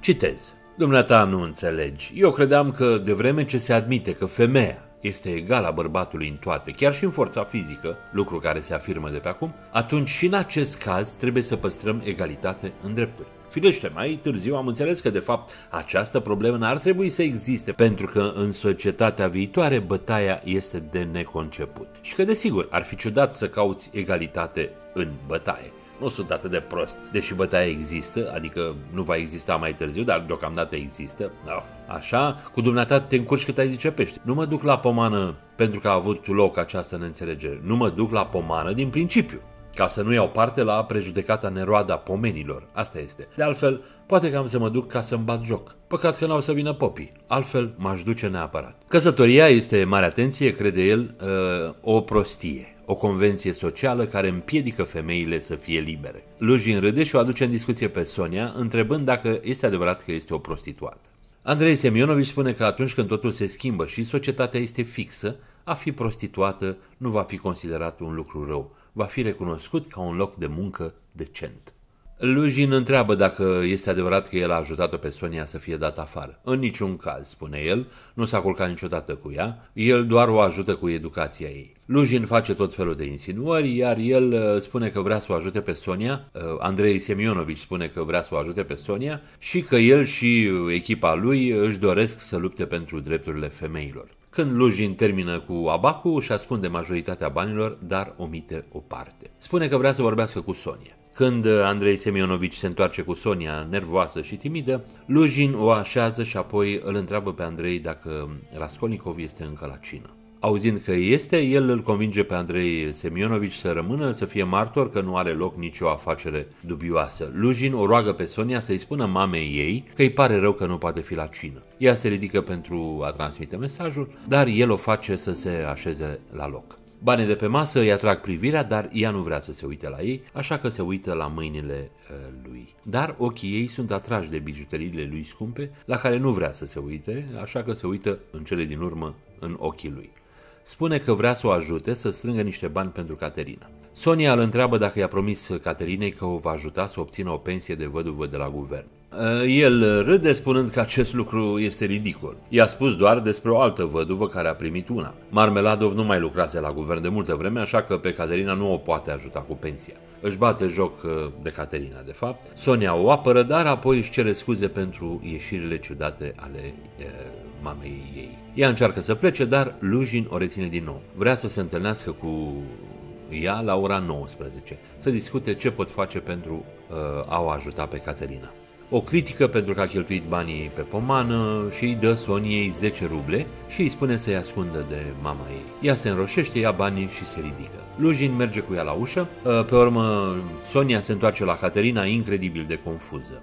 Andrei Semionovici este extrem de mulțumit de Lujin și spune că a auzit și a văzut totul. Îl complimentează pe Lujin pentru generozitatea sa și apoi îl întreabă de ce și-ar dori vreodată o căsătorie legală. Acesta îi spune că ideea de căsătorie deschisă a lui Andrei Semionovici va face ca bărbații să fie nevoiți să întrețină copiii altor bărbați. Citez. Pe dracu, uneori visez că dacă o să mă mărit vreodată, uh, puh, dacă o să mă însor, liber sau legal, nu contează, mi se pare că eu singur o să-i aduc nevestii mie un amant, dacă o să văd că trece prea mult timp și nu-și ia unul. Draga mea, o să-i spun, eu te iubesc, dar pe deasupra vreau ca tu să mă stimezi. Poftim, e just ce spun. Piotr Petrovici chicotea, dar fără prea mare chef. Aproape că nu-l asculta. Se gândea la altceva și până și Lebeziatnikov sfârși prin a observa acest lucru. Piotr Petrovici părea tulburat, își freca mâinile, cădea pe gânduri. Toate acestea Andrei Semionovici uh, și le aminti și le înțelese mai târziu. Capitolul 2 Autorul se gândește la decizia Caterinei de a cheltui aproape jumătate din banii pe care i-a dat Raskolnikov pentru mormântare și cină. Poate că totul a fost pentru a-și onora soțul. Poate a fost din mândria săracului. Potrivit lui, cei mai săraci oameni vor cheltui bani pe care nu ar trebui, doar ca să le arate altora că de fapt nu sunt săraci. Rezerva de băuturi alcoolice nu este atât de mare pe cât crede Lujin, dar există puțină băutură la eveniment. Caterina este super sensibilă. Cea mai mică problemă o face să creadă că totul se prăbușește. Pe parcursul pregătirilor, ea merge înainte și înapoi între a-și iubi și a-și urâ vecinii, dintre care unii chiar uh, o ajută. Proprietara Caterina, Amelia Ivanovna, o ajută. Ea face cea mai mare parte a muncii, de fapt. Acest lucru este ofensator pentru Caterina. Ea simte că este la un nivel social mai înalt decât uh, proprietara ei, uh, germană. Caterina crede că proprietara se comportă ca și cum ar face-o din milă, ceea ce o jignește. Și în plus, Amelia poartă o pălărie ridicolă neagră cu pene negre. Acea pălărie este ultimul pai. Caterina decide să-i administreze Ameliei o baie rece. Ea nu este mulțumită de cei prezenți. Tipul pe care își dorește cu adevărat să fie aici este Lujin. Nu pentru că vrea ceva de la el, ci pentru că el este cel mai înstărit tip care stă în clădire. Andrei Semionovici observă ea, nu este nici el acolo. O doamnă și fica ei sunt de asemenea absente. Numai oamenii săraci, care nici măcar nu l-au cunoscut pe Marmeladov, sunt acolo pentru alcool și mâncarea de pomană. E încântată când apare Raskolnikov, în sfârșit un tip respectabil. Stând lângă el, începe să tușească și să-și bată joc de proprietară. Între înțepăturile aruncate spre uh, proprietară, ea joacă rolul de gazdă, asigurându-se că copiii ei și toți ceilalți au de mâncat și de băut. În curând, uh, ea râde atât de tare de pălăria proprietarei încât are o criză lungă de tuse, urmată de scuipat uh, cu sânge, pe care îl arată lui Raskolnikov. Apare și Sonia, sperând să o facă pe Caterina să se simtă mai bine, spunându-i de ce Lujin nu poate veni. Ea se calmează și îi spune lui Raskolnikov că nu este surprinsă de Lujin. El este prea bun pentru această mulțime. Uh, spune că știe că Raskolnikov este aici doar pentru a onora prietenia lui cu Marmeladov. Citez. Caterina Ivanovna se sculă de pe scaun și spuse aspru, cu mare liniște, deși foarte palidă și cu pieptul zbuciumat, că dacă Amalia Ivanovna își va permite o singură dată să-l pună pe vaterașul ei nenorocit pe aceeași treaptă cu tatăl ei, atunci ea, Caterina Ivanovna, are să-i smulgă boneta din cap și are să-i o calce în picioare. Auzind acestea, Amalia Ivanovna începe să alerge prin odaie, zbierând cât o ținea gura că ea este stăpână în casă și Caterina Ivanovna musai în acest clip din casă plecat. Apoi se repezi să strângă de pe masă lingurițele de argint. Se stârni zarvă mare, copiii începură să plângă. Sonia încearcă să o rețină pe Caterina Ivanovna, dar când Amalia Ivanovna strigă ceva despre condicuță, Caterina Ivanovna o împinge pe Sonia la o parte și se năpustește la Amalia Ivanovna ca să-și aducă îndată la îndeplinire amenințarea cu privire la bonetă. În clipa aceea, ușa se deschise și Piotr Petrovici Lujin apăru în prag, își roti privirea severă asupra întregii adunări și Caterina Ivanovna se repezi la el. Capitolul 3 Lujin vrea să o vadă pe Sonia. Totul se liniștește. Trece pe lângă Raskolnikov fără să-i acorde nicio atenție. Cerându-și scuze pentru intruziune, o acuză pe Sonia că i-a furat 100 de ruble. Toată lumea se uită la ea. Lujin o presează pentru un răspuns. Ea spune că nu a făcut-o. El se lansează într-o lungă explicație de ce o bănuiește pe Sonia că i-a luat banii. El spune că Andrei Semionovici a văzut totul și îl va susține. Sonia este fermă, spune că tot ce are sunt cei 10 ruble. Caterina îi smulge și îi aruncă în Lujin. O numește nebună. Sonia crede că toată lumea se uită la ea cu răutate. Se pare că și Raskolnikov se uită la ea, iar ochii lui strălucesc. Lujin amenință că va chema poliția. Caterina argumentează în apărarea fiicei ei cu pasiune și convingere extremă. Pentru a dovedi nevinovăția Soniei, ea o percheziționează și găsește o bagnotă de 100 de ruble. Lujin o privește cu aroganță. Amelia vrea ca Sonia să fie trimisă în Siberia. Sonia jură că este nevinovată. Caterina jură că o crede și îi cere lui Raskolnikov să o susțină. El și Lujin se uită unul la altul. Familia Soniei plânge și se lipește de ea. Citez. Câtă josnicie! răsună deodată în ușă un glas puternic. Piotr Petrovici se întoarse iute. Câtă josnicie! repetă Lebeziadnikov privindu-l țintă în ochi. Piotr Petrovici parcă tresări. Asta o observară toți și și amintiră mai târziu. Lebeziadnikov intră în odaie. Și dumneata ai îndrăznit să mă pui martor? întrebă el apropiindu-se de Piotr Petrovici. Dar ce înseamnă asta, Andrei Semionovici? Despre ce vorbești? băigui Lujin. Asta înseamnă că dumneata ești un calomniator. Asta înseamnă cuvintele mele, rosti cu aprindere Lebeziatnikov, uitându-se sever la el cu ochișorii lui miopi. Era grozav de supărat. Raskolnikov îl sorbea din ochi, prinzând din zbor și cântărind fiecare cuvânt. Din nou se făcu tăcere. Piotr Petrovici păru încurcat, mai ales în prima clipă dacă mi-o spui mie, uh, începu el bâlbâindu-se, dar, dar ce-ai pățit? Nu cumva ți-ai ieșit din minți? Eu nu mi-am ieșit din minți, pe când dumneata, dumneata ești un excroc. Doamne, câtă josnicie, am ascultat tot, am așteptat anume ca să înțeleg tot jocul pentru că, îți spun drept, nici acum nu înțeleg prea bine. Pentru ce ai făcut toate astea? Nu pricep. Dar ce am făcut? Încetează odată cu enigmele dumitale absurde. Nu cumva ești beat? Dumneata poate te îmbeți, om josnic ce ești, nu eu. O picătură de vodcă nu pun niciodată în gură, pentru că asta contravine părerilor mele. Închipuiți-vă, el, el însuși, cu mâna lui, a dat această sută de ruble Sofiei Semionovna. Am văzut eu, sunt martor, pot să jur. El, el singur, repetă el adresându-se tuturora și fiecăruia în parte. Ai nebunit, mucosule, țipă strident Lujin. Poftim, uite-o în fața dumitale. Ea singura a confirmat că în afară de cele 10 ruble n-a primit de la mine niciun ban. Atunci cum i-am putut da suta? Eu am văzut, am văzut, strigă Lebeziadnikov, menținându-și afirmația. Și, deși asta contravine opiniilor mele, sunt gata chiar acum să depun orice fel de jurământ în fața tribunalului, pentru că am văzut cu ochii mei când ei băgat pe ascuns banii în buzunar. Prostul de mine, am crezut că ai făcut-o din mărinimie, i-ai băgat în buzunar, în prag, când ea s-a întors și dumneata ei strâns degetele cu mâna dreaptă, iar cu cealaltă, cu stânga, ei strecurat binișor hârtia în buzunar. Am văzut, am văzut. Lujin păli. Dar ce, ce, ce tot minți? strigă el cu neobrăzare. Cum ai putut să vezi hârtia când stăteai la fereastră? Ți s-a năzărit? Ce de chior ce ești? Aiurezi? Nu, nu, nu, nu, nu, nu mi s-a năzărit. Și, deși stăteam deoparte, am văzut tot. De la fereastră ar fi fost într-adevăr greu să disting hârtia. Asta așa este. Dar eu știam, știam precis că era o sută, fiindcă atunci când i-ai dat Sofiei Semionovna 10 ruble, am văzut. Ai luat de pe masă și o sută. Asta am văzut fiindcă în clipa aceea eram foarte aproape și fiindcă tocmai îmi venise o idee. N-am uitat cu ai în mână. Ai împăturit-o și ai ținut-o strâns în pun tot timpul.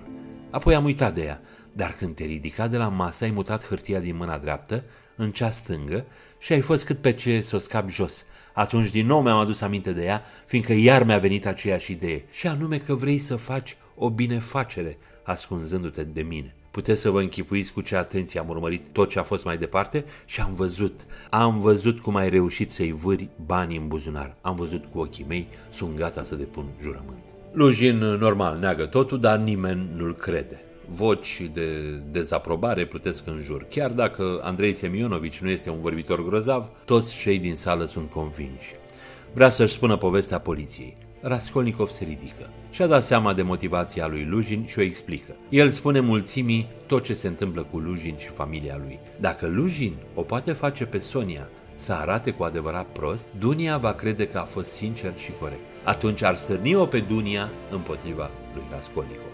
Poate că el atunci ar fi înstrăinat de familie și Lujin ar putea să-și îndeplinească scopul de a pune mâna pe Dunia. Andrei Semionovici este de acord cu Raskolnikov și mai adaugă câteva detalii pentru a arăta de ce. Andrei Semionovici îi spune lui Lujin să iasă în clipa asta. Lujin iese amenințând cu acțiuni legale. Un funcționar încearcă să-l lovească pe Lujin cu un pahar, dar o lovește pe Amalia. Sonia nu mai suportă, așa că pleacă. Proprietăreasa o ia razna și o somează pe Caterina să se mute și chiar îi și aruncă lucrurile. Caterina lasă copiii cu Polenca la conducere ca să poată merge să găsească ajutor.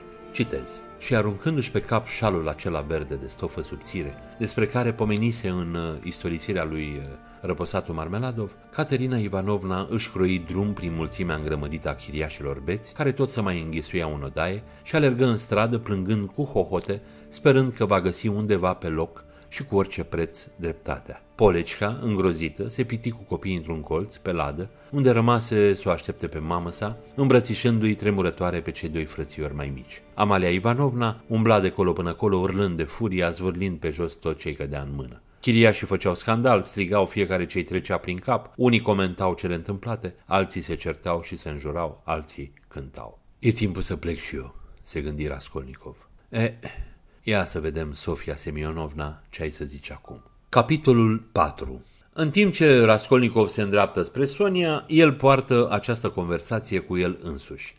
Trebuie să-i spun. Nu, nu pot să-i spun, dar trebuie. Dar eu nu pot. Citez. Se opri nehotărât în fața ușii, întrebându-se. Trebuie oare să-i spun cine a ucis-o pe Elizaveta? Întrebarea era stranie, fiindcă simți chiar în aceeași clipă, nu numai că nu se putea să nu-i spună, dar nici măcar să mai întârzie un singur minut. Nu știa încă de ce acest lucru era imposibil. Presimțea numai această imposibilitate și îl copleși senzația dureroasă a slăbiciunii lui față de această necesitate. Ca să nu se mai gândească și să nu mai sufere, deschise iute ușa și din prag se uită la Sonia. Fata ședea cu coatele pe masă, cu fața ascunsă în palme, dar zărindu-l se sculă de îndată și porni în întâmpinarea lui de parcă l-ar fi așteptat. Ce s-ar fi întâmplat cu mine dacă nu erai dumneata? Rosti ea în pripă în timp ce el intră în odaie. Se vedea bine că se gândea numai la binele pe care îl făcuse și era grăbită să-i mulțumească. Pentru asta l-așteptase. Raskolnikov se apropie de masă și se așeză pe scaunul de pe care tocmai se sculase Sonia. Ea se opri la doi pași, exact așa cum făcuse cu o zi mai înainte. Ei, Sonia, zise el și simți deodată că glasul îi tremura. Ai văzut că toată povestea se întemeia pe poziția dumitale socială și deprinderile care decurg din ea? Ai înțeles adineauri acest lucru? Pe chipul ei se oglindi suferința. Numai să nu vorbești ca ieri, îl întrerupse ea. Te rog, nu reîncepe și așa sunt destul de chinuită. Și se grăbi să zâmbească, speriată că dojana ei ar putea să-l supere. Am făcut o prostie că am plecat. ce pe acolo? Tocmai mă gândeam să mă duc, dar am așteptat să vii dumneata. Raskolnikov îi pune o întrebare Soniei. Dacă ar putea alege între viața lui Lujin și viața familiei ei, pe cine ar alege? Cum ar decide ea? Sonia spune că numai Dumnezeu decide cine trăiește și cine moare. Nu ar putea avea niciodată vreo legătură cu ea. Apoi îi spune lui Raskolnikov să ajungă la subiect, cu excepția cazului în care el este interesat doar să o chinuie. Ea plânge 5 minute, apoi Raskolnikov spune că este de acord cu ea. După aceea se simte neputincios și disperat. Deși nu se așteaptă la asta, o urăște brusc pe Sonia. Dar când se uită la dragostea din ochii ei, ura dispare. Se așează lângă ea pe pat. Vocea lui este înghețată, nu-i poate spune. Ea îl roagă să-i spună care este problema. El îi spune că nu este nimic și ea începe să-i fie milă de el și de durerea lui. Citez. Uite ce este Sonia. Și un zâmbet palid și neputincios îi flutură câteva clipe pe buze. Îți amintești ce am vrut să-ți spun ieri? Sonia așteaptă neliniștită. Plecând, ți-am spus că poate mi-au rămas bun de la tine pentru totdeauna, dar că dacă vin astăzi, am să-ți spun cine a ucis-o pe Elizaveta. Ea a început deodată să tremure. Acum am venit să-ți spun Așadar, ieri ai vorbit serios? Șopti ea cu greu, dar se dezmedici numai decât și întrebă. Dar de unde știi? Respiră greu. Obrazul ei se face tot mai palid. Știu. Iată cu o clipă. L-au găsit pe acela? Întrebă ea sfioasă. Nu. Atunci cum poți ști asta? Întrebă ea cu glasul stins, după câteva clipe de tăcere. El se întoarse spre ea și o privi țintă, cu o ciudată neclintire. Icește, rosti cu același zâmbet strâmb și neputincios. Ea tresări ca biciuită de un vânt rece. Dar de ce? De, de, de ce? De ce mă sperii așa? Răsti zâmbind ca un copil mic. Dacă știu, înseamnă că sunt bun prieten cu el. Urmă Raskolnikov cu privirile pironite asupra ei, nemai putând să-și ia ochii de la ea. El n-a vrut să o ucidă pe Elizaveta. A ucis-o întâmplător. El voia să o ucidă pe bătrână, când era singură. Și s-a dus la ea dar atunci a intrat Lizaveta și el era acolo și a ucis-o. Se scurse încă un minut de groază. Amândoi se priveau în ochi. Va să zic că nu poți să ghicești? Întrebă el cu senzația cu care s-ar fi aruncat din tur la unei biserici. Nu, șopti abia auzit Sonia. Caută bine. Și de îndată ce rostia aceste cuvinte, o senzație pe care o mai cunoscuse, îi îngheță inima. Se uită la Sonia și păru deodată că vede pe fața ei expresia Elizavetei, cum îi se întipărise în minte, în timp ce se apropia cu toporul, iar ea se dădea înapoi spre perete cu o mână întinsă înainte și o spaimă copilărească în obraz, întocmai cum fac copiii mici când încep să se sperie și gata să plângă cu mânuțele întinse, se dau înapoi și își ațintesc ochii speriați, neclintiți, asupra lucrului care îi îngrozește. Sonia de asemenea îl privi câtva timp neputincioasă cu spaimă. Apoi ridică și ea mâna stângă, propti ușor degetele în pieptul lui și se ridică încet din pat, depărtându-se tot mai mult, fără a înceta de a-l privi țintă. Groaza ei trecu și în ea, aceeași privire și aproape cu același zâmbet copilăresc. Ai ghicit, șopti el în sfârșit. Doamne!" strigă Sonia și se prăbuși fără putere pe pat cu fața în pernă. Dar peste o clipă se ridică brusc, se apropie iute de el, îl apucă de mâini și strigându-le tare ca într-un clește cu degetele ei subțiri, își pironi ochii între lui într-o privire lungă. Caută cu disperare să prindă măcar o umbră de speranță, dar nu mai era niciuna. Nu rămânea nicio îndoială. Era așa. Mai târziu, când își amintea această clipă, îi se părea ciudat și neverosimil. Cum își dăduse seama așa dintr-o dată că nu există nicio îndoială? Nu putea spune că prisimțise ceva de felul acesta și cu toate acestea, de îndată ce el îi spusese, îi se păru că într-adevăr ea presimțise de mult asta. Ajunge, Sonia, nu mă chinui, se rugă el îndurerat. Nu astfel se gândise el că îi va destăinui fapta lui, ci cu totul altfel. Ca în neștire, Sonia a sărit de pe pat și frângându-și mâinile ajunse în mijlocul camerei, apoi se întoarse repede și se așeză din nou lângă el, aproape atingându-l cu umărul. Peste o clipă se cutremură, scoase un țipăt și fără să știe nici ea de ce, se aruncă în genunchi în fața lui. Ce ai făcut? Ce ai făcut cu tine?" strigă disperată și ridicându-se se aruncă de gâtul lui și îl strânse tare în brațe. Raskolnikov se trase deoparte și o privi cu un zâmbet trist. Ha, ciudată ești tu, Sonia. Mă îmbrățișezi și mă săruți după ce ți-am spus asta. Tu nu-ți dai seama ce faci. Nu, acum nu este pe lume un om mai nefericit ca tine, strigă ea cu tremurată de milă, fără să-i audă observația și izbucni într-un plâns nervos. Un sentiment pe care nu-l mai cunoscuse de mult îi cuprinse ca un val inima, înmuind-o. El nu se împotrivi. Două lacrimi îi se iviră în ochi și rămase ratărnate de gene.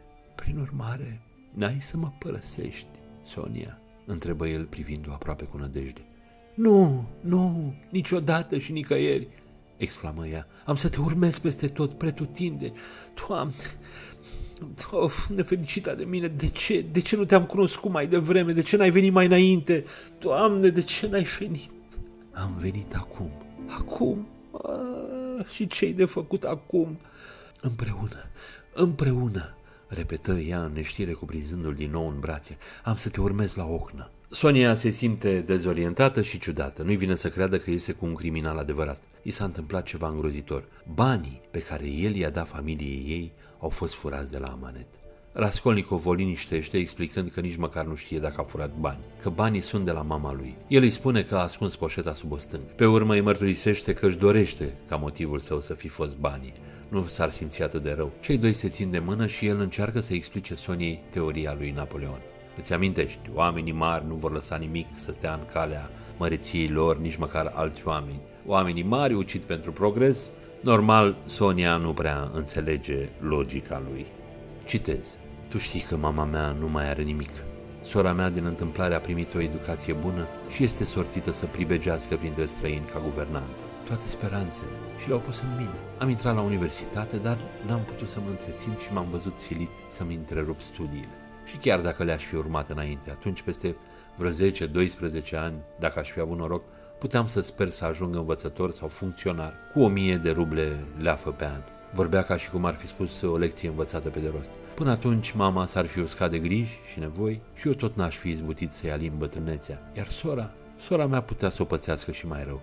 Și apoi ce viață este asta? Să treci pe lângă toate, să te lipsești de toate, să o lași pe mama ta în nevoie, să rabzi resemnat. De pildă, jignirea ce a fost adusă surorii tale. Și ca să ajungi la ce? Că după ce ei mormântat pe ai tăi, să-ți iei alte griji, soție, copii, și să-i lași și pe ei după moartea ta fără un ban și fără o bucată de pâine. Și, și atunci am hotărât să pun mâna pe banii bătrânei să-i folosesc în primii ani, să mă întrețin la universitate, fără să mai fiu o povară pentru mama, apoi să fac primii pași în viață, fără constrângere, să-mi alcătuiesc o soartă nouă și să pornesc pe acest drum, să fiu independent. Da, și... și asta e tot. Eh, pe bătrână firește, am făcut rău că am ucis-o și destul. Raskolnikov părea ajuns la capătul puterilor și își lăsă capul în piept. Vai, nu, nu e asta, nu e asta exclamă cu durere Sonia. Se poate oare să... Nu, nu e asta, nu a fost așa. Uite, și tu vezi că nu e asta. Și cu toate astea am vorbit sincer, ți-am spus tot adevărul. Și ce adevăr? Uf, doamne, doamne. La urma urmei n-am ucis decât un păduche, Sonia. Un păduche inutil, scârbos, dăunător. Păduchele ăsta era o ființă omenească. Știu și eu că nu era un păduche, răspunse el privind-o ciudat. De altfel ce ți-am spus n-are nicio noimă, Sonia, adăugă el. E altceva, e alt, ai dreptate. Au fost cu totul și cu totul alte cauze care m-au împins. N-am vorbit de mult cu nimeni, Sonia, și acum mă doare rău capul. Ochii străluceau înfigurați, aproape delira. Un zâmbet neliniștit îi rădăcea pe buze. Sub starea lui de surescitare străbătea o cumplită oboseală. Sonia își dădea seama cât suferă. Și ei îi se învârtea capul. Vorbea atât de ciudat parcă îi înțelegea cuvintele și totuși, dar cum se poate, cum se poate, o, Doamne? Și ea își frângea disperată mâinile. Recunoaște că nu trebuia să se oprească de la muncă și să părăsească școala. Ar fi putut obține hainele și banii de care avea nevoie pentru a continua, dar în schimb s-a închis în cămăruța lui oribilă, gândindu-se și gândindu-se tot mai mult și mai mult și în timpul gândirii a început să creadă că oamenii nu se pot schimba niciodată. Oamenii puternici, cei care vor face orice, vor stăpâni mereu pe cei slabi și vor stăpâni lumea. De aceea a ucis-o pe babă, pentru a arăta că este suficient de puternic pentru a face orice și astfel să-și ia locul printre cei puternici, printre conducători. Sonia dă vina pe diavol, iar Raskolnikov este de acord, explicând că odată ce i-a venit ideea în cap, nu a mai putut scăpa de ea. Chiar dacă știa cu adevărat că nu era Napoleon, ideea îl chinuia. A decis să ucidă femeia pentru că a vrut să facă asta. Dacă a ucis, înseamnă că avea dreptul. Îngrozită, Sonia întreabă dacă vrea să spună dreptul de a ucide. Iritat, Raskolnikov îi spune să tacă, că încearcă să vorbească. Citez. Nu mă întrerupe, Sonia. N-am vrut decât să-ți dovedesc un singur lucru. Că diavolul m-a împins atunci să mă duc acolo și abia după aceea m-a făcut să înțeleg că n-am avut dreptul să fac acel lucru, fiindcă sunt un păduche ca toți ceilalți și a bătut joc de mine și de aceea am venit acum la tine. Halal, oaspete. Dacă n-aș fi fost un păduche, aș fi venit eu la tine. Ascultă, când m-am dus atunci la bătrâna aceea, m-am dus numai să încerc, să știi asta. Și ai ucis. Ai ucis. Dar cum am ucis? Așa se ucide. Așa se duce cineva să ucidă, cum am dus eu atunci. Am să-ți spun odată și odată cum a fost. Și oare pe baba am ucis-o? M-am ucis pe mine. Acolo, pe loc, m-am ucis pe mine, pe veci. Iar pe baba aceea a ucis-o diavolul, nu eu. Ajunge, Sonia, ajunge. Destul. Lasă-mă, strigă el cu un glas fâșietor. Lasă-mă! Își sprijini coatele pe genunchi și își strânse capul în palme ca într-un clește. Oh, ce suferință, ce suferință, gemu Sonia. Acum ce să fac? Spune, întrebă el deodată ridicând capul și privind-o cu fața răvășită de disperare. Ce să faci? strigă ea sărind odată de la locul ei și ochii ei până atunci plini de lacrimi îi străluciră puternic. Scoală-te! Ea la apucă de umăr. El se ridică privind-o aproape înmărmurit. Du-te acum, chiar în clipa asta, la o răscruce de drumuri. Închină-te adânc, sărută mai întâi pământul pe care l-ai pângărit, apoi închină-te în cele patru zări, în fața lumii întregi și spune tare să audă toți, eu am ucis.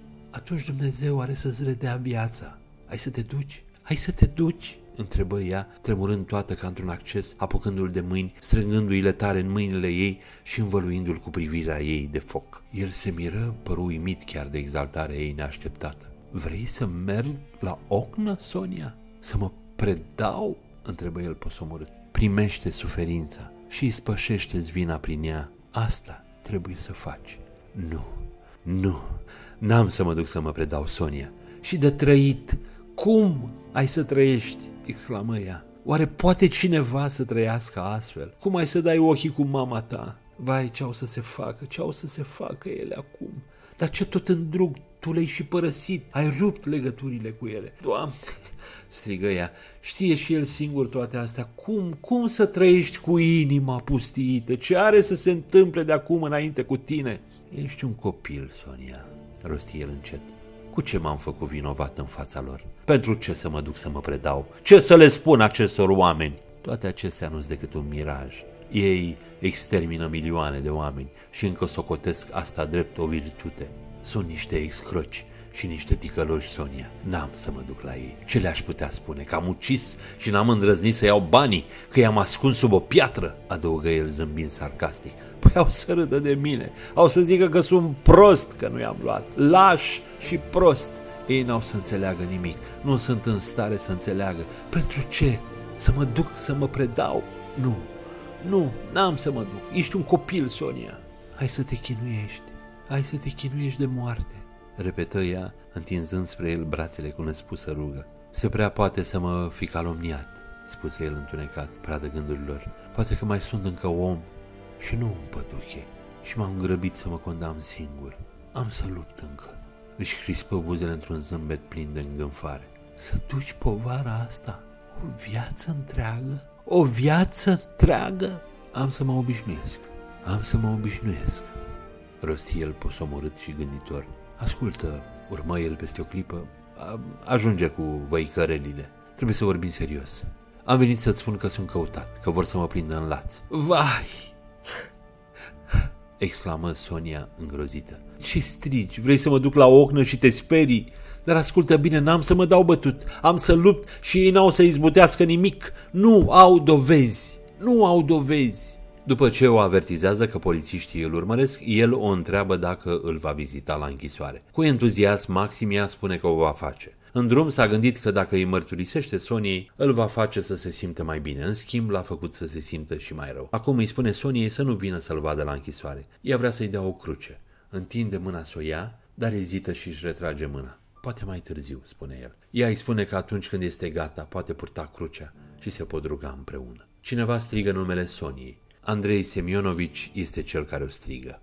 Capitolul 5 Andrei Semionovici le spune lui Raskolnikov și Soniei că biata Caterina și-a pierdut mințile. Ea plănuiește să scoată copiii pe stradă la cerșit, îi învață cântece și dansuri și imediat Sonia își apucă haina pentru a merge la ei. Raskolnikov și Andrei Semionovici nu merg cu ea, ci merg împreună. Raskolnikov îl întreabă dacă a vorbit cu Caterina despre tuberculoza ei. Andrei Semionovici vorbește despre remedii experimentale pentru probleme mentale. Când ajung la casa lui Raskolnikov, acesta îl lasă pe Andrei Semionovici să aștepte. Nu știe de ce s-a întors în această cameră. Vinovăția pentru că a împovărat-o pe Sonia cu problemele lui îl face să creadă că ar putea să o urască în viitor. El decide că nu vrea ca ea să fie implicată în mizeria lui. El crede că poate închisoarea este răspunsul. Foarte curând, Dunia sosește în camera lui. Ea își cere scuze pentru vizită, iar el vede cât de mult îl iubește ea. Razumăhin i-a explicat totul și ea știe că el este suspectat pe nedrept de crime și îi spune că înțelege că trebuie să se ocupe de asta, că o va proteja pe pulcheria și o va liniști în absența lui. Când ea pleacă,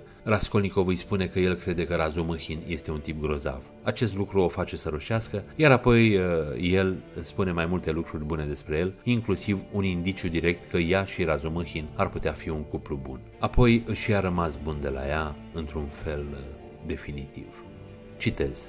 Fata se răsuci pe călcâie și se îndreptă spre ușă. Dunia o opri Raskolnikov. Se sculă și se apropie de dânsa. Acest Razumăhin este un om foarte bun. Dunia roșii ușor. Și? întrebă ea peste o clipă. Este un om muncitor, priceput, cinstit, capabil de o dragoste mare. Rămâi cu bine, Dunia. Dunia se aprinse la față, apoi se neliniști. Dar oare ne despărțim pentru totdeauna, frate? E ca un testament pe care mi-l lași. N-are a face. Rămâi cu bine. El se întoarse și se apropie de fereastră. Ea rămase locului, îl privi cu neliniște și ieși foarte răscolit.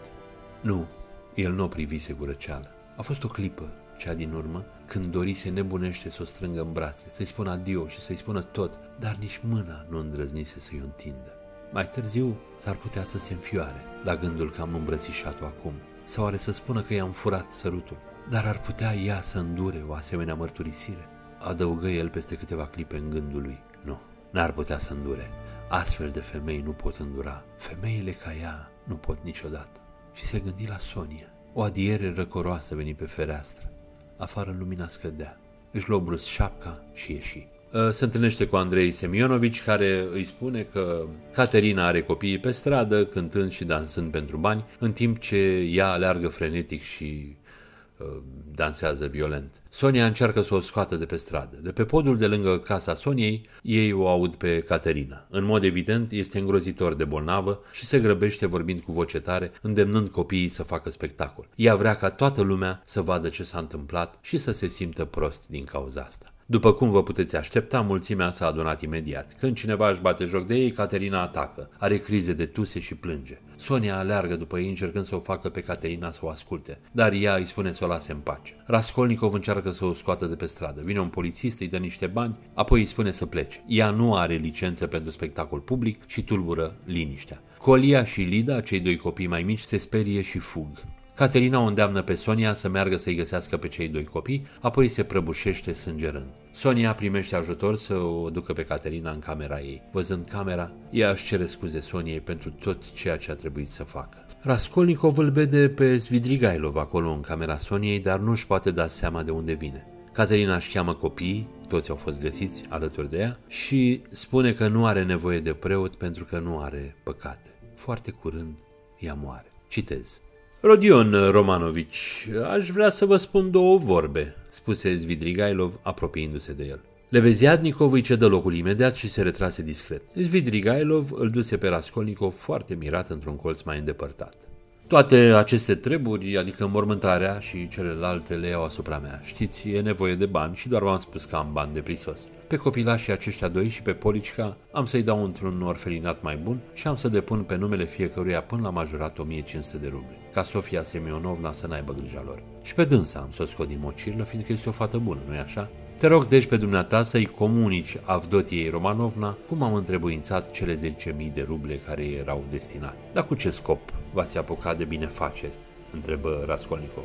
O, da ce om bănuitor, răspunse râzând Zvidrigailor. Dar v-am spus că acești bani îmi sunt de prisos. Și s-o fi făcut pur și simplu din sentimente omenești.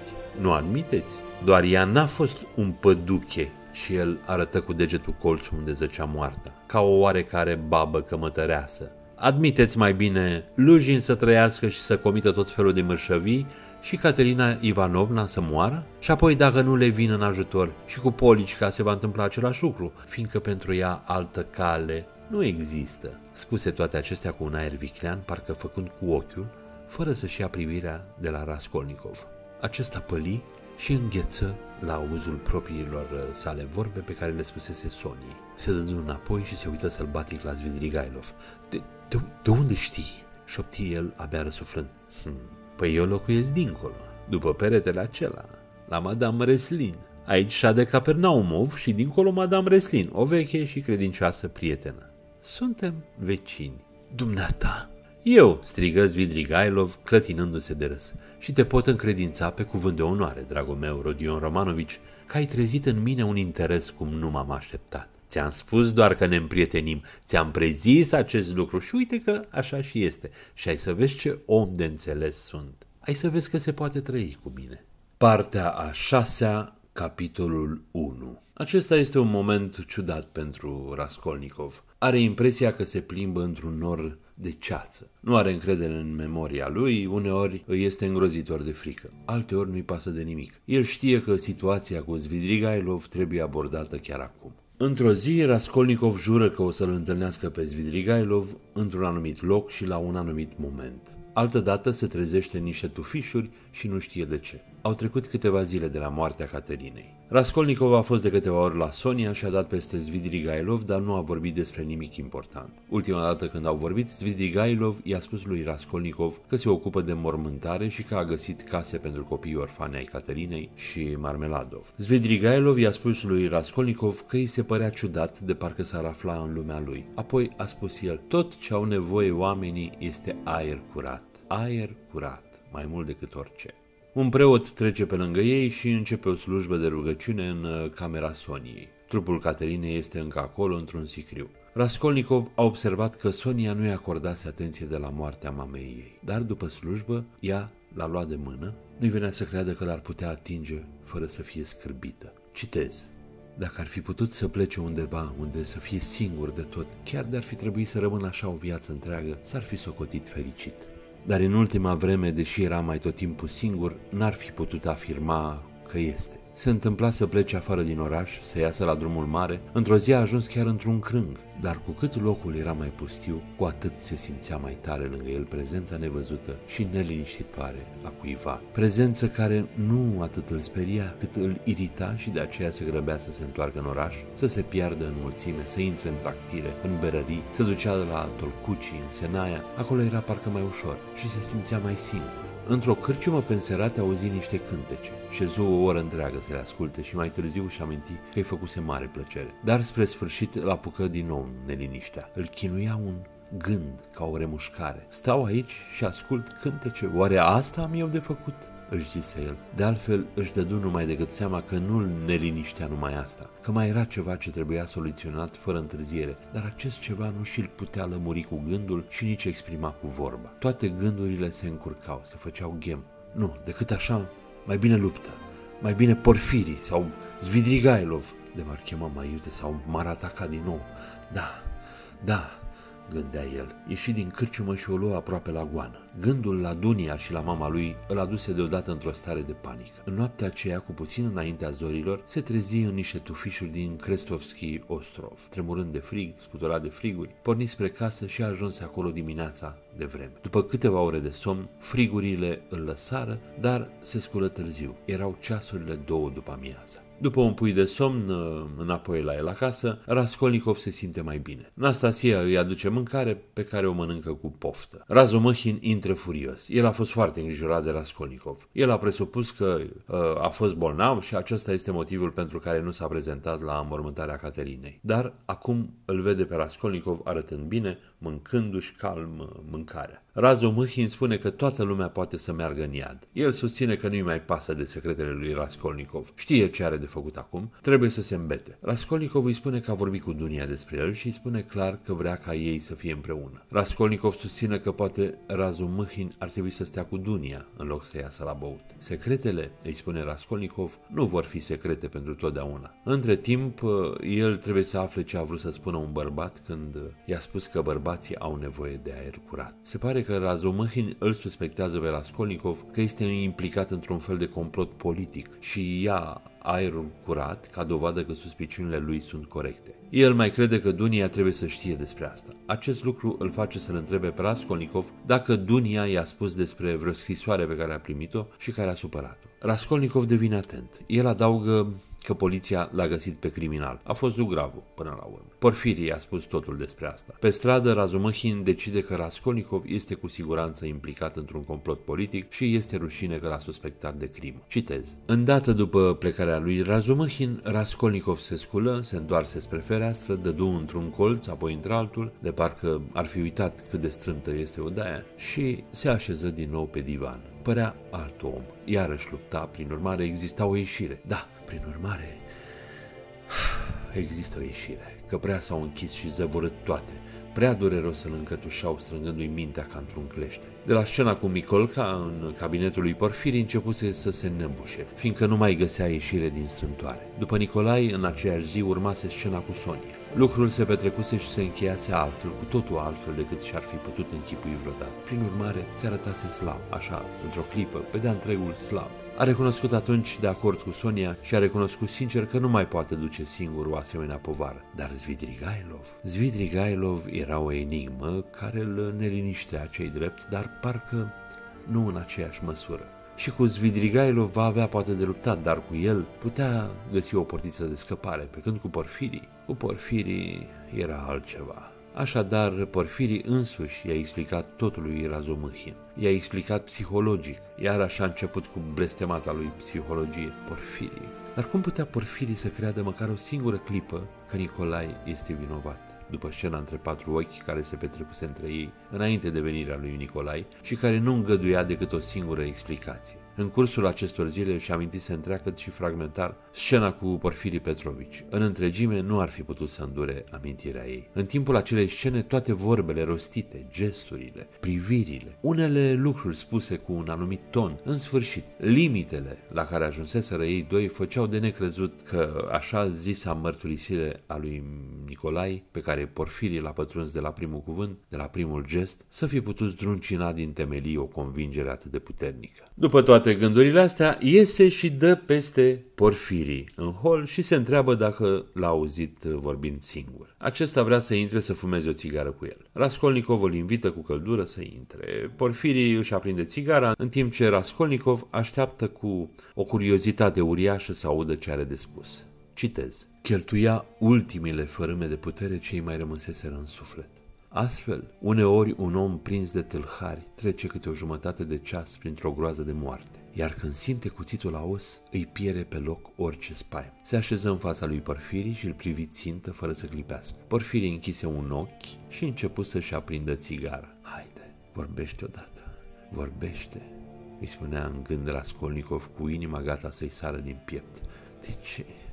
De ce nu vorbești? Capitolul 2 Porfirii începe cu o discuție fără substanță, apoi spune că vrea să fie sincer cu Raskolnikov. După ce l-a menționat pe Nicolai, zugravul care a mărturisit crima, își cere scuze pentru că a fost atât de dur cu Raskolnikov, explicând că era firesc să fie suspicios. Îi place de el și nu vrea ca el să creadă că este un monstru. Raskolnikov devine din ce în ce mai speriat, nu este sigur dacă Porfirii crede că este nevinovat sau vinovat. Când a fost bolnav, Porfirii i-a percheziționat camera și nu a găsit nimic. Avea nevoie de o dovadă fizică solidă pentru a-l lega de crimă și nu a găsit niciodată nimic. În ceea ce privește mărturisirea lui Nicolai, Porfirii a fost șocat de aceasta și nu i-a venit să creadă. Oamenii îl iubesc pe Nicolai. El este un om vesel, plăcut, participă la cursuri, are inimă, dar bea prea mult. A fost într-o sectă religioasă unde sunt și membri ai familiei sale. Porfirii crede că religia l-a făcut pe Nicolai să-și imagineze că este ucigașul într-un fel de fervoare religioasă. El așteaptă să-și retragă mărturisirea în orice moment și este destul de sigur că Nicolai nu ar fi putut să comită aceste crime. Citez. Aceste cuvinte, după tot ce fusese spus mai înainte și care aduceau un, un fel de scuze, erau prea neașteptate. Raskolnikov început să tremure ca străpuns de o săgeată. Atunci, cine a ucis? întrebă cu glas întretăiat Raskolnikov, nemai putându-se stăpâni. Porfirii Petrovici se lăsă brusc pe speteaza scaunului ca și cum l-ar fi mirat din calea afară întrebarea lui. Cum? Cine a ucis? repetă el de parcă nu-și credea ochilor. Dumneata ai ucis, Rodion Romanici. Chiar dumneata. Chiar dumneata, adăugă el aproape în șoaptă cu adâncă convingere. Raskolnikov sări de pe divan, rămase câteva clipe în picioare și se așeză din nou fără să rostească o vorbă. Ușoare convulsii îi frământau mușchii obrazului. Iar a început gura să stremure. Observă aproape cu compătimire Porfiri Petrovici. Mi se pare că dumneata m-ai înțeles greșit, adăugă el după o scurtă tăcere. De aceea ai rămas uluit. Eu am venit tocmai ca să spun tot și să dăm cărțile pe față. Dar n-am ucis eu, băigui Raskolnikov, așa cum fac copiii mici când sunt prinși asupra faptului. Ba, da, dumneata și nimeni altul, răspunse cu severitate și convingere Porfiri. Amândoi tăcură și tăcerea ținut ciudat de mult, vreo 10 minute. Raskolnikov cu coadele pe masă își răvășea părul cu degetele. Porfirii Petrovici ședea liniștit și aștepta. Deodată Raskolnikov îl privi cu dispreț. Iar o ei de la capăt, Porfirie Petrovici, iarăși aceleași metode, cum de nu te saturi niciodată de ele? Hai, lasă deoparte metodele mele. Altceva ar fi fost dacă am fi avut martori. Dar noi vorbim aici între patru ochi. Vezi și dumneata că n-am venit ca să te hăituiesc și să te prind ca pe un vânat. În clipa de față, mi-e indiferent dacă ai să recunoști sau nu. Orice ai răspunde, convingerea mea nu se mai schimbă. Dacă e așa, atunci pentru ce ai venit? Întrebă Raskolnikov enervat. Îți spun întrebarea pe care ți-am mai pus-o. Întrebarea dacă mă socotești vinovat. De ce nu mă arestezi și nu mă bagi în închisoare? E, asta e altă întrebare. Am să-ți răspund punct cu punct. În primul rând, nu-mi convine să te arestez. Nu-ți convine? Dacă ești sigur, trebuie. Și ce dacă sunt sigur? Toate acestea deocamdată nu-s decât visuri. Și pe urmă de ce te-aș băga acolo, la odihnă? Căci odihnă o socotești și dumneata, de vreme ce ai vrea să te închid. Porfirii explică că îl place pe Raskolnikov și crede că dacă mărturisește, îi va fi mai bine. Raskolnikov spune că blufează, dar Porfirii insistă că are dovezi, deși nu îi poate spune ce anume. El vrea să știe cum îi va fi mai bine dacă mărturisește. Polițistul îi răspunde că mărturisirea va sugera că el a ucis femeile într-o stare de nebunie temporară și îl va ajuta să primească o pedeapsă mai blândă. O pedeapsă mai blândă este ultimul lucru pe care și-l dorește Raskolnikov. El încearcă să-l convingă pe Raskolnikov că uciderea femeilor nu este sfârșitul lumii, că totul va trece în cele din urmă și poate duce o viață decentă. Ceea ce are nevoie Raskolnikov, spune Porfiri, este aer curat. Aer curat. Aer curat. Raskolnikov îl întreabă pe Porfiri ce s-ar întâmpla dacă tocmai ar pleca din oraș. Amuzat, Porfirii spune că va suferi mult și în cele din urmă va mărturisi. Citez. Dumneata, uh, Porfirii Petrovici, să nu-ți închipui cumva, te rog, rosti cu o severă insistență Raskolnikov, că ți-am mărturisit ceva astăzi. Ești un om ciudat și te-am ascultat din uh, pură curiozitate. Eu, eu nu ți-am mărturisit nimic, să nu uiți. Bine, bine, n-am să uit. Vai de mine, dar iar tremur tot. Nu te neliniști, dragul meu. Are să fie cum dorești dumneata. Plimbă-te, o leacă. Da, nu trece peste anumite hotare. Pentru orice întâmplare, am o mică rugăminte. adăugă el coborând glasul, e cam delicată, dar nu lipsită de importanță.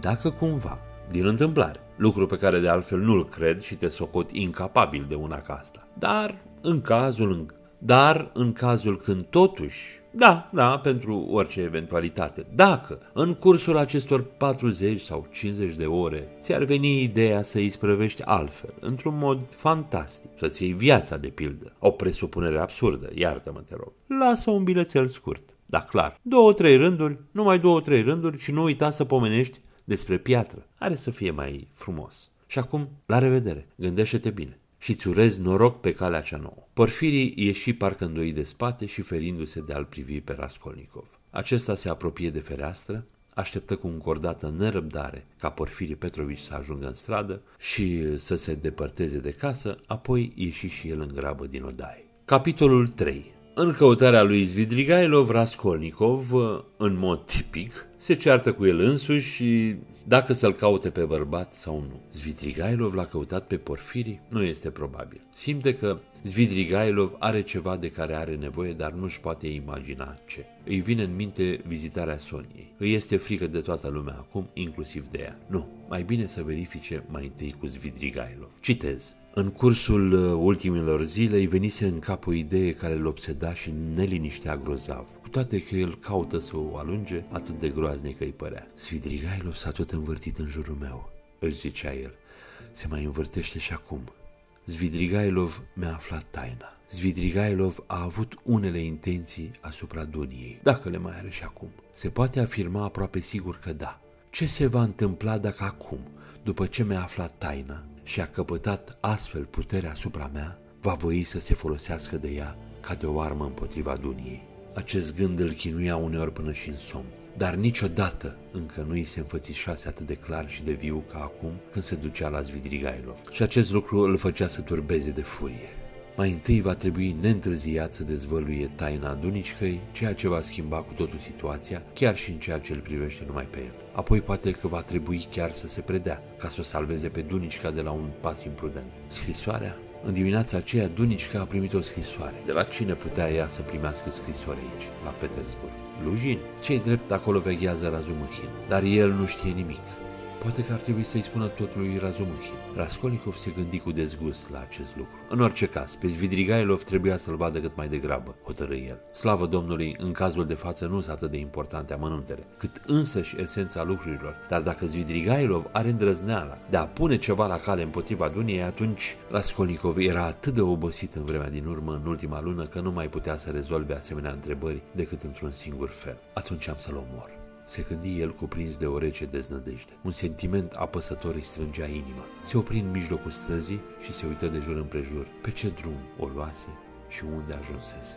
Dă peste un bar imens și îl vede pe Zvidrigailov acolo fumând o pipă. Frica îl lovește. Cei doi pretind că nu s-au văzut și se uită cu coada ochilor unul la celălalt. Ochii lor se întâlnesc. Acesta pare amuzat și îi cere să îi se alăture. O sticlă de șampanie este pe masa lui. Un băiețel cântă la orgă, iar o tânără, Katia, cântă și ea. Se opresc când le spune Zvidrigailov. Se pare că îi plătește dându-i Catiei șampanie de băut. Sau poate că au fost deja plătiți. Apoi cei doi copii ai străzii pleacă. Raskolnikov îi spune că îl căuta, dar nu știe de ce a venit în acest loc. Zvidrigailov uh, îi spune că trebuia să se întâlnească amândoi acolo. Nu-și amintește? El nu-și aduce aminte. Zvidrigailov spune că informațiile au rămas blocate în creierul lui și l-au condus acolo, chiar dacă Raskolnikov nu-și amintește în mod conștient. Frustrat deja de tip, Raskolnikov îl somează să spună ce vrea să spună. Zvidrigailov vrea să discute o vreme și Raskolnikov îl întreabă ce face în Sankt Petersburg. Urmărește femei, recunoaște el. Dezgustat, Raskolnikov spune că a profitat de femei este o boală. Schimbând subiectul, Eh, Zvidrigailov spune că ar trebui să se grăbească. Trebuie să se întâlnească cu o femeie într-o oră. Raskolnikov se irită și se simte prins. Se ridică să plece. Dar asta nu este în planul lui Zvidrigailov. Citez. Raskolnikov dădu să se scoale. Își simțea inima grea, se năbușea și părea că era rușine că venise acolo. Zvidrigailov îi părea cel mai ușuratic și mai desfrânat ticălos din lume. E, he, mai stai, hai rămâi cu mine, îl ruga acest. Comandă măcar un ceai. Mai rămâi, n-am să mai spun prostii. Adică n-am să mai vorbesc despre mine. Am să-ți povestesc ceva. vreau să spun cum o femeie a încercat, ca să mă exprim în stilul dumitale, să mă salveze. Are să fie un răspuns la prima dumitale întrebare, fiindcă această persoană este chiar sora dumitale. Vrei să-ți povestesc? Așa, ca să ne trecem timp. Povestește, dar sper că... A, nu, nu, fii pe pace. De alminteri, Avdotia Romanovna, până și într-un om stricat și nemernic ca mine, nu poate trezi decât cel mai profund respect.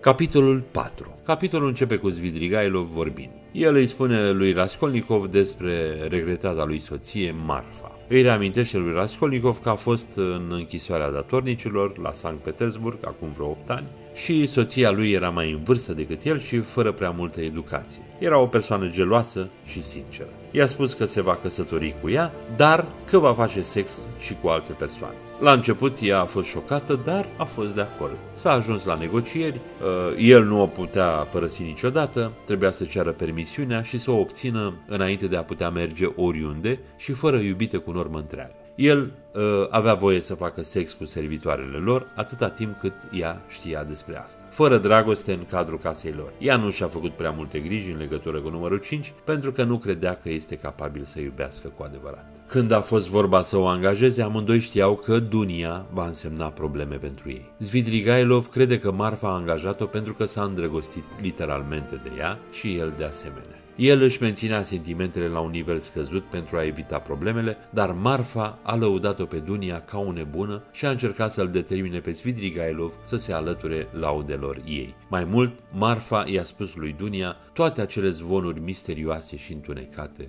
despre Svidrigailov. Citez. Marfa Petrovna i-a povestit uh, Avdotiei Romanovna toată biografia mea avea obiceiul nenorocit de a povesti secretele noastre de familie tuturor celor care voiau să o asculte și să se plângă într-una de mine. Cum putea atunci să scape prilejul față de un prieten nou și atât de minunat? Socot că nici nu discutau despre altceva și nu încape nicio îndoială că Avdotia Romanovna cunoștea acele povești sinistre și tainice care mi se pun în cârcă. Sunt gata să fac rămășac că și dumneata ai auzit câte ceva de acest fel. Am auzit. Lujin te învinuia chiar de moartea unui copil. Este adevărat?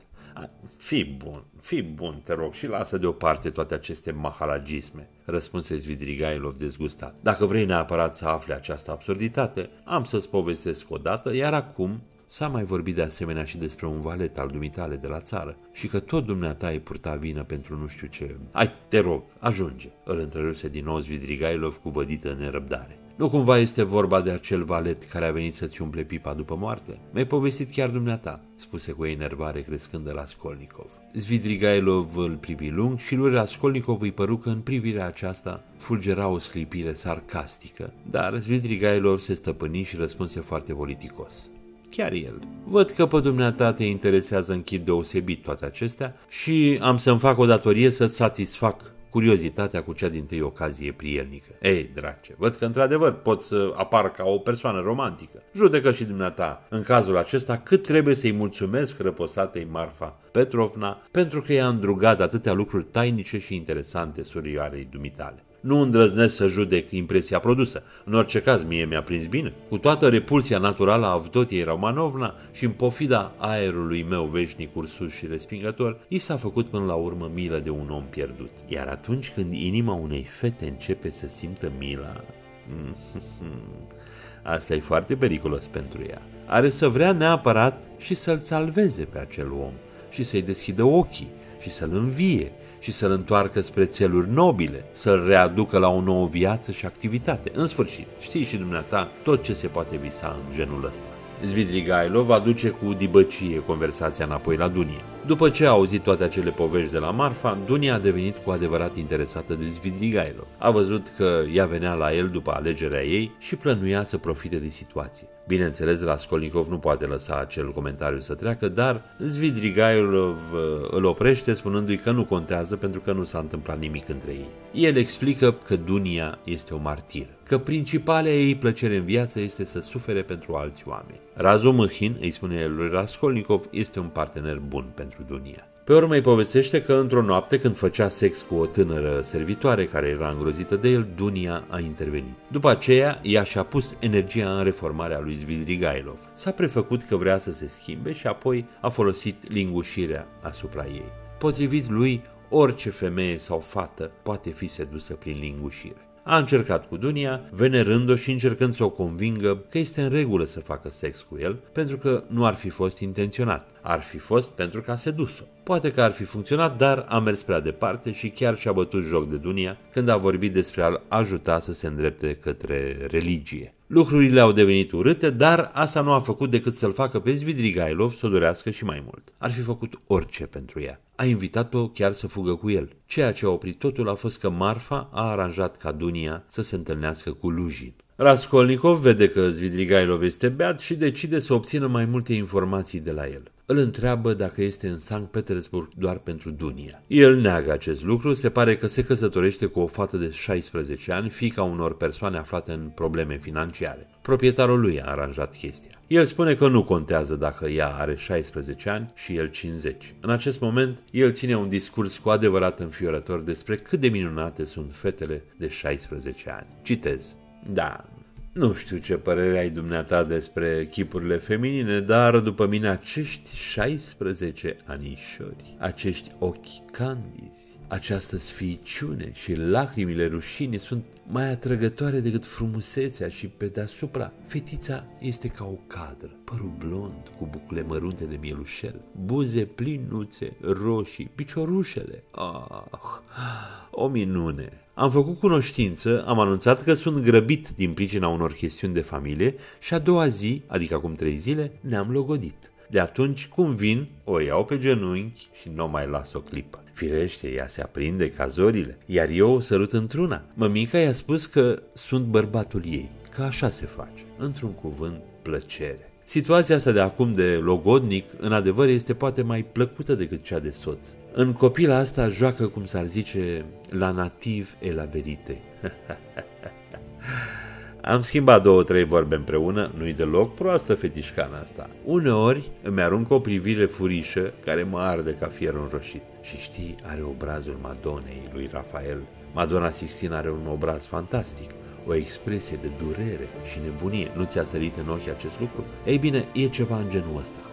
A doua zi după ce ne-am logodit, i-am adus cadouri de vreo 1500 de ruble, un colier de briliante, altul de perle și o casetă cu obiecte de toaletă din argint. Uite, cam așa de mare. Cu tot dichisul, să fi văzut obrazul Madonei mele, cum strălucea de mulțumire. Am luat-o ieri pe genunchi, dar se vede că am apucat-o prea brutal și s-a înroșit toată. I-au țășnit lacrimile din ochi, dar căuta să le ascundă și ardea toată. Pentru o clipă a ieșit toată lumea din odaie, am rămas numai noi doi și când mi s-a aruncat odată de gât, întâia oară, m-a cuprins cu mânuțele, m-a sărutat și mi-a jurat care să fie o soție bună, ascultătoare și credincioasă, care să mă facă fericit, care să-mi consacre întreaga ei viață, fie ce clipă din viața ei, care să-mi jerfească tot, tot și pentru toate acestea nu vrea decât stima mea.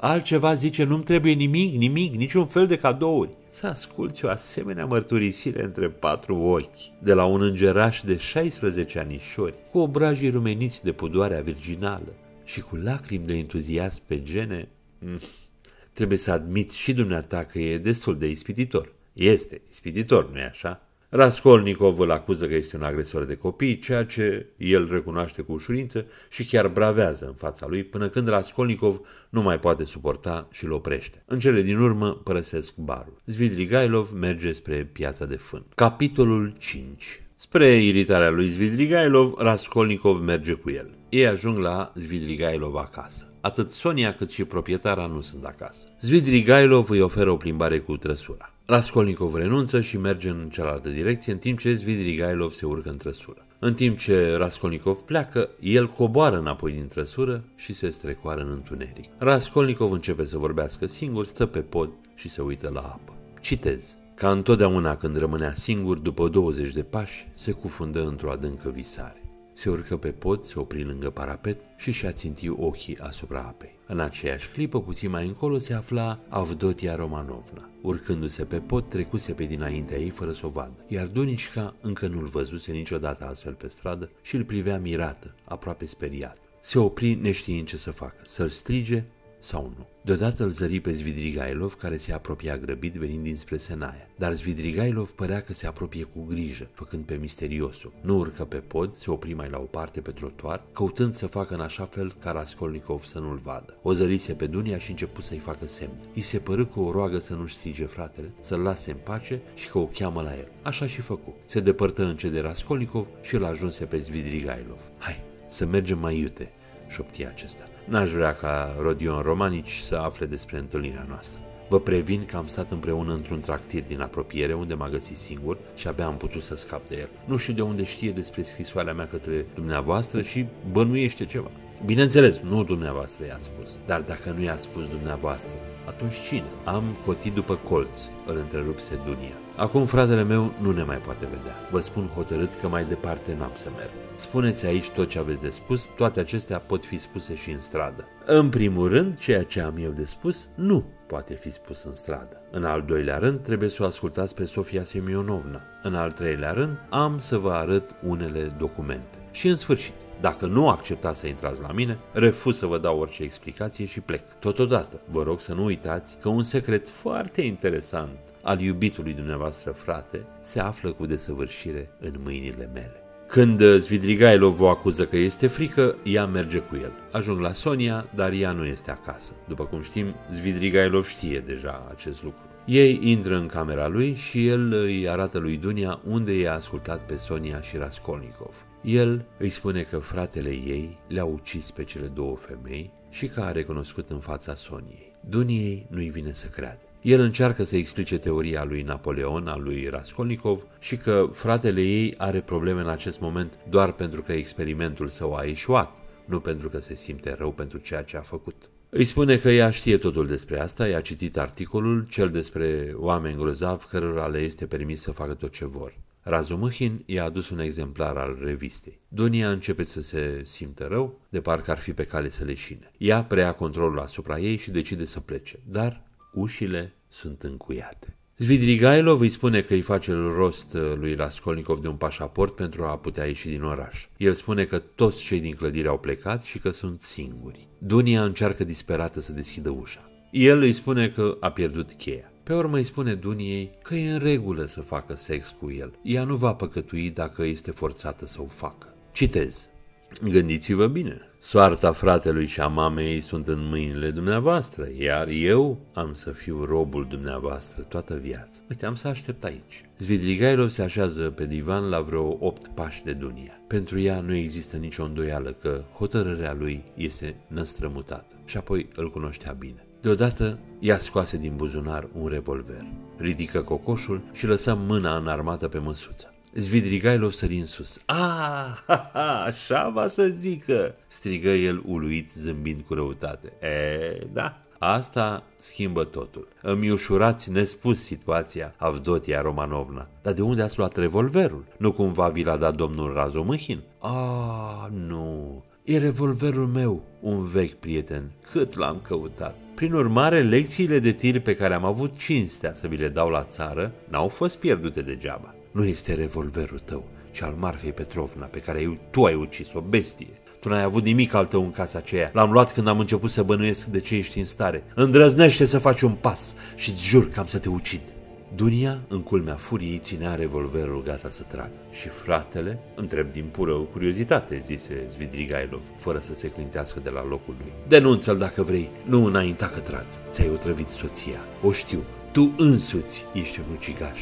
Sunteți absolut sigură că eu am otrăvit-o pe Marfa Petrovna? Da, tu însuți mi-ai dat a înțelege mai de mult. Mi-ai vorbit despre o travă. Știu că ți-ai procurat. Avei totul pregătit, numai tu ai făcut-o, ticălosule. Chiar dacă ar fi adevărat, aș fi făcut-o numai pentru tine. Ar fi fost numai din pricina ta. Minți! Te-am urât întotdeauna, întotdeauna. E, Avdotia Romanovna, ați uitat pe semne cum în zelul dumneavoastră moralizator vă aplecați spre mine cu priviri galeșe. Vă citeam în ochi. Vă amintiți? Într-o seară cu lună plină, cânta privighetoarea. Minți! Mânia fulgeră în ochii Duniei. Minți, clevetitorule! Min? Hmm. Fie, min, am mințit. Hmm.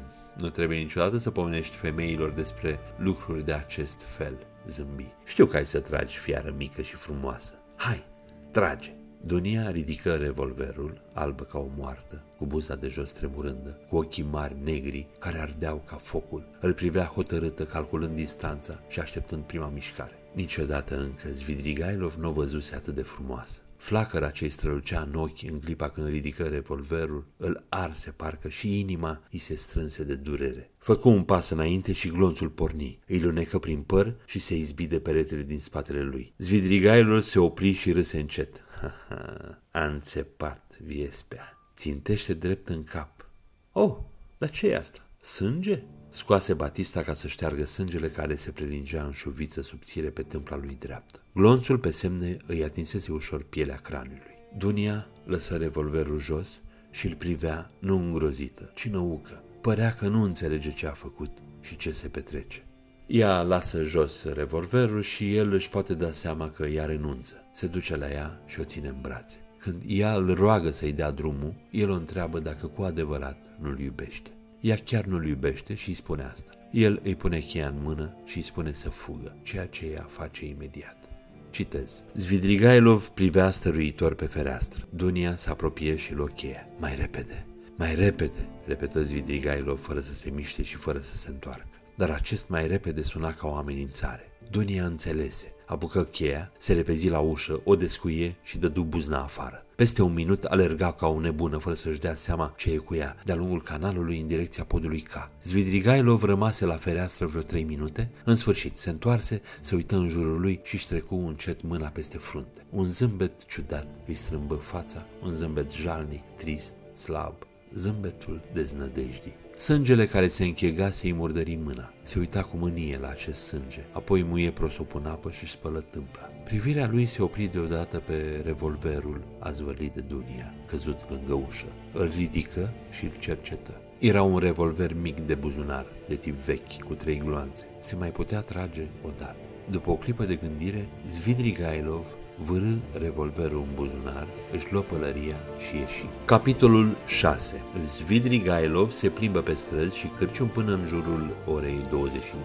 Începe o furtună și el este ud când ajunge acasă. Înăuntru își ia toți banii și merge să o viziteze pe Sonia. Îi anunță planul lui de a merge în America. Apoi îi dă Soniei aproximativ 3000 de ruble în obligațiuni. Ea îi mulțumește că a ajutat un copii, dar spune că nu are nevoie de ceilalți bani. Ea e pentru Raskolnikov, îi spune el.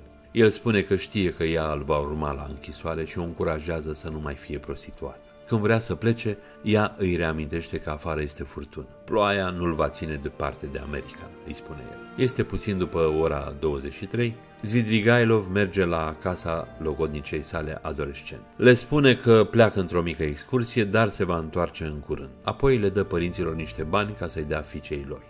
Zvidrigailov pleacă și își face drum prin furtună. Înmuiat până la oase, el își ia o cameră într-un hotel prăpădit și comandă ceai și niște friptură de vițel. Aprinzând o lumânare, se trezește într-o cameră murdară cu un pat foarte murdar. Chelnerul aduce ceaiul și vițelul. Bea ceaiul ca să se încălzească, dar nu poate mânca. Simțindu-se febril, se bagă în pat. Aude un șoarece care face zgomot. Furtuna pornește și mai puternică. El stinge lumânarea, dar nu poate adormi. Raskolnikov și Dunia îi tulbură gândurile. Citez. Își aminti deodată cum adineauri, cu o oră înainte de a-și duce la îndeplinire planul împotriva Dunicicăi, îl sfătuise pe Raskolnikov să încredințeze paza ei lui Razumâhin. O-i fi spus-o ca să mă ațăt singur, după cum a ghicit Raskolnikov. Ce poamă e și Raskolnikov ăsta! Multe a pătimit. Ar putea să ajungă mare pramatie cu timpul, când o să mai iasă gărgăunii din cap. Astăzi însă prea vrea să trăiască. În privința asta, oamenii de teapa lui sunt tare ticăloși. E, lua la draci. La urma urmelor, facă ce-o vrea. Ce-mi pasă mie. Nu putea să adormă. Puțin câte puțin chipul Dunicicăi, așa cum o văzuse cu câteva ore mai înainte, răsări în fața lui și deodată simți că se cutremură. Nu, nu, nu, nu, nu. Nu, trebuie să las toate astea deoparte, se gândi el. Dezmeticindu-se, trebuie să mă gândesc la altceva. Ciudat și ridicol, n-am urât niciodată pe nimeni din calea afară, nici măcar, nici măcar n-am avut vreodată dorința să mă răzbun pe cineva, ceea ce este un semn rău, un semn foarte rău. Nu mi-a plăcut să mă cert, nu mă înfierbântam și asta de asemenea e un semn rău. Câte nu i-am promis adineauri, poate că totuși m-ar fi acceptat până la urmă. Tăcu și scrâșni din dinți. Chipul Dunici răsări din nou, în tocmai așa cum o văzuse când ea, după ce trăsese întâia oare, se speriase grozav, lăsase revolverul jos și mai mult moarte decât vie, îl privea, așa că ar fi avut de două ori timpul să pună mâna pe ea și ea nici brațul nu și l-ar fi ridicat să se apere dacă el singur nu i-ar fi adus aminte. Își aminti că în clipa aceea îi se făcuse milă de ea, îi se strânsese inima. Eh, la dracu, iarăși aceleași gânduri, acum trebuie să mă lepă de ele, de toate. În cele din urmă adorme. Zvidrigailov se plimbă prin cea mai frumoasă grădină. Intră într-o cameră cu un sigriu în mijloc. În sigriu este o fată frumoasă cu flori de jur împrejur. El o cunoaște, are 14 ani. S-a înnecat din cauza a ceea ce i-a făcut el, ceea ce de fapt nu este chiar clar în roman. Furtuna năvălește revărsând râul. Este ora 3 dimineața și Zvidrigailov decide că este momentul perfect pentru a fi pe drum. Pe hol dă peste o fetiță de vreo 5 ani. Ea este udă și a plâns. Din ceea ce spune, mama ei este abuzivă și s-a supărat pe ea, așa că s-a ascuns. O duce în camera lui, îi scoate hainele, o pune în pat și o acoperă cu o pătură. La ieșire ceva îl oprește. Se întoarce în cameră, trage cuverturile înapoi și se uită la ea. Ea doarme profund, dar fața ei începe să se schimbe. Ea îi zâmbește. Fața ei nu este cea a unei fetițe, ci mai degrabă fața nerușinată a unei curve franceze. Îngrozit, el țipă la ea și este pe cale să o lovească când Zvidrigailov se trezește. Este în jurul orei 5 dimineața. Totul este ud pe stradă. Vede un tip îmbrăcat cu o manta militară, sprijinit de un perete, părând plictisit. Este perfect, crede Zvidrigailov, și încearcă să inițieze o conversație cu acesta. Citez. Văzându-l că se apropie, omulețul îi aruncă o privire piezișă adormită. Pe obrazul lui se citea eterna tristețe morogănoasă, care s-a întipărit atât de amar pe toate figurile evreiești, fără excepție. Cei doi, Zvidrigailov și Ahile, se cercetară câteva clipe în tăcere. În sfârșit, Ahile socoti o încălcare a ordinei, faptul că un om care nu era beat stă la trei pași de el, îl privește țintă și nu spune o vorbă. Și ce căutați, matarișa? întrebă el, fără să se miște și fără să schimbe poziția. Nimic, frățioare, bună ziua, răspunse Svidrigailov. Treci, hai, treci mai departe. Eu, frățioare, plec în țări străine. În țări străine? În America. În America? Zvidrigailov scoase revolverul și ridică cocoșul. Ahile ridică sprâncenele. Ce, ce glumă e asta? Aici nu e locul. Și de ce asta? Pentru că nu e locul. Ei, frățioare, n-are a face. Locul e bun. Dacă o să te întrebe, să spui că am plecat în America. Își lipi revolverul de tâmpla dreaptă. Aici nu se, nu se poate, aici nu e locul, tresăria Ahile făcând ochii tot mai mari.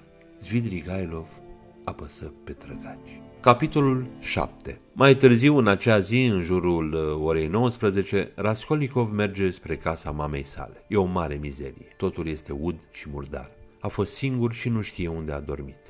Pulcheria este foarte bucuroasă să-l vadă. Ea spune că a citit articolul lui, ea înțelege că el este un intelectual și că intelectualii se comportă uneori amuzant. Raskolnikov vrea să vadă articolul, iar când ea îl arată, el se simte entuziasmat doar pentru un minut, văzându-și cuvintele tipărite pentru prima dată. Scriitorul dezvăluie că Raskolnikov are doar 23 de ani. Dintr-o dată găsește articolul dezgustător și îl aruncă jos. El întreabă de Dunia. Pulcheria spune că nu este acolo, că nu prea este acasă în aceste zile. Raskolnikov o întreabă pe Pulcheria dacă l-ar iubi, dacă ar auzi ceva groaznic despre el. Ea spune că n-ar crede niciodată nimic rău despre el. Plin de sentimente tandre, îi spune mamei sale că a iubit-o mereu și o va iubi mereu. Citez. Of, toată dimineața m-am foit prin casă ca un osândit înainte de execuție. Presimțeam că mă așteaptă ceva și iată că m-a ajuns. Rodea, Rodea, Rodea, dar unde te duci? Pleci undeva?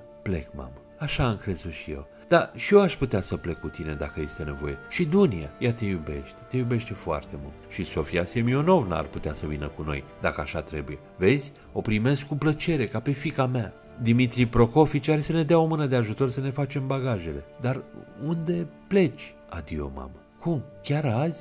Strigă ea de parcă îl pierdea pentru totdeauna. Nu pot să mai rămân, e timpul să plec. Trebuie.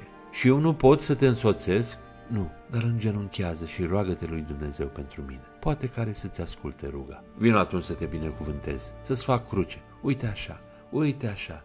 Doamne Dumnezeul. Da, era fericit. Era fericit că nu găsise pe nimeni acasă că rămăsese singur cu maică sa. Părea că, după tot răstimpul acesta înfiorător, inima lui se moaie în sfârșit. Căzu în genunchi în fața ei, îi sărută picioarele și îmbrățișați plânseră amândoi. Ea nu se mai mira și nu-l descosea. Înțelesese de mult că se petrece ceva groaznic cu fiul ei și că acum venise clipa cea grea. El și ea la revedere și pleacă. Întors la el acasă, Raskolnikov o găsește pe Dunia așteptându-l. Dunia și Sonia au fost distruse toată noaptea. Au fost îngrijorate că se va sinucide. Schimbă cuvinte pline de lacrimi și pasionale. Iar apoi Raskolnikov spune că se va preda poliției. Îi cere mâna Duniei de teamă că nu va vrea să-l atingă, dar ea i-o dă de bunăvoie. Dunia crede că deja își compensează crima prin suferința sa. Citez. Urmă o tăcere de câteva minute. Raskolnikov sta cu capul în piept, cu ochii ațintiți în pământ.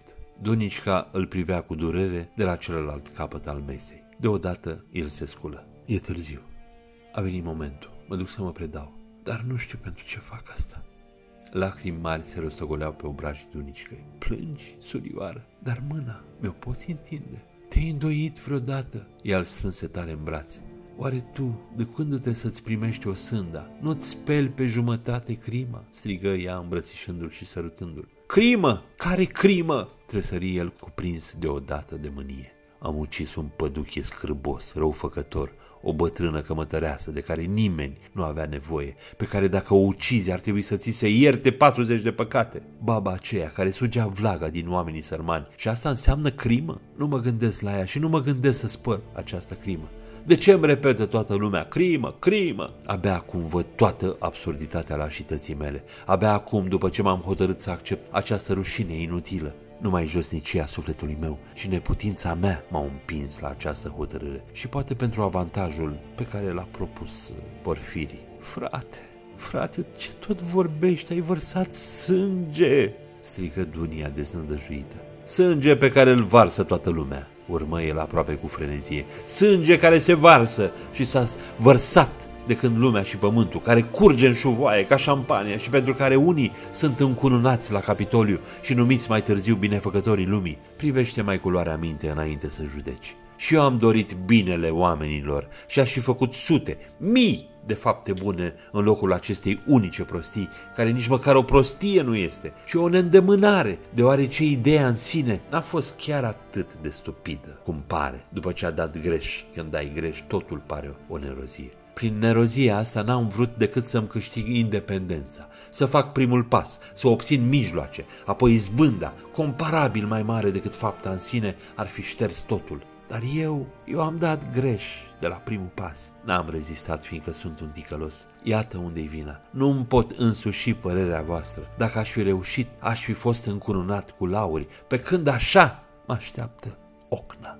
Dar asta e altceva, cu totul altceva, frate, gândește-te la ce spui. Ah, e altă formă, o formă care din punct de vedere estetic nu este prea frumoasă. N-am să înțeleg niciodată. De ce a arunca în oameni cu bombe, ai omorâ în asediu regulamentar, este o formă mai respectabilă. Teama de estetică este primul indiciu al neputinței. Niciodată, niciodată n-am simțit-o mai bine ca acum și înțeleg mai puțin ca oricând care este crima mea. Niciodată, niciodată n-am fost mai puternic și mai convins ca acum. Sângele îi colora obrazul palid, distovit, dar rostind ultima exclamație, ochii lui se întâlniră din întâmplare cu ochii Duniei și citi atâta durere în ei că se dezmetici fără voie. Simți cât de nefericite vor fi bietele femei din pricina lui. Totuși, din pricina lui, Dunia, draga mea, dacă am vreo vină, iartă cu toate că nu merit iertare dacă sunt într-adevăr vinovat. Rămâi cu bine, să nu ne certăm. E timpul să plec, de mult e timpul. Nu veni după mine, te implor. Trebuie să mai trec. Du-te și stai cu mama. Te rog mult. Este ultima mea mare rugăminte pe care ți-o fac. Nu te depărta de ea nicio clipă. Am lăsat-o în prada unei neliniști pe care nu cred să o poată îndura. Ori o să moară, ori o să-și piardă mințile. Rămâi cu ea. Și Razu Măhin are să fie cu voi. I-am spus, nu plânge pentru mine. Am să caut să fiu curajos și cinstit toată viața, cu toate că sunt un ucigaș. Raskolnikov se duce la un caiet și oferă Duniei un portret în acuarelă al logodnicei sale decetate. El spune că ea știa totul despre teoriile lui, apoi îi spune lui Dunia că ar fi mai bine dacă s-ar arunca în râu. Pleacă împreună, dar merg pe drumul separat. Într-o clipă, Dunia se uită înapoi la el. O vede și iese grăbit din raza ei de vedere cu un gest iritat. Comportamentul lui îl umple de rușine. Citez. De ce m-ar fi iubit atât, dacă nu merit? Ha, dacă eram singur, dacă nimeni nu m-ar fi iubit și nici eu n-aș fi iubit pe nimeni, atunci nimic nu s-ar fi întâmplat. Ar fi interesant de știut dacă în cei 15-20 de ani care vor urma, sufletul meu se va potoli într-atât încât să scâncesc smerit în fața oamenilor, numindu-mă când trebuie și când nu trebuie, tâlhar. Da, da, da, tocmai. Pentru asta mă trimit ei la ocnă, de asta au ei nevoie. Uite-i cum mișună pe stradă încolo și încoace și fiecare dintre ei este un fir al lui, un ticălos și un tâlhar. Mai rău încă, este un idiot dar să încerce numai să nu mă trimită la ochnă și ei toți au să turbeze de nobilă indignare. Ah, cât îi urăsc pe toți! Raskolnikov se adânci în gândurile lui. Care este procesul care îl va face pe el să se supună tuturor, fără să mai stea să judece, să se supună, convins că așa trebuie să fie? De ce nu? Firește, așa trebuie să se întâmple. Oare 20 de ani de apăsare necontenită nu-l vor frânge definitiv? Apa sapă pietrele. Pentru ce? Pentru ce atunci să mai trăiesc? Pentru ce mă duc dacă știu că toate se vor întâmpla în tocmai ca la carte și nu altfel? De ieri își punea, poate pentru a suta oară, această întrebare și totuși mergea înainte.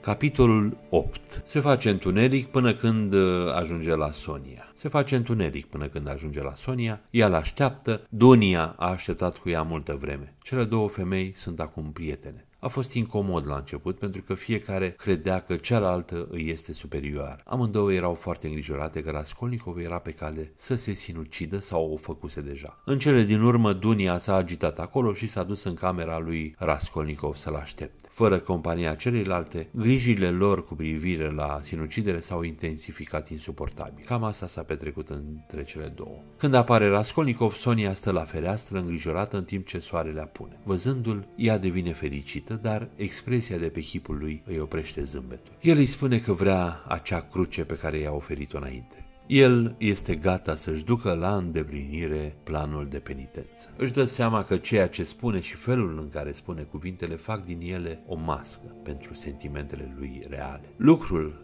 care îl irită cel mai mult acum, îi spune Soniei, este scena în care va urma predarea lui în fața poliției. Toate întrebările la care va trebui să răspundă. Îi spune că nu îi se va preda lui Porfiri pentru că s-a săturat de el și la alege pe Ilia. El cere din nou crucea. Citez. Sonia scoase în tăcere din sertar două cruci, una de hiparos, cealaltă de aramă, își făcu cruce, apoi făcu și deasupra lui și i-a târnă decât cruciulița de hiparos. Asta înseamnă că mi-au crucea. ca și cum n-aș fi suferit până acum. Cruciulița de chiparos, adică o cruciuliță cum poartă oamenii simpli, cea de aramă al Elizavetei, ți-o păstrezi ție. Arată-mi. Va să zic că o purta în clipa aceea. Cunosc alte două cruciulițe asemănătoare de argint și o iconiță. Le-am aruncat pe pieptul bătrânei atunci. Pe acelea ar fi trebuit să le pun acum. Da, da, mă rog, îndrug vrute și nevrute și uit ceea ce este mai important. Sunt cam zăpăcit. Vezi, Sonia, am venit uh, anume pentru un singur lucru. Am venit să te anunț, ca să știi și tu. Și asta e tot. Numai pentru asta am venit. Ha, am crezut că o să spun mai mult. Doar tu ai vrut să mă duc să stau la închisoare și să ți se împlinească dorința. De ce plângi? Și tu plângi. Încetează, ajunge. Ce greu mi este. Simțirea se născuse totuși în sufletul lui. Inima îi se strânse privind-o pe Sonia. Da, asta, de ce plânge? se gândea el. Dar ce sunt eu pentru dânsa? De ce plânge? De ce se îngrijește de mine de parcă ar fi mama sau Dunia? Are să-mi fie de dacă? Fă-ți cruce, roagă-te măcar o dată, îl rugă Sonia cu glas tremurător sfios. Fie, am să mă rog cât poftești, din toată inima, Sonia, din toată inima. Ar fi vrut totuși să spună altceva. Își făcu cruce de câteva ori. Sonia luă un șal și și acoperi capul. Era acea broboadă verde de lână, despre care pomenise cândva Marmeladov, broboada familiei lor. Raskolnikov se gândi întreagă la acest lucru, dar nu întrebă. Într-adevăr se simțea cam zăpăcit și foarte tulburat. Asta îl neliniștea. Deodată îl miră faptul că Sonia vrea să meargă cu el. Dar ce faci? Unde te duci? Rămâi, rămâi, vreau să fiu singur, strigă el, iritat și înspăimântat și aproape furios porni spre ușă. Dar ce rost are să merg cu suită? Mormăi el ieșind. Sonia rămase în mijlocul camerei. Nici nu-și luase rămas bun de la ea. Parcă ar fi uitat-o de pe acum. Sufletul lui era plin de îndoială și de revoltă. Pe stradă se întreabă dacă a făcut uh, ceea ce trebuie. Își dă seama că nu i-a spus la revedere Soniei, își dă seama că a vizitat-o pe Sonia doar pentru a-i vedea frica, pentru a o speria. Se ceartă din cauza asta și în afara pieței de fân îi dă niște bani unui cercetor râzând de absurditatea gestului său. Deodată își amintește ce i-a spus Sonia când i-a mărturisit pentru prima dată, să se pună în genunchi și să se roage și să strige că este un criminal. Începe să plângă și cade în genunchi. Desigur, oamenii din jurul lui încep să facă glume despre el, situația este greșită și nu poate țipa că este un criminal. Când se pune din nou în genunchi, o zărește pe Sonia ascunsă în spatele unor lemne. Își dă seama, Sonia este cu el pentru totdeauna și l-ar urma până la marginile pământului. La secția de poliție el crede că s-ar putea să nu o facă, dar Ilia este acolo și îl salută pe Raskolnikov într-un mod uh, prietenos. El îi spune lui Raskolnikov că nu a crezut niciodată că el este ucigașul și apoi îi povestește despre o sinucidere care a avut loc în acea dimineață. Nu își amintește numele bărbatului. Un funcționar îi spune, Zvidrigailov. Raskolnikov spune că l-a cunoscut, iar Ilia este încântat. Vrea să-l întrebe pe Raskolnikov despre el. Acesta începe să se simtă ciudat și pleacă spunându-i lui Ilia că îl caută pe Zametov. Afară o vede pe Sonia arătând disperat. Citez. Coborâ și ieși din curte. Acolo, nu departe de intrare, stătea palidă, mai mult moartă decât vie, Sonia, și se uita la el cu o privire sălbatică. El se opri în fața ei. Ceva bolnav și chinuit se răsfrânse pe chipul fetei. O adâncă deznădejde își împreună mâinile. Un zâmbet hâd de om pierdut strâmbă gura lui Raskolnikov. Rămase o clipă în fața Soniei, zâmbi din nou, se întoarse și porni iarăși sus spre secție. Ilia Petrovici se așezase la locul lui și răsfuia niște hârtii. În fața lui stătea acel mujic care îl îmbrâncise pe Raskolnikov pe scară. Ah, te-ai întors? Ai uitat ceva? Dar ce ai? Raskolnikov, cu buzele albe și privirea fixă, se apropie încet de masă, se sprijini cu mâna, voi să spună ceva, dar nu izbuti. Nu se auzeau decât niște sunete nearticulate. Ți s-a făcut rău, ia, ia loc, șezi, ă, apă! Raskolnikov se așeză pe scaun, dar nu-și luă ochii de la Ilia Petrovici, foarte neplăcut surprins. Amândoi se priviră o clipă în tăcere așteptând ceva. Cineva aduse apă. Eu, începu Raskolnikov, poftim apă. Raskolnikov dădu la o parte mâna care îi întindea paharul și rosti încet, cu pauze, dar foarte clar. Eu am ucis-o cu toporul și am jefuit-o pe bătrâna văduvă de arhivar și pe sora ei. Ilia Petrovici căscă gura. Din toate părțile se aduna lume. Raskolnikov își repetă depoziția. Epilog. Siberia. Pe malul unui râu solitar larg se află un oraș, unul dintre centrele administrative ale Rusiei. În oraș este o fortăreață și în fortăreață este o închisoare. Raskolnikov se află în Siberia de aproximativ 8 luni și au trecut aproximativ 18 luni de când le-a ucis pe femei. Să sărim înapoi în timp pentru a vedea ce s-a întâmplat cu Raskolnikov după ce a mărturisit. Procesul decurge fără probleme pentru că Raskolnikov a mărturisit și s-a considerat că a fost sub influența nebuniei și a bolilor fizice, sentința este relativ blândă. Ei numesc câțiva martori, așa ziși de caracter, adică cei ce pot aduce dovezi despre faptele bune ale acuzatului, inclusiv Razumâhin, care dezvăluie că pe lângă actele de bunătate despre care am auzit deja, Raskolnikov și-a cheltuit toți banii ajutând un alt student care era bolnav. În plus, el a salvat nu unul, ci doi copii mici dintr-o clădire în flăcări și are arsurile pentru a dovedi acest lucru. Raskolnikov este condamnat la 8 ani de închisoare în Siberia. Pulcheria se îmbolnăvește și este profund tulburată. Dunia și Razumâhin încearcă să ascundă totul de ea și vorbesc cât mai puțin despre Raskolnikov. Ei chiar o mută în afara orașului în timp ce procesul are loc. La cinci luni după mărturisirea lui Raskolnikov, el merge la închisoare acolo în uh, Sankt Petersburg.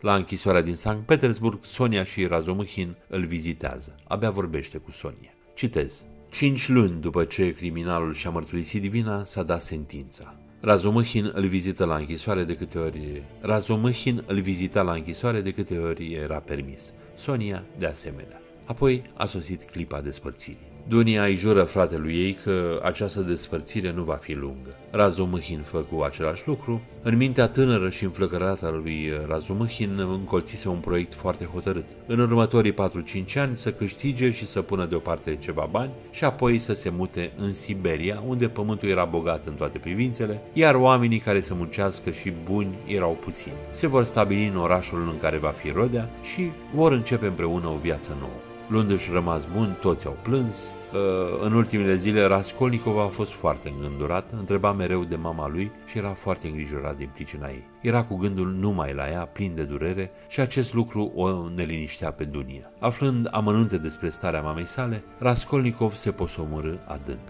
Cu Sonia era foarte tăcut. Cu ajutorul banilor pe care îi lăsase Zvidrigailov, Sonia își făcuse de mult pregătirile ca să urmeze lotul de arestați cu care urma să plece Raskolnikov. Niciunul dintre ei nu pomenea niciodată despre acest lucru, dar amândoi știau că așa va fi. În ultima zi, când își luă rămas bun de la ei lui, Raskolnikov zâmbi ciudat, căci presimțea că boala mamei lui o va duce în scurt timp în mormânt. În sfârșit, a avut loc plecarea lui și a Soniei. Dunia și Razumăhin se căsătoresc uh, aproximativ două luni mai târziu, ceea ce o face pe Pulcheria foarte fericită. Pulcheria însă este încă foarte bolnavă și în curând moare. Raskolnikov nu știe de moartea mamei sale, chiar dacă Sonia, Razumăhin și Dunia corespondează regulat. Sonia dând relatări foarte reale despre tot ce se întâmplă în Siberia. Aparent, Raskolnikov este destul de sănătos. El o ignoră aproape de tot pe Sonia. Dunia și Razumăhin primesc o scrisoare de la Sonia. Citez.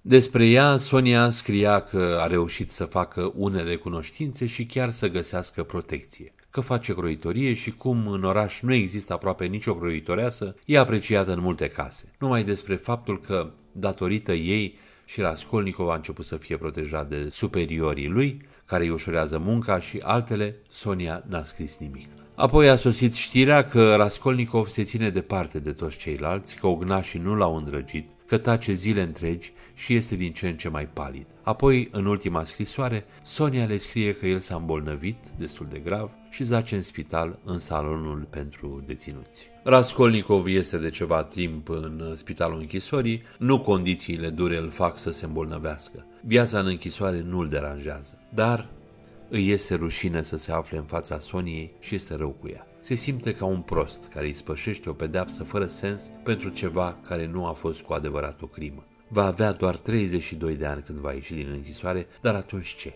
El este sigur că munca doar pentru a trăi nu este viață pentru el. Ideile încă domnesc în lumea lui și el ar muri de dragul ideilor. Dacă s-ar putea căi, el este convins că totul i-ar fi mai ușor. Dar cu cât se gândește mai mult la crime, cu atât crede mai puțin că a comis o crimă. Se întreabă dacă teoria lui a fost stupidă. Se întreabă de ce toată lumea este atât de agitată pentru această crimă pe care o consideră atât de mică în comparație cu atâtea alte crime. Citez. De ce oare fapta mea le pare atât de urâtă? Se întrebă el, fiindcă este o fără de lege? Dar ce înseamnă fără de lege? Cugetul meu este liniștit. Firește, am săvârșit o crimă penală. Firește, am trecut peste litera legii și am vărsat sânge. Bine, bine, fie și așa, n-aveți decât să-mi tăiați capul și gata. În cazul acesta, firește, mulți dintre binefăcătorii omenirii care nu au moștenit puterea, ci au pus singuri mâna pe ea, ar fi trebuit să fie executați de la primul pas. Dar oamenii aceia au mers până la capăt și de aceea ei au dreptate, iar eu n-am fost în stare și prin urmare n-am avut dreptul să-mi permit să fac acest pas. Era singurul punct în care își recunoștea vina, în faptul că a fost slab și s-a predat singur. Suferea și la gândul de ce nu s-a omorât atunci, de ce în loc să se arunce în râu, a preferat să se predea. Oare atât de puternică este dorința de a trăi și atât de greu să o învingi? Dar Vidrigailov, care se temea de moarte, a învins-o totuși. Se chinuia punându-și mereu această întrebare și nu putea să înțeleagă că dacă nu se aruncase atunci în râu, e că poate presimțise că în sufletul și în convingerile lui este o adâncă eroare. Nu înțelegea că în această presimțire poate încolțea o nouă concepție de viață, începutul unei renașteri, semnul învierii lui. Raskolnikov observă că bărbații din închisoare iubesc viața mai mult decât oamenii din exterior. Nu prea vede ce se întâmplă pentru că își ține ochii în pământ, dar el știe că un lucru uriaș îl înstrăinează de ceilalți prizonieri. Aceștia nu-l suport. În timpul celei de-a doua săptămâni a postului mare, în timp ce se afla la biserică cu ceilalți prizonieri din grupul său, unii prizonieri l-au acuzat că este ateu, deși nu știe de unde le-a venit uh, ideea, și au vrut să-l omoare din cauza asta, dar paznicul i-a oprit. La scurt timp, Raskolnikov a fost internat în spital și a fost bolnav până la Paște. Uh, sunt câteva săptămâni după Paște, iar vremea se încălzește. Într-o zi, la Amurg, în timp ce se uită pe fereastra camerei sale de spital, o vede pe Sonia. Ceva îl lovește în inimă. Apoi Sonia nu apare câteva zile. Ea a fost bolnavă și nu a putut să-l viziteze. Într-o zi, nu după mult timp, Raskolnikov și alți câțiva bărbați pleacă să lucreze pe malul uh, râului. Se întâmplă să vadă o tabără de nomazi. Soarele strălucește, iar frumusețea naturii este peste tot în jur. Nomazii cântă. El crede că vede libertatea reală și este atât de perplex și atât de entuziasmat, apoi o vede pe Sonia stând lângă el. Ea îi oferă mâna ei, nervoasă, pentru că de obicei el este destul de răutăcios cu ea. De data aceasta, el îi ia mâna cu dragoste. Citez. Deodată n-ar fi știut cum s-a întâmplat, dar parcă o putere nevăzută l-a aruncat la picioarele ei. Plângea și îmbrățișa genunchii. În prima clipă ea se sperie grozav, fața ei pălica de moarte. Sări în sus și îl privi tremurând dar aproape numai decât înțelese tot. În ochii ei se aprinse o fericire fără margini. Înțelese că nu mai era nicio îndoială că el o iubea, o iubea nemăsurat, că în sfârșit sosise clipa. Voiau să vorbească și nu puteau. Le erau ochii plini de lacrimi, amândoi erau palizi și slabi. Dar pe chipurile acestea bolnăvicioase și palide străluceau zorile unor preschimbări de pline, ale învierii și renașterii lor la o viață nouă. Îi regenerase dragostea, Inima unuia cuprindea izvoare nesecate de viață pentru inima celuilalt. Hotărâră să aștepte și să lapte. Mai rămâneau șapte ani și până atunci câtă suferință cumplită, câtă fericire nemărginită. Dar el înviase și știa acest lucru. Îl simțea cu întreaga lui ființă renăscută la viață, iar ea, ea nu trăia decât prin el. În seara aceleiași zile, după ce fură încuiate porțile barăcilor, Raskolnikov sta întins pe patul comun și se gândea la ea. În ziua aceea îi părea că toți ocnașii foștii lui dușmani îl priveau altfel. Încercase să intre în vorbă cu ei și ei răspunseră prietenos. Își aminti toate acestea, dar nu se mira. Așa trebuia să fie. Oare nu trebuiau acum să se schimbe toate? Se gândea la ea. Își aminti cât o chinuise, cât îi sfâșiase inima. Vedea în închipuire obrăjorul ei palid, slăbuț, dar aceste amintiri aproape nu-l mai făceau să sufere. Știa că va răscumpăra toate suferințele ei cu dragostea lui nemăsurată. Și apoi ce însemnau toate acestea? Toate suferințele din trecut. În bucuria primelor clipe de renaștere la viață, totul, chiar crima lui, condamnarea și deportarea în Siberia, îi păreau acum ceva exterior, străin de el. Aproape se îndoia că toate acestea îi se întâmplaseră în adevăr lui. Există un nou testament lângă el, o rugase pe Sonia să îl aducă cu ceva timp înainte și se întreabă dacă poate adopta convingerile ei. Citez. Sonia se simți și ea toată ziua agitată, iar noaptea se îmbolnăvi din nou. Dar era atât de fericită că aproape se temea de fericirea ei. Șapte ani, numai șapte ani. La începutul fericirii lor erau gata să ia amândoi acești șapte ani, drept șapte zile.